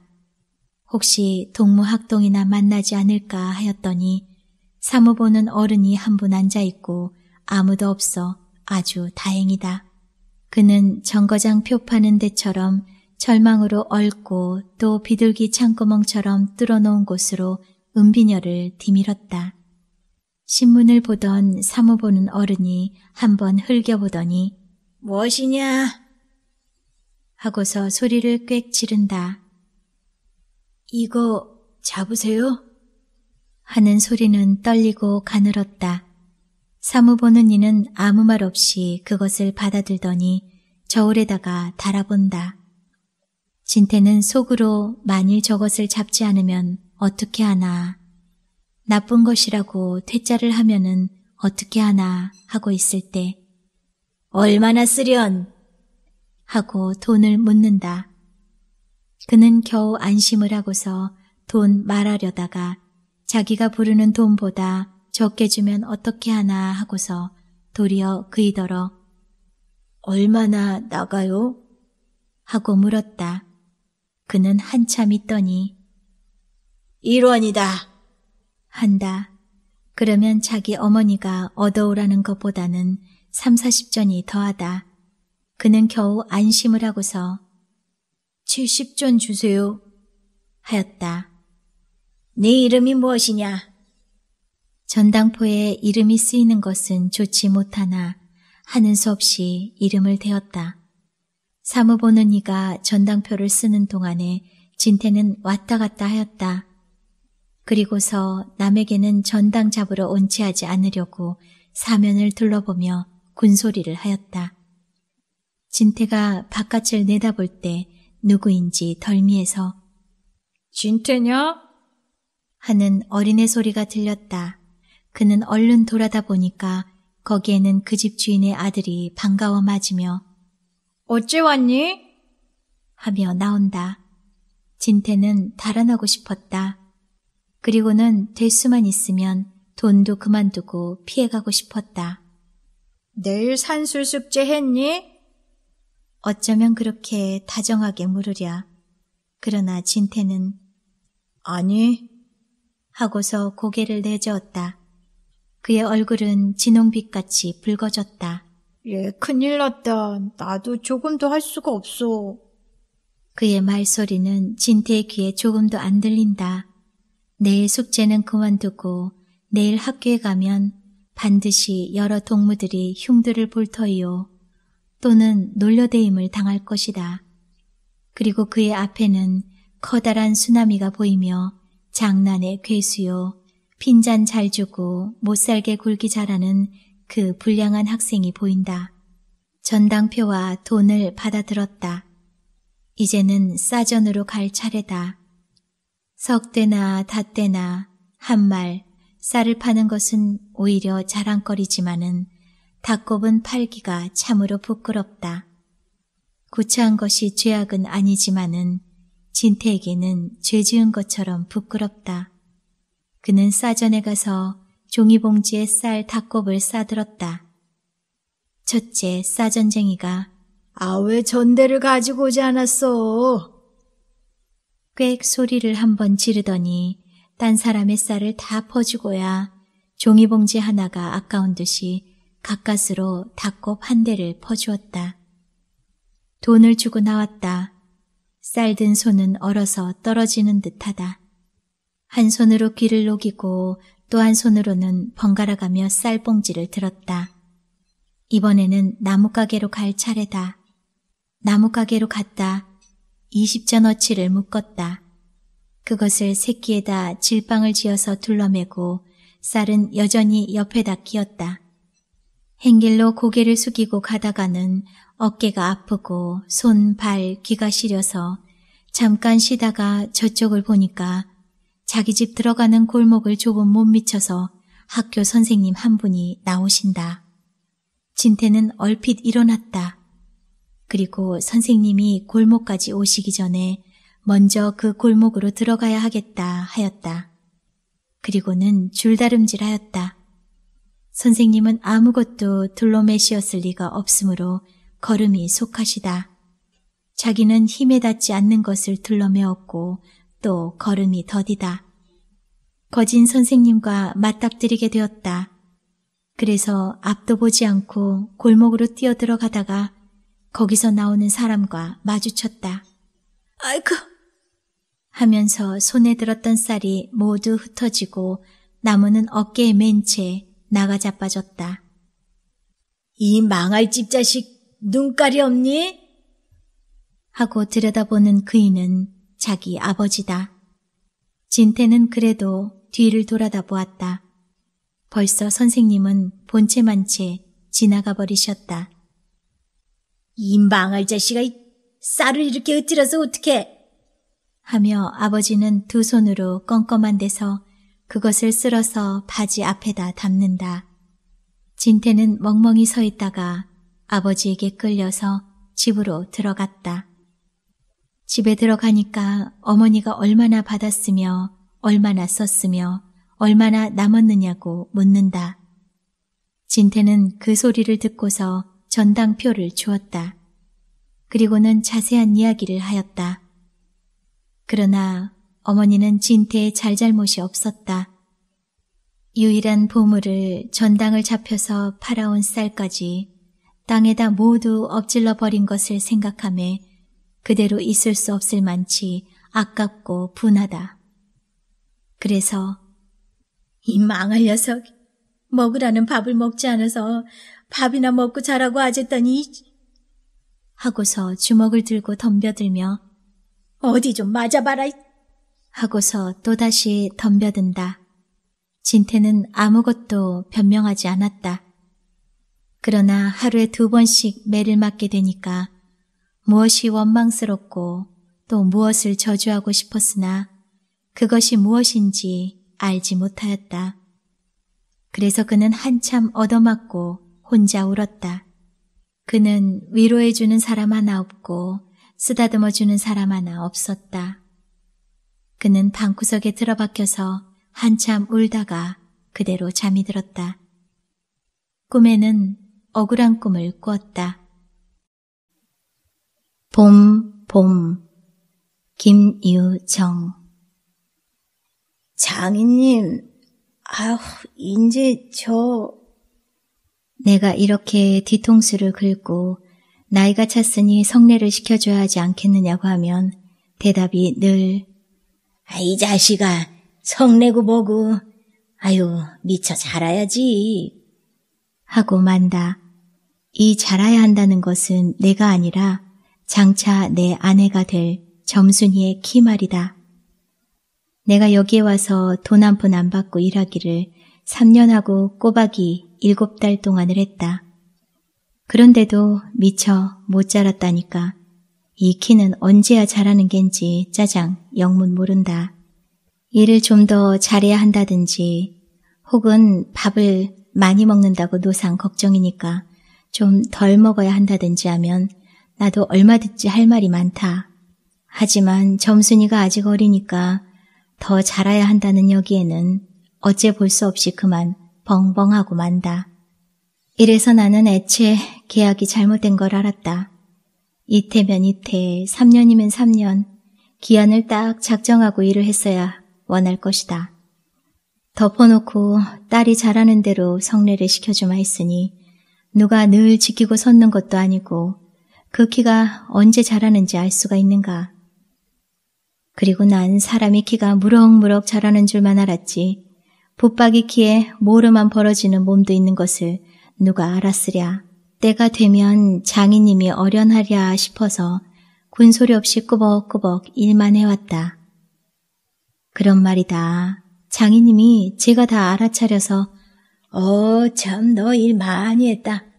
고만 장가 들어라. 하고 살림도 내주고 해야 나도 좋을 것이 아니냐. 시치미를 딱 떼고 도리어 그런 소리가 나올까 봐서 지레 펄펄 뛰고 이 아단이다. 명색이 좋아 대릴 사회지 일하기에 싱겁기도 할 뿐더러 이건 참 아무것도 아니다. 쑥맥이 그걸 모르고 점순이의 키 자라기만 까맣게 기다리지 않았나. 언젠가는 하도 갑갑해서 자를 가지고 덤벼들어서 그 키를 한번 재볼까 했다마는 우리는 장인님이 내외를 해야 한다고 해서 마주서 이야기도 한마디 하는 법 없다. 우물길에서 언제나 마주칠 적이면 겨우 눈어림으로 재보고 하는 것인데 그럴 적마다 나는 저만큼 가서 아이 재미 키도 하고 눈두개다 침을 퇴 뱉는다. 아무리 잘 봐야 내 겨드랑이 밑에서 너물랑 말랑 밤낮 요 모양이다. 개 돼지는 푹푹 크는데 왜 이리도 사람은 안 크는지 한동안 머리가 아프도록 궁리도 해보았다. 아하, 물동이를 잡고 이니까 뼈다귀가 움츠러드나 보다 하고 내가 넌짓이 그 물을 대신 길어도 주었다. 뿐만 아니라 나무를 하러 가면 선앙당에 돌을 올려놓고 비나이다, 비나이다. 점순이 키 좀 크게 해줍소서. 아, 그러면 다음엔 떡 갖다 놓고 고사 드립조니까. 하고 지성도 한두 번 드린 것이 아니다. 어떻게 되먹은 키인지 이래도 막무가내니 그래 내 어저께 싸운 것이지 결코 장인님이 밉다든가 해서가 아니다. 뭐를 붙다가 가만히 생각을 해보니까 또 싱겁다. 이 벼가 자라서 점순이가 먹고 좀 큰다면 모르지만 그렇지도 못한 걸 내심어서 뭘 하는 거냐. 해마다 앞으로 축 붉어지는 장인님의 아랫배를 불리기 위하여 심곤 조금도 쉽지 않다. 아이고, 배야. 난 물 붓다 말고 배를 쓰다듬으면서 그대로 눈뚝으로 기어올랐다. 그리고 겨드랑이에 꼈던 벼 담긴 키를 그냥 땅바닥에 털썩 떨어치며 나도 털썩 주저앉았다. 일이 암만 바빠도 나 배 아프면 고만이니까. 아픈 사람이 누가 일을 하느냐. 파릇파릇 돋아오른 풀 한 숲을 뜯어들고 다리에 거머리를 쓱쓱 문대며 장인님의 얼굴을 쳐다보았다. 가운데서 장인님이 이상한 눈을 해가지고 한참을 날 노려보더니 너희 자식 왜 또 이래? 응? 아우 배가 좀 아파서요. 하고 풀이에 스며시 쓰러지니까 장인님은 약이 올랐다. 저도 눈에서 철벙철벙 둑으로 올라오더니 차분참 내 멱살을 움켜잡고 뺨을 치는 것이 아닌가. 이 자식아 이, 이러다 말면 누굴 망해놓을 속셈이냐 이 대가리를 까놓을 자식.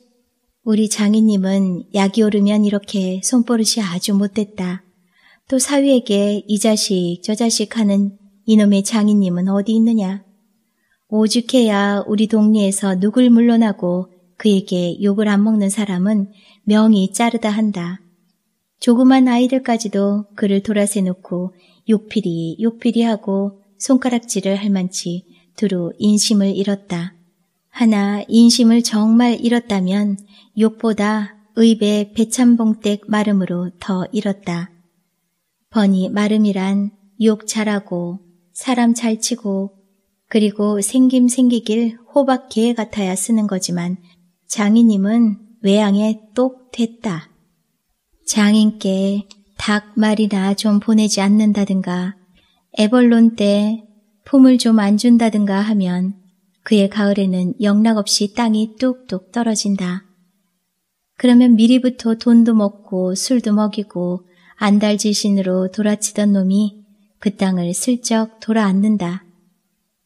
이 바람에 장인님 집 외양간에는 눈깔 커다란 황소 한 놈이 절로 엉금엉금 기어들고 동리 사람들은 그 욕을 다 먹어가면서도 그래도 굽신굽신 하는 게 아닌가. 그러나 내겐 장인님이 감히 큰소리할 계제가 못 된다. 뒷생각은 못하고 뺨 한 개를 딱 때려놓고는 장인님은 무색해서 덤덤히 쓴 침만 삼킨다. 난 그 속을 퍽 잘한다. 조금 있으면 갈도 꺾어야 하고 모도 내야 하고 한창 바쁜 때인데 나 일 안 하고 우리 집으로 그냥 가면 고만이니까. 작년 이맘때도 트집을 좀 하니까 늦잠 잔다고 돌멩이를 집어던져서 자는 놈의 발목을 삐게 해놨다. 사날씩이나 건승 끙끙 앓았더니 종당에는 거반 울상이 되지 않았는가. 예, 그만 일어나 일 좀 해라. 아, 그래야 올가세 벼잘 되면 너 장가 들지 않니? 그래 귀가 번쩍 뛰어서 그날로 일어나서 남이 이틀 품들일 논을 혼자 삶아 놓으니까 장인님도 눈깔이 커다랗게 놀랐다. 그럼 정말로 가을에 와서 혼인을 시켜줘야 원 경우가 옳지 않겠나. 벼썸을 척척 들여 쌓아도 다른 소리는 없고 물동이를 이고 들어오는 점순이를 담배통으로 가리키며 아, 이 자식아 미쳐 커야지. 아, 저걸 무슨 혼일을 한다고 그러니, 원?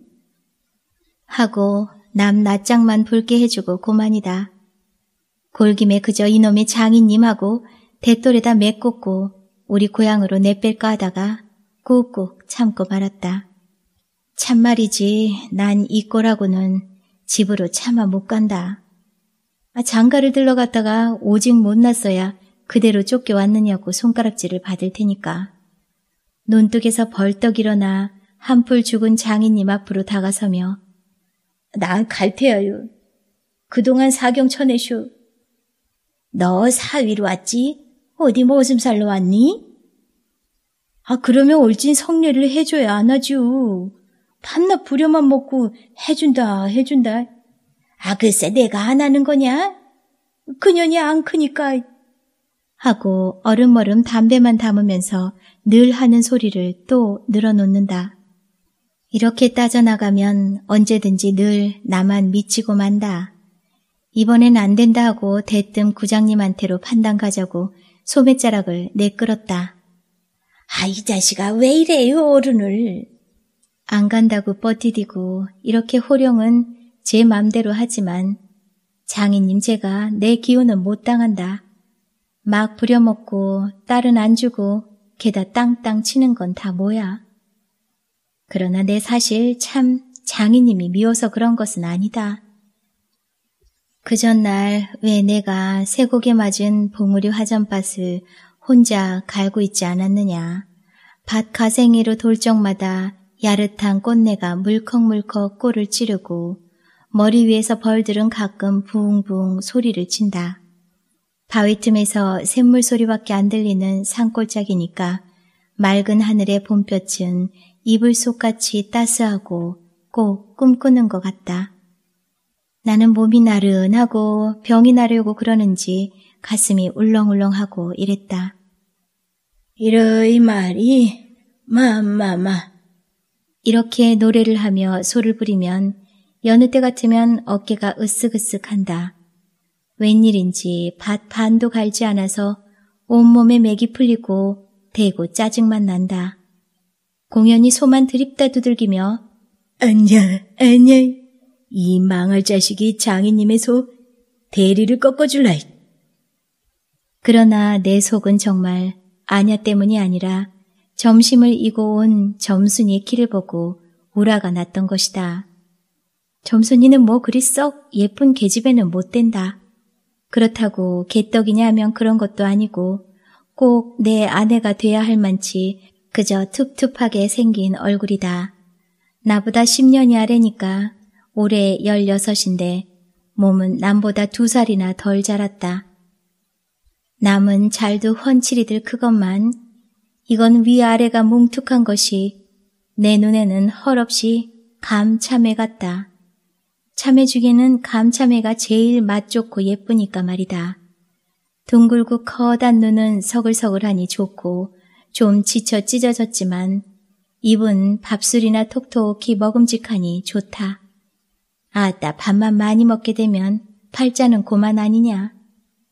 헌데 한 가지 파가 있다면 가끔가다 몸이 너무 빨리빨리 논다. 그래서 밥을 나르다가 때없이 풀밭에서 깨박을 쳐서 흙투성이 밥을 곧잘 먹인다.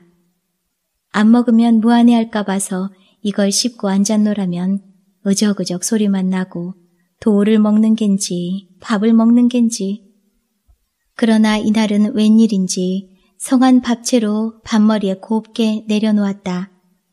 그리고 또 내외를 해야 하니까 저만큼 떨어져 이쪽으로 등을 향하고 웅크리고 앉아서 그릇 나기를 기다린다. 내가 다 먹고 물러섰을 때 그릇을 와서 챙기는데 그런데 난 깜짝 놀라지 않았느냐.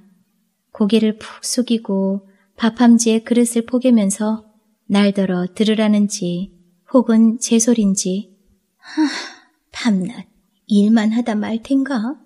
하고 혼자 쫑알거린다. 고대 잘 내외하다가 이게 무슨 소린가 하고 난 정신이 얼떨떨했다. 그러면서도 한편 무슨 좋은 수가 있는가 싶어서 나도 공중을 대고 혼잣말로 그럼 어떻게 하니까 성례시켜달라지 뭘 어떻게 하고 대알지게 쏘아붙이고 얼굴이 빨개져서 산으로 그저 도망지를 친다. 나는 잠시 동안 어떻게 되는 셈판인지 맥을 몰라서 그 뒷모양만 덤덤히 바라보았다. 봄이 되면 온갖 초목이 물이 오르고 싹이 트고 한다. 사람도 아마 그런가 보다 하고 며칠 내에 부쩍 자란 듯 싶은 점순이가 여간 반가운 것이 아니다. 이런 걸 멀쩡하게 아직 어리다고 하니까. 우리가 구장님을 찾아갔을 때 그는 쌀이문 밖에 있는 돼지우리에서 죽을 퍼주고 있었다. 서울에 좀 갔다 오더니 사람은 점잖아야 한다고 옷샘이 양쪽으로 뾰족이 뻗치고 그걸 에헴 하고 늘 쓰다듬는 손버릇이 있다. 우리를 멀뚱히 쳐다보고 미리 알아챘는지 왜 일들 하다 말고 그래? 하더니 손을 올려서 그 애햄을 한번 후딱 했다. 구장님, 우리 장인님과 처음에 계약하기를 먼저 덤비는 장인님을 뒤로 떠다밀고 내가 허둥지둥 달려들다가 가만히 생각하고 아니 우리 빙장님과 처음에 하고 첫 번부터 다시 말을 고쳤다.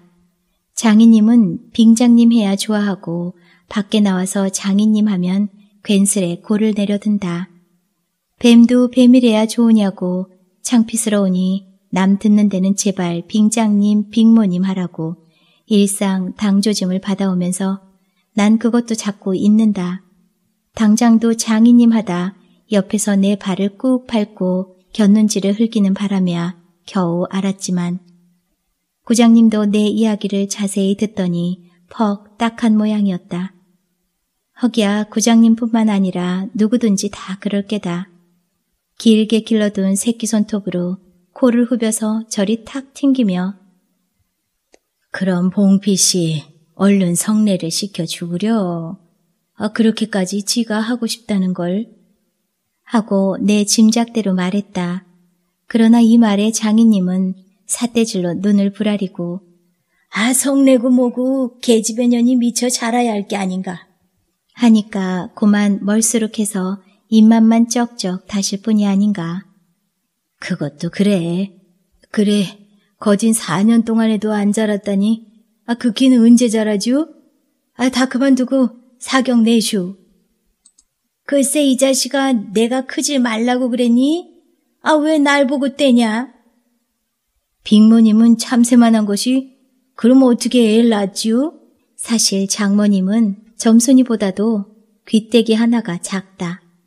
장인님은 이 말을 듣고 껄껄 웃더니 그러나 암만 해도 돌 씹은 상이다. 코를 푸는 척하고 날 은근히 골리려고 팔꿈치로 옆 갈비깨를 퍽 치는 것이다. 더럽다. 나도 종아리에 파리를 쫓는 척하고 허리를 구부리며 그 궁둥이를 콱 때밀었다. 장인님은 앞으로 우질끈하고 쌀이 뭉깨로 쓰러질 듯하다 몸을 바로 고치더니 눈총을 몹시 쏘았다. 이런 상년의 자식 하곤 싶으나 남이 앞이라서 차마 못하고 섰는 그 꼴이 보기에 퍽 징그러웠다. 그러나 이 밖에는 별반 신통한 귀정을 얻지 못하고 도로 논으로 돌아와서 모를 부었다. 왜냐면 장인님이 뭐라고 귓속말로 수군수군하고 간 뒤다. 구장님이 날 위해서 조용히 데리고 아래와 같이 일러주었기 때문이다. 뭉태의 말은 구장님이 장인님에게 땅 두 마지기 얻어붙이니까 그래 깨었다고 하지만 난 그렇게 생각 않는다. 자네 말도 허기야 옳지. 암, 나이 찼으니까 아들이 급하다는 게 잘못된 말은 아니야. 하지만 농사가 한참 바쁜 때 일을 안 한다든가 집으로 달아난다든가 하면 손해죄로 그것도 징역을 가거든. 아왜 요전에 산포 말서 산에 불 좀 놓았다고 징역한 거못 봤나? 제 산에 불을 놓아도 징역을 가는 이때인데 남의 농사를 버려주니 죄가 얼마나 더 중한가. 그리고 자넨 정장을 간대지만 그러면 괜시리 죄를 들쓰고 들어가는 걸세. 또 결혼도 그렇지. 법률에 성년이란 게 있는데 스물 하나가 돼야 비로소 결혼을 할 수 있는 걸세. 자네 물론 아들이 늦을 걸 염려하지만 아 점순이로 말하면 이제 겨우 16살이 아닌가. 그렇지만 아까 빙장님의 말씀이 올가을에는 열일을 제치고라도 성례를 시켜주겠다니 아 좀 고마울 겐가. 아 빨리 가서 뭐 붙든 거나 마저 붙게. 군소리 말고 어서 가. 그래서 오늘 아침까지 끽소리 없이 왔다. 장인님과 내가 싸운 것은 지금 생각하면 뜻밖의 일이라 안 할 수 없다. 장인님으로 말하면 요즘 막 자긴들에게 행세를 좀 하고 싶다고 해서 돈 있으면 양반이지 별게 있느냐 하고 일부러 아랫배를 툭 내밀고 걸음도 뒤틀리게 걷고 하는 이 판이다. 이까진 나 좀 두들기다 남의 땅을 가지고 모처럼 닦아놓았던 가문을 망친다든지 할 어른이 아니다. 또 나로 논지면 아무쪼록 잘 베서 점순이에게 얼른 장가를 들어야 하지 않느냐. 이렇게 말하자면 결국 어젯밤 뭉태네 집에 맛을 간 것이 썩 나빴다. 낮에 구장님 앞에서 장인님과 내가 싸운 것을 어떻게 알았는지 대고 빈정거리는 것이 아닌가.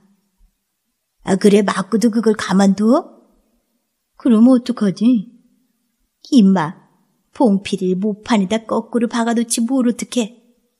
하고 괜히 내 대신 화를 내가지고 주먹질을 하다 등장까지 쳤다. 놈이 본시 괄괄은 하지만 그래놓고 날더러 소규값을 물라고 막 지다이를 붙는다. 난 어안이 벙벙해서 잠자코 앉았으니까 저만 연방 짓거리는 소리가 밤낮 일만 해주고 있을 테냐? 영득이는 1년을 살고도 장걸 들었는데 난 4년이나 살고도 더 살아야 해. 네가 세 번째 사인 줄이나 아니? 세 번째 사위. 남의 일이라도 분하다 이 자식아. 우물에가 빠져 죽어. 나중에는 겨우 손톱으로 목을 따라고까지 하고 제 아들같이 함부로 훅닥이었다. 별의별 소리를 다 해서 그대로 옮길 수는 없으나 그 줄거리는 이렇다. 우리 장인님이 딸이 셋이 있는데 맏딸은 재작년 가을에 시집을 갔다. 정말은 시집을 간 것이 아니라 그 딸도 대를 사위를 해가지고 있다가 내보냈다. 그런데 딸이 10살 때부터 19, 즉 10년 동안에 대일 사위를 갈아들이기를 동리에선 사위부자라고 이름이 났지만은 열놈이란 참 너무 많다. 장인님이 아들은 없고 딸만 있는 고로 그 다음 딸을 대릴 사위를 해올 때까지는 부려먹지 않으면 안 된다. 물론 머슴을 두면 좋지만 그건 돈이 드니까 일 잘하는 놈을 고르느라고 연방 바꿔드렸다. 또 한편 놈들이 욕만 줄창 퍼붓고 심의도 부려먹으니까 베리상에서 달아나기도 했겠지. 점순이는 둘째 딸인데 내가 이를테면 그 세 번째 대릴 사유로 들어온 셈이다. 내 담으로 네 번째 놈이 들어올 것을 내가 일도 참 잘하고 그리고 사람이 좀 어수룩하니까 장인님이 잔뜩 붙들고 놓질 않는다. 셋째 딸이 이제 여섯 살, 적어도 열 살은 돼야 대릴 사이를 할 테므로 그동안은 죽도록 부려먹어야 된다. 그러니 이제는 속 좀 차리고 장가를 들여달라고 때를 쓰고 나자빠져라. 이것이다. 나는 건성으로 어엉엉하며 귀뚱으로 들었다. 뭉태는 땅을 얻어 붙이다가 떨어진 뒤로는 장인님만 보면 공연히 못 먹어서 으른거린다. 그것도 장인님이 저 달라고 할 적에 제 집에서 위한다는 그 감투를 선뜻 주었더라면 그럴 리도 없었던 걸. 그러나 나는 뭉태란 놈의 말을 전수히 고지 듣지 않았다. 꼭 고지 들었다면 간밤에 와서 장인님과 싸웠지 무사히 있을 리가 없지 않은가. 그러면 딸에게까지 인심을 잃은 장인님이 혼자 나빴다. 실토이지 나는 점순이가 아침상을 가지고 나올 때까지는 오늘은 또 얼마나 밥을 담았나 하고 이것만 생각했다. 상에는 된장찌개하고 간장 한 종지, 조밥 한 그릇, 그리고 밥보다 더 수부룩하게 담은 산나물이 한 대접. 이렇다. 나물은 점순이가 틈틈이 해오니까 두 대접이고 네 대접이고 멋대로 먹어도 좋으나 밥은 장인님이 한 사발 외엔 더 주지 말라고 해서 안 된다. 그런데 점순이가 그 상을 내 앞에 내놓으며 제 말로 짓거리는 소리가 아휴, 구장님한테 갔다 그냥 온담 그래 하고 엊그제 산에서와 같이 대우 쫑알거린다. 나는 내가 더 단단히 덤비지 않고 만 것이 좀 어리석었다. 속으로 그랬다.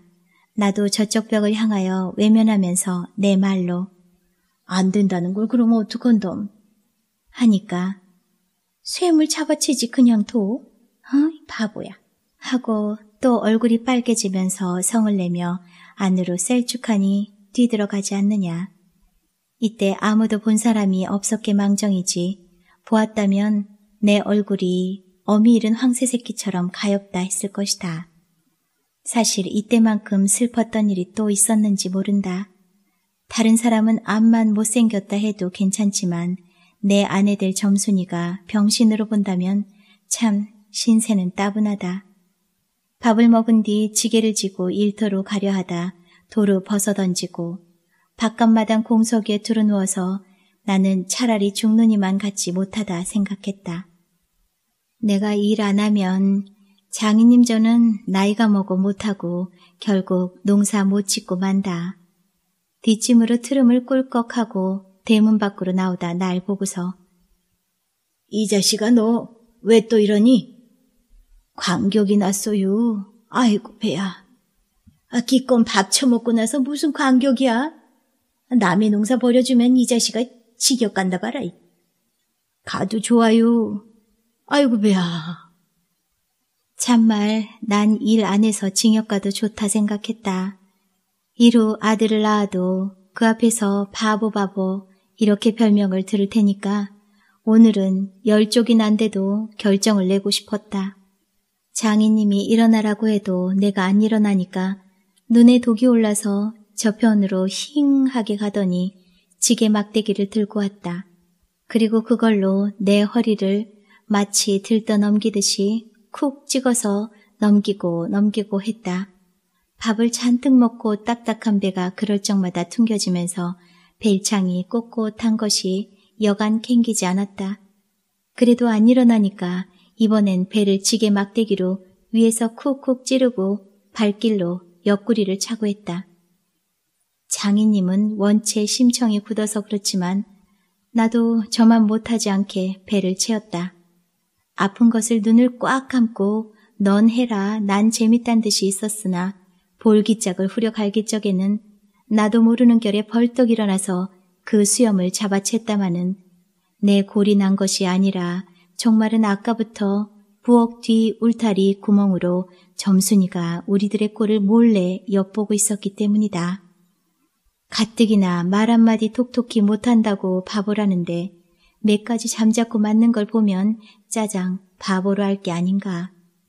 또 점순이도 미워하는 이까지 놈의 장인님 나곤 아무것도 안 되니까 막 때려도 좋지만 사정 보아서 수염만 채고 점순이가 잘 들리도록 이걸 까슬라보다 하고 소리를 쳤다. 장인님은 더 약이 바싹 올라서 잡은 참지게 막대기로 내 어깨를 그냥 내리갈겼다. 정신이 다 아찔하다. 다시 고개를 들었을 때 그땐 나도 온몸에 약이 올랐다. 이 녀석의 장인님을 하고 눈에서 불이 펑 나서 그 아래에 밭 있는 넝 알고 그대로 떠밀어 굴려버렸다. 조금 있다가 장인님이 씩씩하고 한번 해보려고 기어오르는 걸 얼른 또 떠밀어 굴려버렸다. 기어 오르면 굴리고 굴리면 기어 오르고 이러길 한 너덟 번을 하며 그럴 적마다 아 왜 불연만 먹고 왜 성례 안 해줘요? 나는 이렇게 후령했다. 하지만 장인님이 선뜻 오냐 내리라도 성례시켜주마 했으면 나도 성가신 걸 그만두었을지 모른다. 나야 이러면 때린 건 아니니까 나중에 장인 쳤다는 누명도 안 들을 터이고 얼마든지 해도 좋다. 한 번은 장인님이 헐떡헐떡 기어서 올라오더니 내 바지가랭이를 요렇게 노리고서 단박 움켜잡고 매달렸다. 악 소리를 치고 나는 그만 세상이 다 팽그르 도는 것이 어, 빙장님, 아이고 빙장님, 빙장님. 이 자식 잡아먹어라 잡아먹어. 아 할아버지 살려줍쇼 할아버지. 하고 두 팔을 허둥지둥 내절 적에는 이마에 진땀이 쭉 내솟고 인젠 참으로 죽나보다 했다. 그래도 장인님은 놓칠 않더니 내가 기어이 땅바닥에 쓰러져서 거진 까무러치게 되니까 놓는다. 더럽다, 더럽다. 이게 장인님인가? 나는 한참을 못 일어나고 쩔맸다. 그러다 얼굴을 드니 사지가 부르르 떨리면서 나도 엉금엉금 기어가 장인님의 바지가랭이를 콱 움키고 잡아놨겄다. 내가 머리가 터지도록 매를 얻어맞은 것이 이 때문이다. 그러나 여기가 또한 우리 장인님이 유달리 착한 곳이다. 여느 사람이면 사경을 주어서라도 당장 내쫓았지 터진 머리를 불솜으로 순수 찢어주고 호주머니에 희연 한 봉지를 넣어주시고 그리고 올 가을엔 꼭 성례를 시켜주마. 암만 말고 가서 뒷골에 콩밭이나 얼른 갈아라. 하고 등을 두덕여 줄 사람이 누구냐. 나는 장인님이 너무나 고마워서 어느덧 눈물까지 났다. 점순이를 남기고 이젠 내쫓기려니 하다 뜻밖의 말을 듣고 빙장님, 이제 다시는 안 그러겠어요. 이렇게 맹세를 하며 부랴사랴 지게를 지고 일터로 갔다. 그러나 이때는 그걸 모르고 장인님을 원수로만 여겨서 잔뜩 잡아당겼다. 아, 아이고 이놈아, 아, 놔라 놔. 장인님은 헛손질을 하며 솔개미에 챈 달개 소리를 연해 질렀다. 아, 놓긴 왜? 이왕이면 호되게 혼을 내주리라 생각하고 짓궂이 더 댕겼다마는 장인님이 땅에 쓰러져서 눈에 눈물이 핑 도는 것을 알고 좀 겁도 났다. 할아버지 놔라, 어? 놔, 아, 놔, 놔. 그래도 안 되니까, 예, 점순아, 아, 점순아. 이 악장에 안에 있었던 장모님과 점순이가 헐레벌떡하고 단숨에 뛰어나왔다. 나의 생각에 장모님은 제 남편이니까 역성을 할는지도 모른다. 그러나 점순이는 내 편을 들어서 속으로 고소해서 하겠지? 음, 대체 이게 웬 속인지 지금까지도 난 영문을 모른다. 아버지를 혼내주기는 제가 내려놓고 이제 와서는 달려들며 해그머니 이 망할 게 아버지 죽이네 하고 내 귀를 뒤로 잡아당기며 마냥 우는 것이 아니냐. 그만 여기에 기운이 탁 꺾여 나는 얼빠진 등신이 되고 말았다. 장모님도 덤벼들어 한쪽 귀마저 뒤로 잡아채면서 또 우는 것이다. 이렇게 꼼짝도 못하게 해놓고 장인님은 지게 막대기를 들어서 사뭇 내려 조겼다. 그러나 나는 구태여 피하려지도 않고 암만 해도 그 속 알 수 없는 점순이 얼굴만 멀거니 들여다보았다. 이 자식 장인 입에서의 할아버지 소리가 나오도록 해?